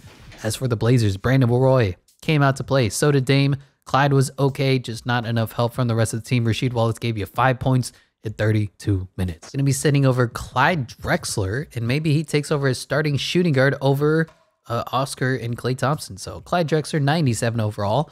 And Rick Barry looks like he's going to be joining the 99 overall squad as well for the Golden State Warriors. Not too bad of a victory if I do say so myself. Make sure we go to the map, say thank you, everything but Portland, you are gone. Eliminated as this all becomes part of the nation, the imperial world of the Golden State Warriors. They've officially dominated the West Coast of America. Now they want to spread their wings into Montana. Take the Trailblazers off the wheel. Bam, gone as the spinner gets thinner. And then there were five. Only five teams left on the wheel as the Boston Celtics, who have been fairly active recently, look like they're going to go on the offensive. We look at them on the wheel. There's Montana, there's Maine, there's New Hampshire, and then Virginia way down here is the only other possible state for teams to go after before it is only team versus team, nation versus nation left. So we'll spin the wheel, see where the Celtics want to go. Do they want to get a free overall point, or do they want to go to the south and take on the Hawks? You know what I'm gonna do? I don't think you're gonna. I don't think y'all are gonna like this, but what I'm gonna do is say you look at the wheel and let's just imagine that the Celtics are part of Canada and they're to march into Montana. All right? Just so we can start to empty out this map. This is probably one of those nobody was a fan of that moments, The Walking Dead and whatever, but we're just doing it because we need to get this off. Montana, officially a state of the Celtic Empire. Bob Cousy, the point guard, going up to a 96 overall. And who's going to be next on the wheel? Celtics went last, five teams left, and the Golden State Warriors again? Ooh, okay. That's what I get for trying to be a little cheeky. All right, so the Warriors have a massive empire of land here. They could take on the Celtics, could take on the Bulls, could take on the Hawks, or could take on the Spurs. We'll go ahead and spin the wheel and determine what direction are your Golden State Warriors going to go. And that's the one direction you can't go. You literally can't go that way. Try again, Golden State. What direction are you? you what direction are they going to go? And we'll spin and... Oh, boy. I'm going to say that is Atlanta. Yeah. It could be the Spurs. I get that. I think the Spurs are more south than they are east. So let's do let's do Warriors at the Hawks. Steph Curry versus Kemba Walker going to be a mismatch, but the rest of this is pretty good. Clyde Drexler versus Dominique Wilkins, LeBron James versus Rick Barry, Kevin Durant versus Bob Pettit, and Wilt Chamberlain versus Marc Gasol. Probably the only other significant mismatch for the Hawks, but there are two LeBron Jameses out there for the Hawks to rock and roll, and we will see how this one plays out as the Golden State Warriors do, in fact, win the tip. Steph Curry brings the ball up the other way. Now, what is the first play going to be run this one? A long 30 foot three for Kevin Durant? Not sure if that's what they intended to draw up. Dominique Wilkins coming the other way. Now, Kemba Walker being picked up by Stephanie Curry with the dribble handoff and gonna get a screen for Bob Pettit. Goes right around, goes right into the body, into the chest of Kevin Durant. And we get an and one for Bob Pettit. All right. Okay, all right. Not a bad start to this one. We're going to watch a little bit of the free throw because it's only one, and Bob Pettit does convert for a quick 3-0 lead for the home team, Atlanta Hawks. Warriors on the offensive. That means they are the away team. And what does Wilt Chamberlain have in store for this? Rick Barry going into the post, being beat up by LeBron James. Not much of a mismatch there. 99 versus 99. Steph Curry running off screens. Contested three, misses. Marcus Gasol grabs the rebound. And the Hawks looking to advance their lead. Up three points right now. Another screen from Bob Pettit. The slashing Kemba Walker comes. Passes it off. Bob Pettit gets a contested shot. Great defense from Kevin Durant, who is a great weak side defender in his prime. He's kind of starting to hit the downside of his prime, so he's not quite the defender that he used to be. Rick Barry being picked up by LeBron James. Now we have Clyde Drexler versus Dominique Wilkins. Fun matchup there for sure. And a big long setback to misses Wilt Chamberlain on the glass, and he throws it down. And that is how you score your first two points of the game. Hopping into Simcast, got a back and forth one here in the first quarter. Still a back and forth game going into halftimes. Warriors have a little bit of a lead here now. Eight points, nine points going into the fourth quarter. We'll see if the Hawks can figure out a way to respond. It looks like this one might be getting away from the no. Nine point game, five point game, nine point game. It's close. Wow, it's a one point game now. Three minutes left. Back and forth game. We'll hop in with about two, one minute, 56 seconds left is good enough for me. Here's Wilt Chamberlain dunking the ball back in the fourth quarter. Even though it's the fourth quarter now, don't you want to see highlights from the first quarter? That's the way God intended. Inbounding the ball for the Hawks. One point deficit, one minute, 56 seconds left. LeBron James being picked up by Clyde Drexler. LeBron James being picked up by Kevin Durant. it's I, I don't know why we put two LeBrons on the same team that are 99 overalls. But here's a wow, perfect pass to the rolling Marcus Gasol. Defensive breakdown there as Joker was not able to defend both people. And I think that was Clyde Drexler who did not tag the roller. Uh, game? I'm not controlling anything, right? Game? 2K broke again, didn't it? Oh no, they're inbounding now. All right, cool. Yeah, they just decided to inbound. I love this game. Steph Curry just pulls up for a long three and misses. I love this game, don't you? LeBron James bringing the ball up the other way, being picked up by nobody at this point. No look pass to Steph Curry's uh, not able to block Dominique Wilkins, and the Hawks are starting to roll here. LeBron, no look. Steph Curry, useless. Dominique gets fouled, it looks like. And the help defense did not come by quick enough. Steph Curry now bringing the ball up the other way. No Kemba Walker. Steph Curry going to take another three and miss, right? Yeah. Nikola Jokic on the offensive glass, though, puts it back up. Only a one point deficit, 143, 144. Really high scoring contest yet again. We'll see what the Hawks have in store on their side. Steph Curry is ice cold. He continues to miss long, difficult threes. Kind of doubling LeBron James here. Nothing comes out of it. LeBron now going right into the body of Nikola Jokic, who stands up, but the putback is there for Dominique Wilkins. 146, 143. Only one minute left in this one. How are the Warriors going to respond? Is Steph Curry going to take another unnecessary three? Looks like he might be open, kicks it to the post. We got Nikola Jokic versus Marc All, who alley oops it to a backdoor cutting Clyde Drexler. Dominique, nope. LeBron James, for some reason, was out of bounds on that. Just got completely lost. Good response, and 2K's broken again. So, uh, how you guys doing? How's the weather there? You uh you enjoying this part of the month that you're watching this video? The week, the day? Oh, the inbound is in. Okay, LeBron James bringing the ball up the other way. uh is uh, being picked up. Oh wow, just another perfect backdoor cut. The LeBron to LeBron connection is real. Look at LeBron here. Make eye contact with LeBron and say, "I got you." and uh maybe LeBron and LeBron being on the same team is a glitch. Here are the Warriors coming back the other way. And Nikola Jokic gets the ball, shoots it, misses.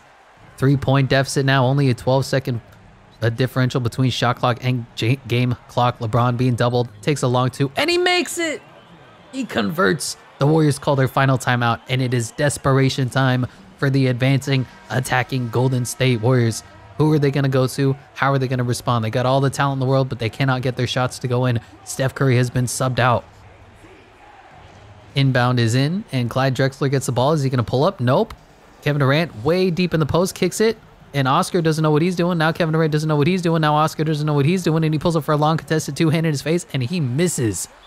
Terrible offense for the Golden State Warriors, and for whatever reason, they A did not go for a three, B did not go for a quick shot, and C end up with a contested long two from Oscar Robertson to try and close out the game. And it looks like the Golden State Warriors are going to fall. And that might be the final West Coast team that we have besides the Spurs. Interesting result as LeBron James misses a couple of free throws because he is not clutch. The door is still open. Somebody needs to make a three. Here's Kevin Durant. Bang! Exactly what the doctor ordered. Hawks call their final timeout. Two point deficit. 7.9 seconds left. And here's the inbound. The only thing I can say is don't give it to LeBron. And they do give it to LeBron. Missed two clutch free throws just before. Let's see what he does here. The first one is up. And oh, LeBron is choking. Miami Heat could never shoot. Gregg Popovich is waving off the defenders. Back off. He goes oh over 2 again. The door is still open. Five seconds left. What do the Warriors have in response? Oscar bringing the ball up the other way. He goes up for a contested shot. Misses. And that is how the Warriors season ends in tragic fashion. Two terrible shots from Oscar Robertson and the Golden State Warriors fall to the Atlanta Hawks in a sad fashion 150 to 148. Marcus Gasol had himself a game 31 4 and 3. LeBron was good 29 9 and 10. Dominique was good 24 6 and 6. Bob Pettit gave you 24 12 and 7. Great contributions from the depth of the Hawks. As for the Warriors, they just were a little bit lesser. Oscar Robertson kind of choked in the final stretch. So did LeBron, but Oscar Robertson's misses were more impactful. 24 8 and 8. Clyde was okay, 23 5 5. Rick Barry, 21. Wilt, 20. Steph Curry gave you 18 4 and 11, but was subbed out. Weirdly, in the final stretches, Kevin Durant gave you a 17 8 9. A Joker off the bench gave you 11 4 and 6. So instead of Steph Curry, I'm going to be sending over Wilt Chamberlain to take over the starting center role from Marcus Gasol. I feel like LeBron James, if we really need to, could sub him at the point guard position. He's going to be an automatic mismatch no matter who he guards, as you saw in the final stretches of those minutes. And who's going to get the final overall boost here? Got too many 99 overalls. I think Cliff Hagan is going to be accepting receiving now a 95 overall unfortunate end for the Golden State Warriors. Took over all of the California and the West Coast, but eventually they do fall. And Atlanta forming a weird coast to coast thing going on here. And the final West Coast team is San Antonio. Have three states left to fill out. Uh, yeah. So we'll just keep spinning the wheel. Go over here. Say thank you, Golden State, for being competitive, but you are gone. Eliminated. And then there were four. So we'll try to keep the Spurs alive. Looks like the Chicago Bulls want to be next. That is perfectly acceptable for me. Go ahead and check them out on the wheel. They're going to have to take on the Celtics or the Hawks, north or south. And we'll spin the wheel of fortune. What direction do Michael Jordan and the Bulls want to go? They want to go uh, southeast. That looks like the Hawks again.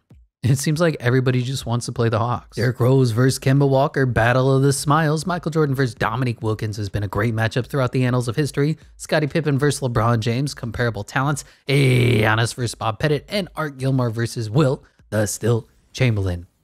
And I think the Hawks should win this one. The Hawks are starting to come out as the favorites. I, they just they continue to win all of their games, but at the same time, if you got Michael Jordan, you have a chance. Kemba Walker bringing the ball the other way. Now LeBron going to run the first play for the offense being picked up by Scottie Pippen.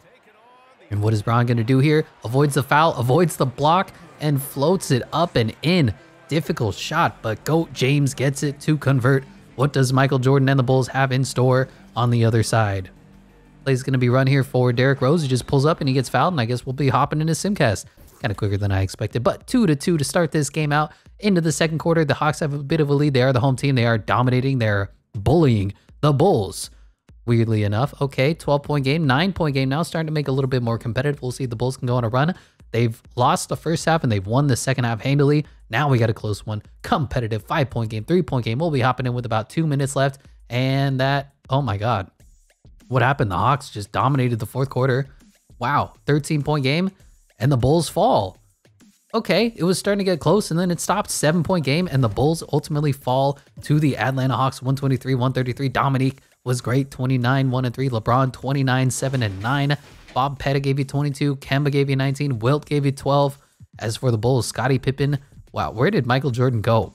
15 shots, 17 points, 1 of 6 from 3. That's frankly embarrassing from the GOAT. Scottie Pippen was the high scorer. Jimmy Butler off the bench gave you 19 and 19. Art Gilmore gave 18 and 4. Derrick Rose 17.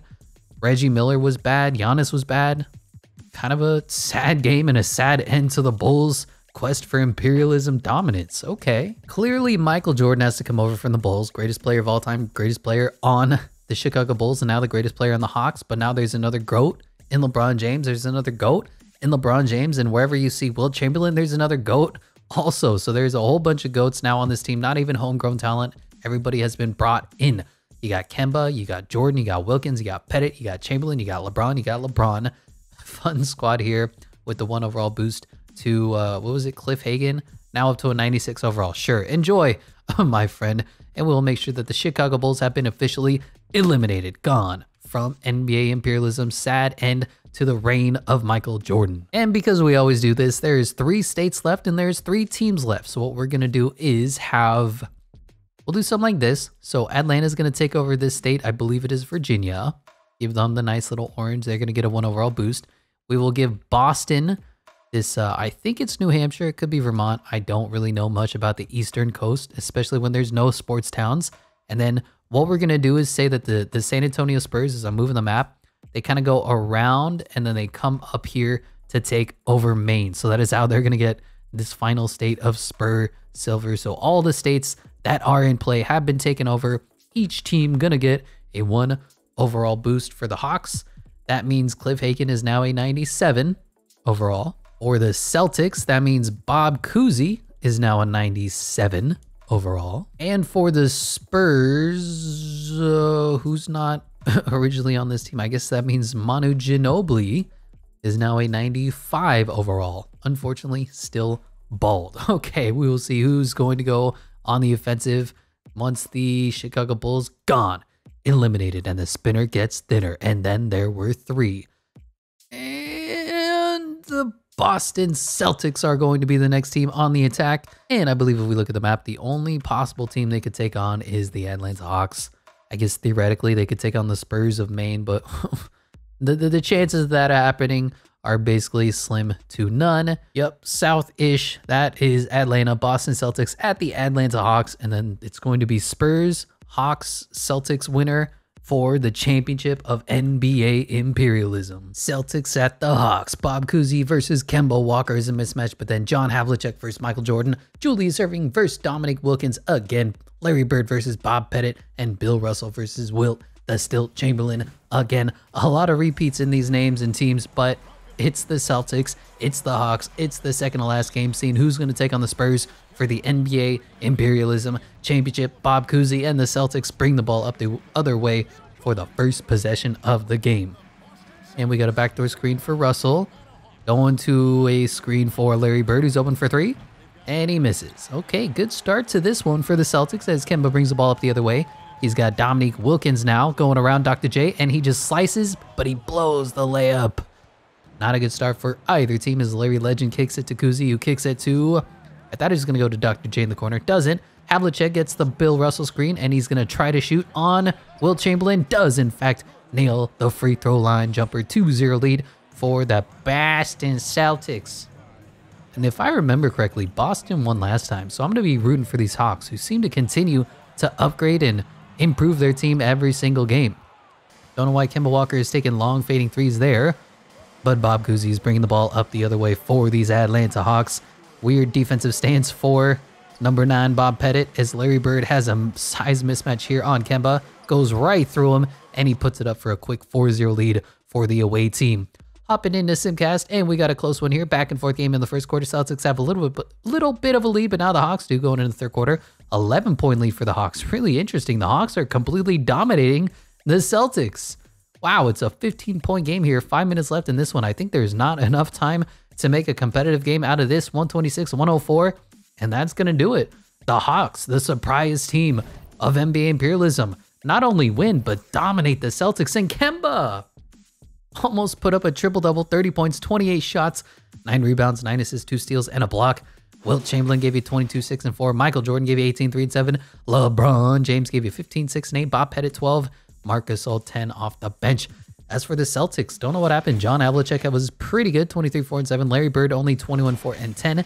KG gave you 13. Sharman only gave you 11. Bob Cousy only gave you 10, 5, and 8. Julius Erving only gave you 10. And Bill Russell got outplayed officially by the Wilt, the Stilt Chamberlain. I wasn't sure who to take. The theoretical weak point of this Hawk squad is Kemba Walker, but Bob Cousy was only a 96 overall, so I ended up putting Larry Bird, Larry Legend 99 overall on the team. And there's just so many 99 overalls at this point for the Atlanta Hawks. And then Cliff Hagan going to get another overall boost now up to a 98 overall. And the Atlanta Hawks continuing their dominance. They're taking over all of America. The only team left standing in the way of the Hawks is the aforementioned San Antonio Spurs. Look at Atlanta's disgusting yellow grow Celtics gone, eliminated, and we are down to two teams left of NBA imperialism all time. Thank you, Boston, for everything that you have tried to do, but you got eliminated. There are two teams left on the wheel. So the winner of this spin is the team that goes on the offensive.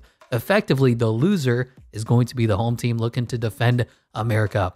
Final battle, and the Atlanta Hawks interestingly enough, are going to be the attacking team. San Antonio is the home team. It's time, the finale of NBA imperialism for all time teams. You got the Hawks at the Spurs, and let me just say these teams look unrecognizable. So LeBron James is going to be playing the point guard position against Clifford Paul. I feel like the overalls make sense there. Michael Jordan versus George Gervin, Kawhi Leonard versus Larry Bird, Bob Pettit versus Tim Duncan, and Wilt Chamberlain versus David Robinson.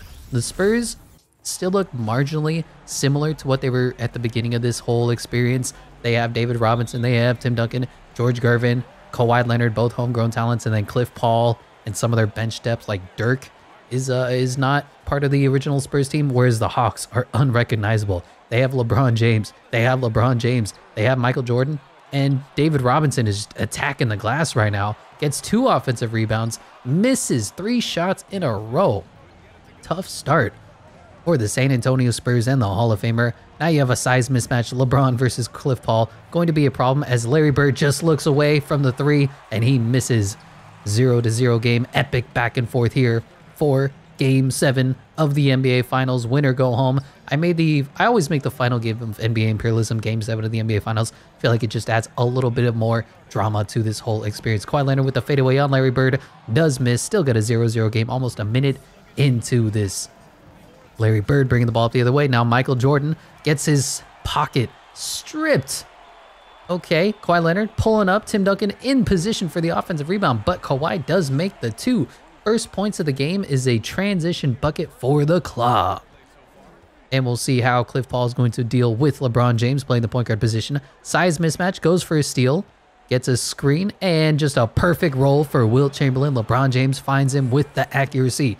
LeBron James might be the most gifted passer in the history of basketball, putting it on display right there. Tim Duncan with the inbound. We got an epic 2 to 2 game here. We're going to sit by and watch in Simcast a little longer than we do normally just because it's NBA imperialism. It's the final game, and we have Kawhi Leonard stepping back from the free throw line, and he hits yet again. First four points for the Spurs is all Kawhi Leonard mid range jumpers. We'll see how Go Jordan is able to respond here. He doesn't really get a lot of play in these Imperialism videos. I'm not sure why. He gets subbed out on his own team. He doesn't take over the teams that he plays on. I feel like 2K disrespects Michael Jordan. Speaking of disrespect, Bob Pettit looking silly. Liv Paul gonna bring the ball the other way and step back and try to shoot over LeBron. Does not end well for him. Two to four, really high scoring contest here as Jordan is bringing the ball up the other way, being picked up by George Gervin. What does Jordan have in store? Going to the post for Bob Pettit, being picked up by Mr. Fundamentals, and LeBron getting the dribble handoff, stepping up for three. And he misses, but there's Wilt Chamberlain on the glass, and we got a tie game 4 to 4. Uh, CPU versus CPU games are always troublesome.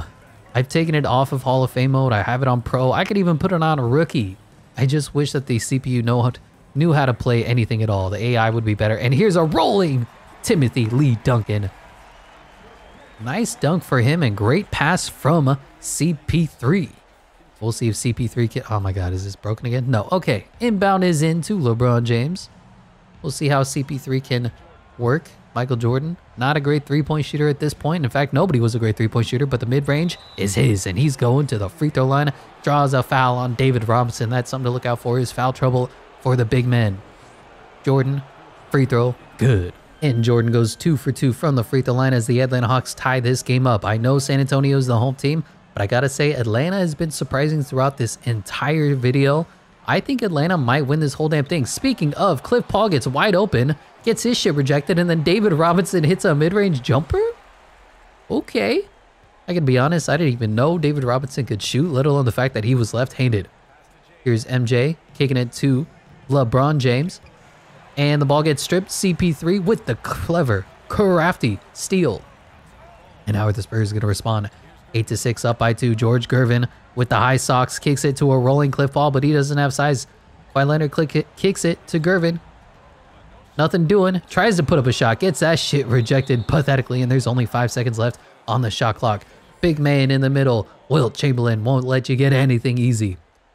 Kawhi Leonard on the inbound gives it to Paul, who's trying to spin. One second left on the clock. Mr. Fundamentals takes the shot and misses, and we'll probably hop into Simcast by the time the next shot goes in. Larry Legend being picked up by Kawhi. Wow, LeBron just pulls up for three. Walks away like he makes it, but that's the second time in a row the Hawks have looked cocky and missed a three-point shot. 8 to 6 still. Cliff Paul takes a long two, and he misses. Not good offense being run here as the Hawks come the other way. Jordan has the ball, going to run the offense. Who's his play going to go to? It looks like it's just a clear ISO dribble handoff for Bob Pettit. Uh, don't know what this play is. Nothing's happening. Weird cut for Larry Bird, and he puts it up and he puts it in, and it's a tie game, 8 to 8. We'll be hopping into Simcast here, back and forth game in the first quarter. Hopefully, it's good because I love seeing these final epic finishes as we go into the fourth quarter. Got a close one here going into halftime. Spurs have a lead, Hawks have a lead, Spurs have a lead here in the third quarter. Now the Hawks have a lead, and we're into the fourth quarter. We'll hop in with about five minutes left or so. 103.99. Really good, really high scoring contest as well. And we'll hop in right about now. Four minutes, four seconds, 111, 112. Manu Gino Ginobili on the inbound with LeBron picking him up. Pass goes to Clifford Paul. Looks like Kemba Walker found his way into the game. It's, uh, I thought that was Boogie Cousins. No, that's just another LeBron James. Always funny seeing two LeBrons out here. Dirk takes a shot. Nope, James Harden does, and he misses the three. Tip from LeBron to LeBron. One point deficit for these Atlanta Hawks. We'll see how they're able to win.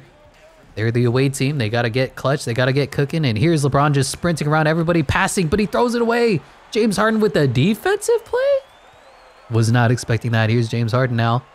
Looking to extend on this lead, being picked up by Miami Heat LeBron, which is Defensive Player of the Year caliber LeBron. And he gets a screen from Dirk, pulls up for a long two, contested hand in his face, and that's another miss. Zeros across the board as the clutch is starting to happen. People's backsides are tightening. That means buttholes for politically correct Dirk. Trying to D up LeBron does not do a good job, and LeBron takes a one point lead. Dirk Nowitzki's a defensive liability. So is James Harden. So is Cliff Paul. So the defense out here is not very good for the Spurs. James Harden trying to take on, I think that's Bob Pettit. Nope, that's Cliff Hagan, and he just gets stripped again. In the transition, LeBron trying to shoot, trying to score on Manu. Finds an open corner. Kemba doesn't take the three, though. Cliff being picked up by the beard. LeBron being picked up by Manu. And it looks like LeBron's going to get a nice, easy shot up, and the Spurs should probably call a timeout. Three point lead now for the Hawks as Manu is just not strong enough, just not big enough to stay in front of GOAT James. Cliff Paul rocking the ball the other way, and there's the timeout. Inbound and three point deficit. The Spurs have not scored a single point ever since we hopped into this one. Kawhi Leonard's going to be open, takes a jump hook, and there's the first points back to a one point game. Uh, Manu calling for a foul, calling for an and one as Kawhi Leonard seems to be the only one who's scoring at this point. Once again, has three points out of the mid range, which is physically impossible. I think that statistic means he's made three mid range shots. Regardless, whoever drew up that graphic is dumb. Hawks have a one point lead. Hawks have the inbound two minutes, 15 seconds left in this one. Gonna come down to the wire, gonna come down to a buzzer beater. I wonder who's gonna get it as Bob Pettit throws the alley oop. LeBron James hangs on the hoop. Whoo! Kawhi just not quick enough to play defense there. And it's back up to a three point lead for the Atlanta Hawks, the upstart Hawks. This Hawks team has chemistry. I don't know what it is, but everything's clicking for them. Kawhi Leonard once again in the paint, being picked up by Wilt Chamberlain. Probably don't want to take a shot here. He's going to go at it. Nope, he doesn't. Dirk kind of open for three. Not really. Passes it up. Now Kawhi Leonard's being picked up. And he's just kicking it to Cliff Paul for three in the corner. And that's a miss. That would have tied the game up. Spurs could have used that. Jordan bring the ball up the other way. Now LeBron James is bringing the ball up the other way. Got a huge size mismatch here. Going to Wilt Chamberlain out of the post, being beat up by 99 overall David Robinson. And David's looking silly. What are you doing on defense? But Wilt afraid to put up a shot. And we have an offensive three seconds. Wilt had three opportunities there to put in a basket, but the AI just said, I'm going to be goofy. Don't know what happened there to Wilt Chamberlain. He just went brain dead. Tragic Johnson, more like tragic Chamberlain. And the Spurs, once again, door is left wide open for them to respond. How are they going to answer as David Robinson is here in the post. Pump faking, pump faking. He's going to get a three seconds in the key here. Dirk takes a contested three and he splashes. Tie game from Dirk. Wow, hand in his face. You can't get more contested than that. Honestly, that could have been a foul. But Dirk Nowitzki, once again, is coming up huge. We'll see how the Hawks can respond. And LeBron throws it away mindlessly, brainlessly, stupidly. Cliff Paul going to run the offense for the Spurs. And who's going to get this ball? Wow, Cliff just takes it himself. I don't know what he was thinking there. He got a little bit selfish, and now he's going to have to try to deal LeBron James in the transition, and he just fouls LeBron. But LeBron has been struggling from the free throw line. We'll see how Cleveland Brown can be clutch here. First one is up, and he chokes again. LeBron cannot hit a free throw to save his life in the fourth quarter. 47 seconds left. Just one free throw to take the lead. We have a tie game. Next one does go in. 46 seconds left. One point game. How are the Spurs going to find some offense here? Kawhi Leonard and Dirk Nowitzki have been traditionally worked for them. Going to David Robinson in the post. Probably not what I would have drawn up. Trying to score on Wilt Chamberlain. He's stymied. He's stuffed. He gets his shit rejected. And LeBron takes the ball the other way. Nine point shot differential here. Jordan pulls up for the dagger. And he missed. Oh, the door is so wide open for these Spurs, but can they find some offense? Go to Dirk in the post. Don't go to Cliff Paul. Cliff dribbling. Selfish. Trying to find his own shot. Kicks it to David Robinson at the three point line. Not good offense. Kawhi Leonard now. Gonna grab a screen. Has Jordan on him. Kicks it to a rolling Rodman. Robinson. And he makes it the go ahead bucket for David Rod Robinson. I don't know why I keep trying to say Rodman. The Admiral takes the lead for the Spurs, and it is a 119 118 game, six seconds left. What do the Hawks have drawn up? Is there a Jimmy Butler play here? Six, five, four. Jordan for the win goes and he throws it down. Woo! Talk about impact. Jordan, quiet the entire fourth quarter, quiet the entire video, just makes the most impressive, impactful bucket of the video, and he doesn't even shoot it. He yams it over three San Antonio Spurs. There's only one second left. Who's the shot gonna go to? Gervin for the win! In and out! Oh, the Atlanta Hawks are champions and victors. Michael Jordan comes up clutch to win it all as the Spurs fall an in and out three pointer away from winning themselves. Dirk Nowitzki is in disbelief, and the entire Spurs nation says, What happened? The Atlanta Hawks are your NBA imperialism champions. That was a hugely clutch fourth quarter there. I can't believe how good that game was. And look at the Hawks cheer. Larry Bird, Marc Gasol, Dominique Wilkins, LeBron James, LeBron James, Kemba Walker is cheering, and Michael Jordan. It's, it's of course fitting that the final bucket is a Michael Jordan dunk all over the San Antonio Spurs for the victory.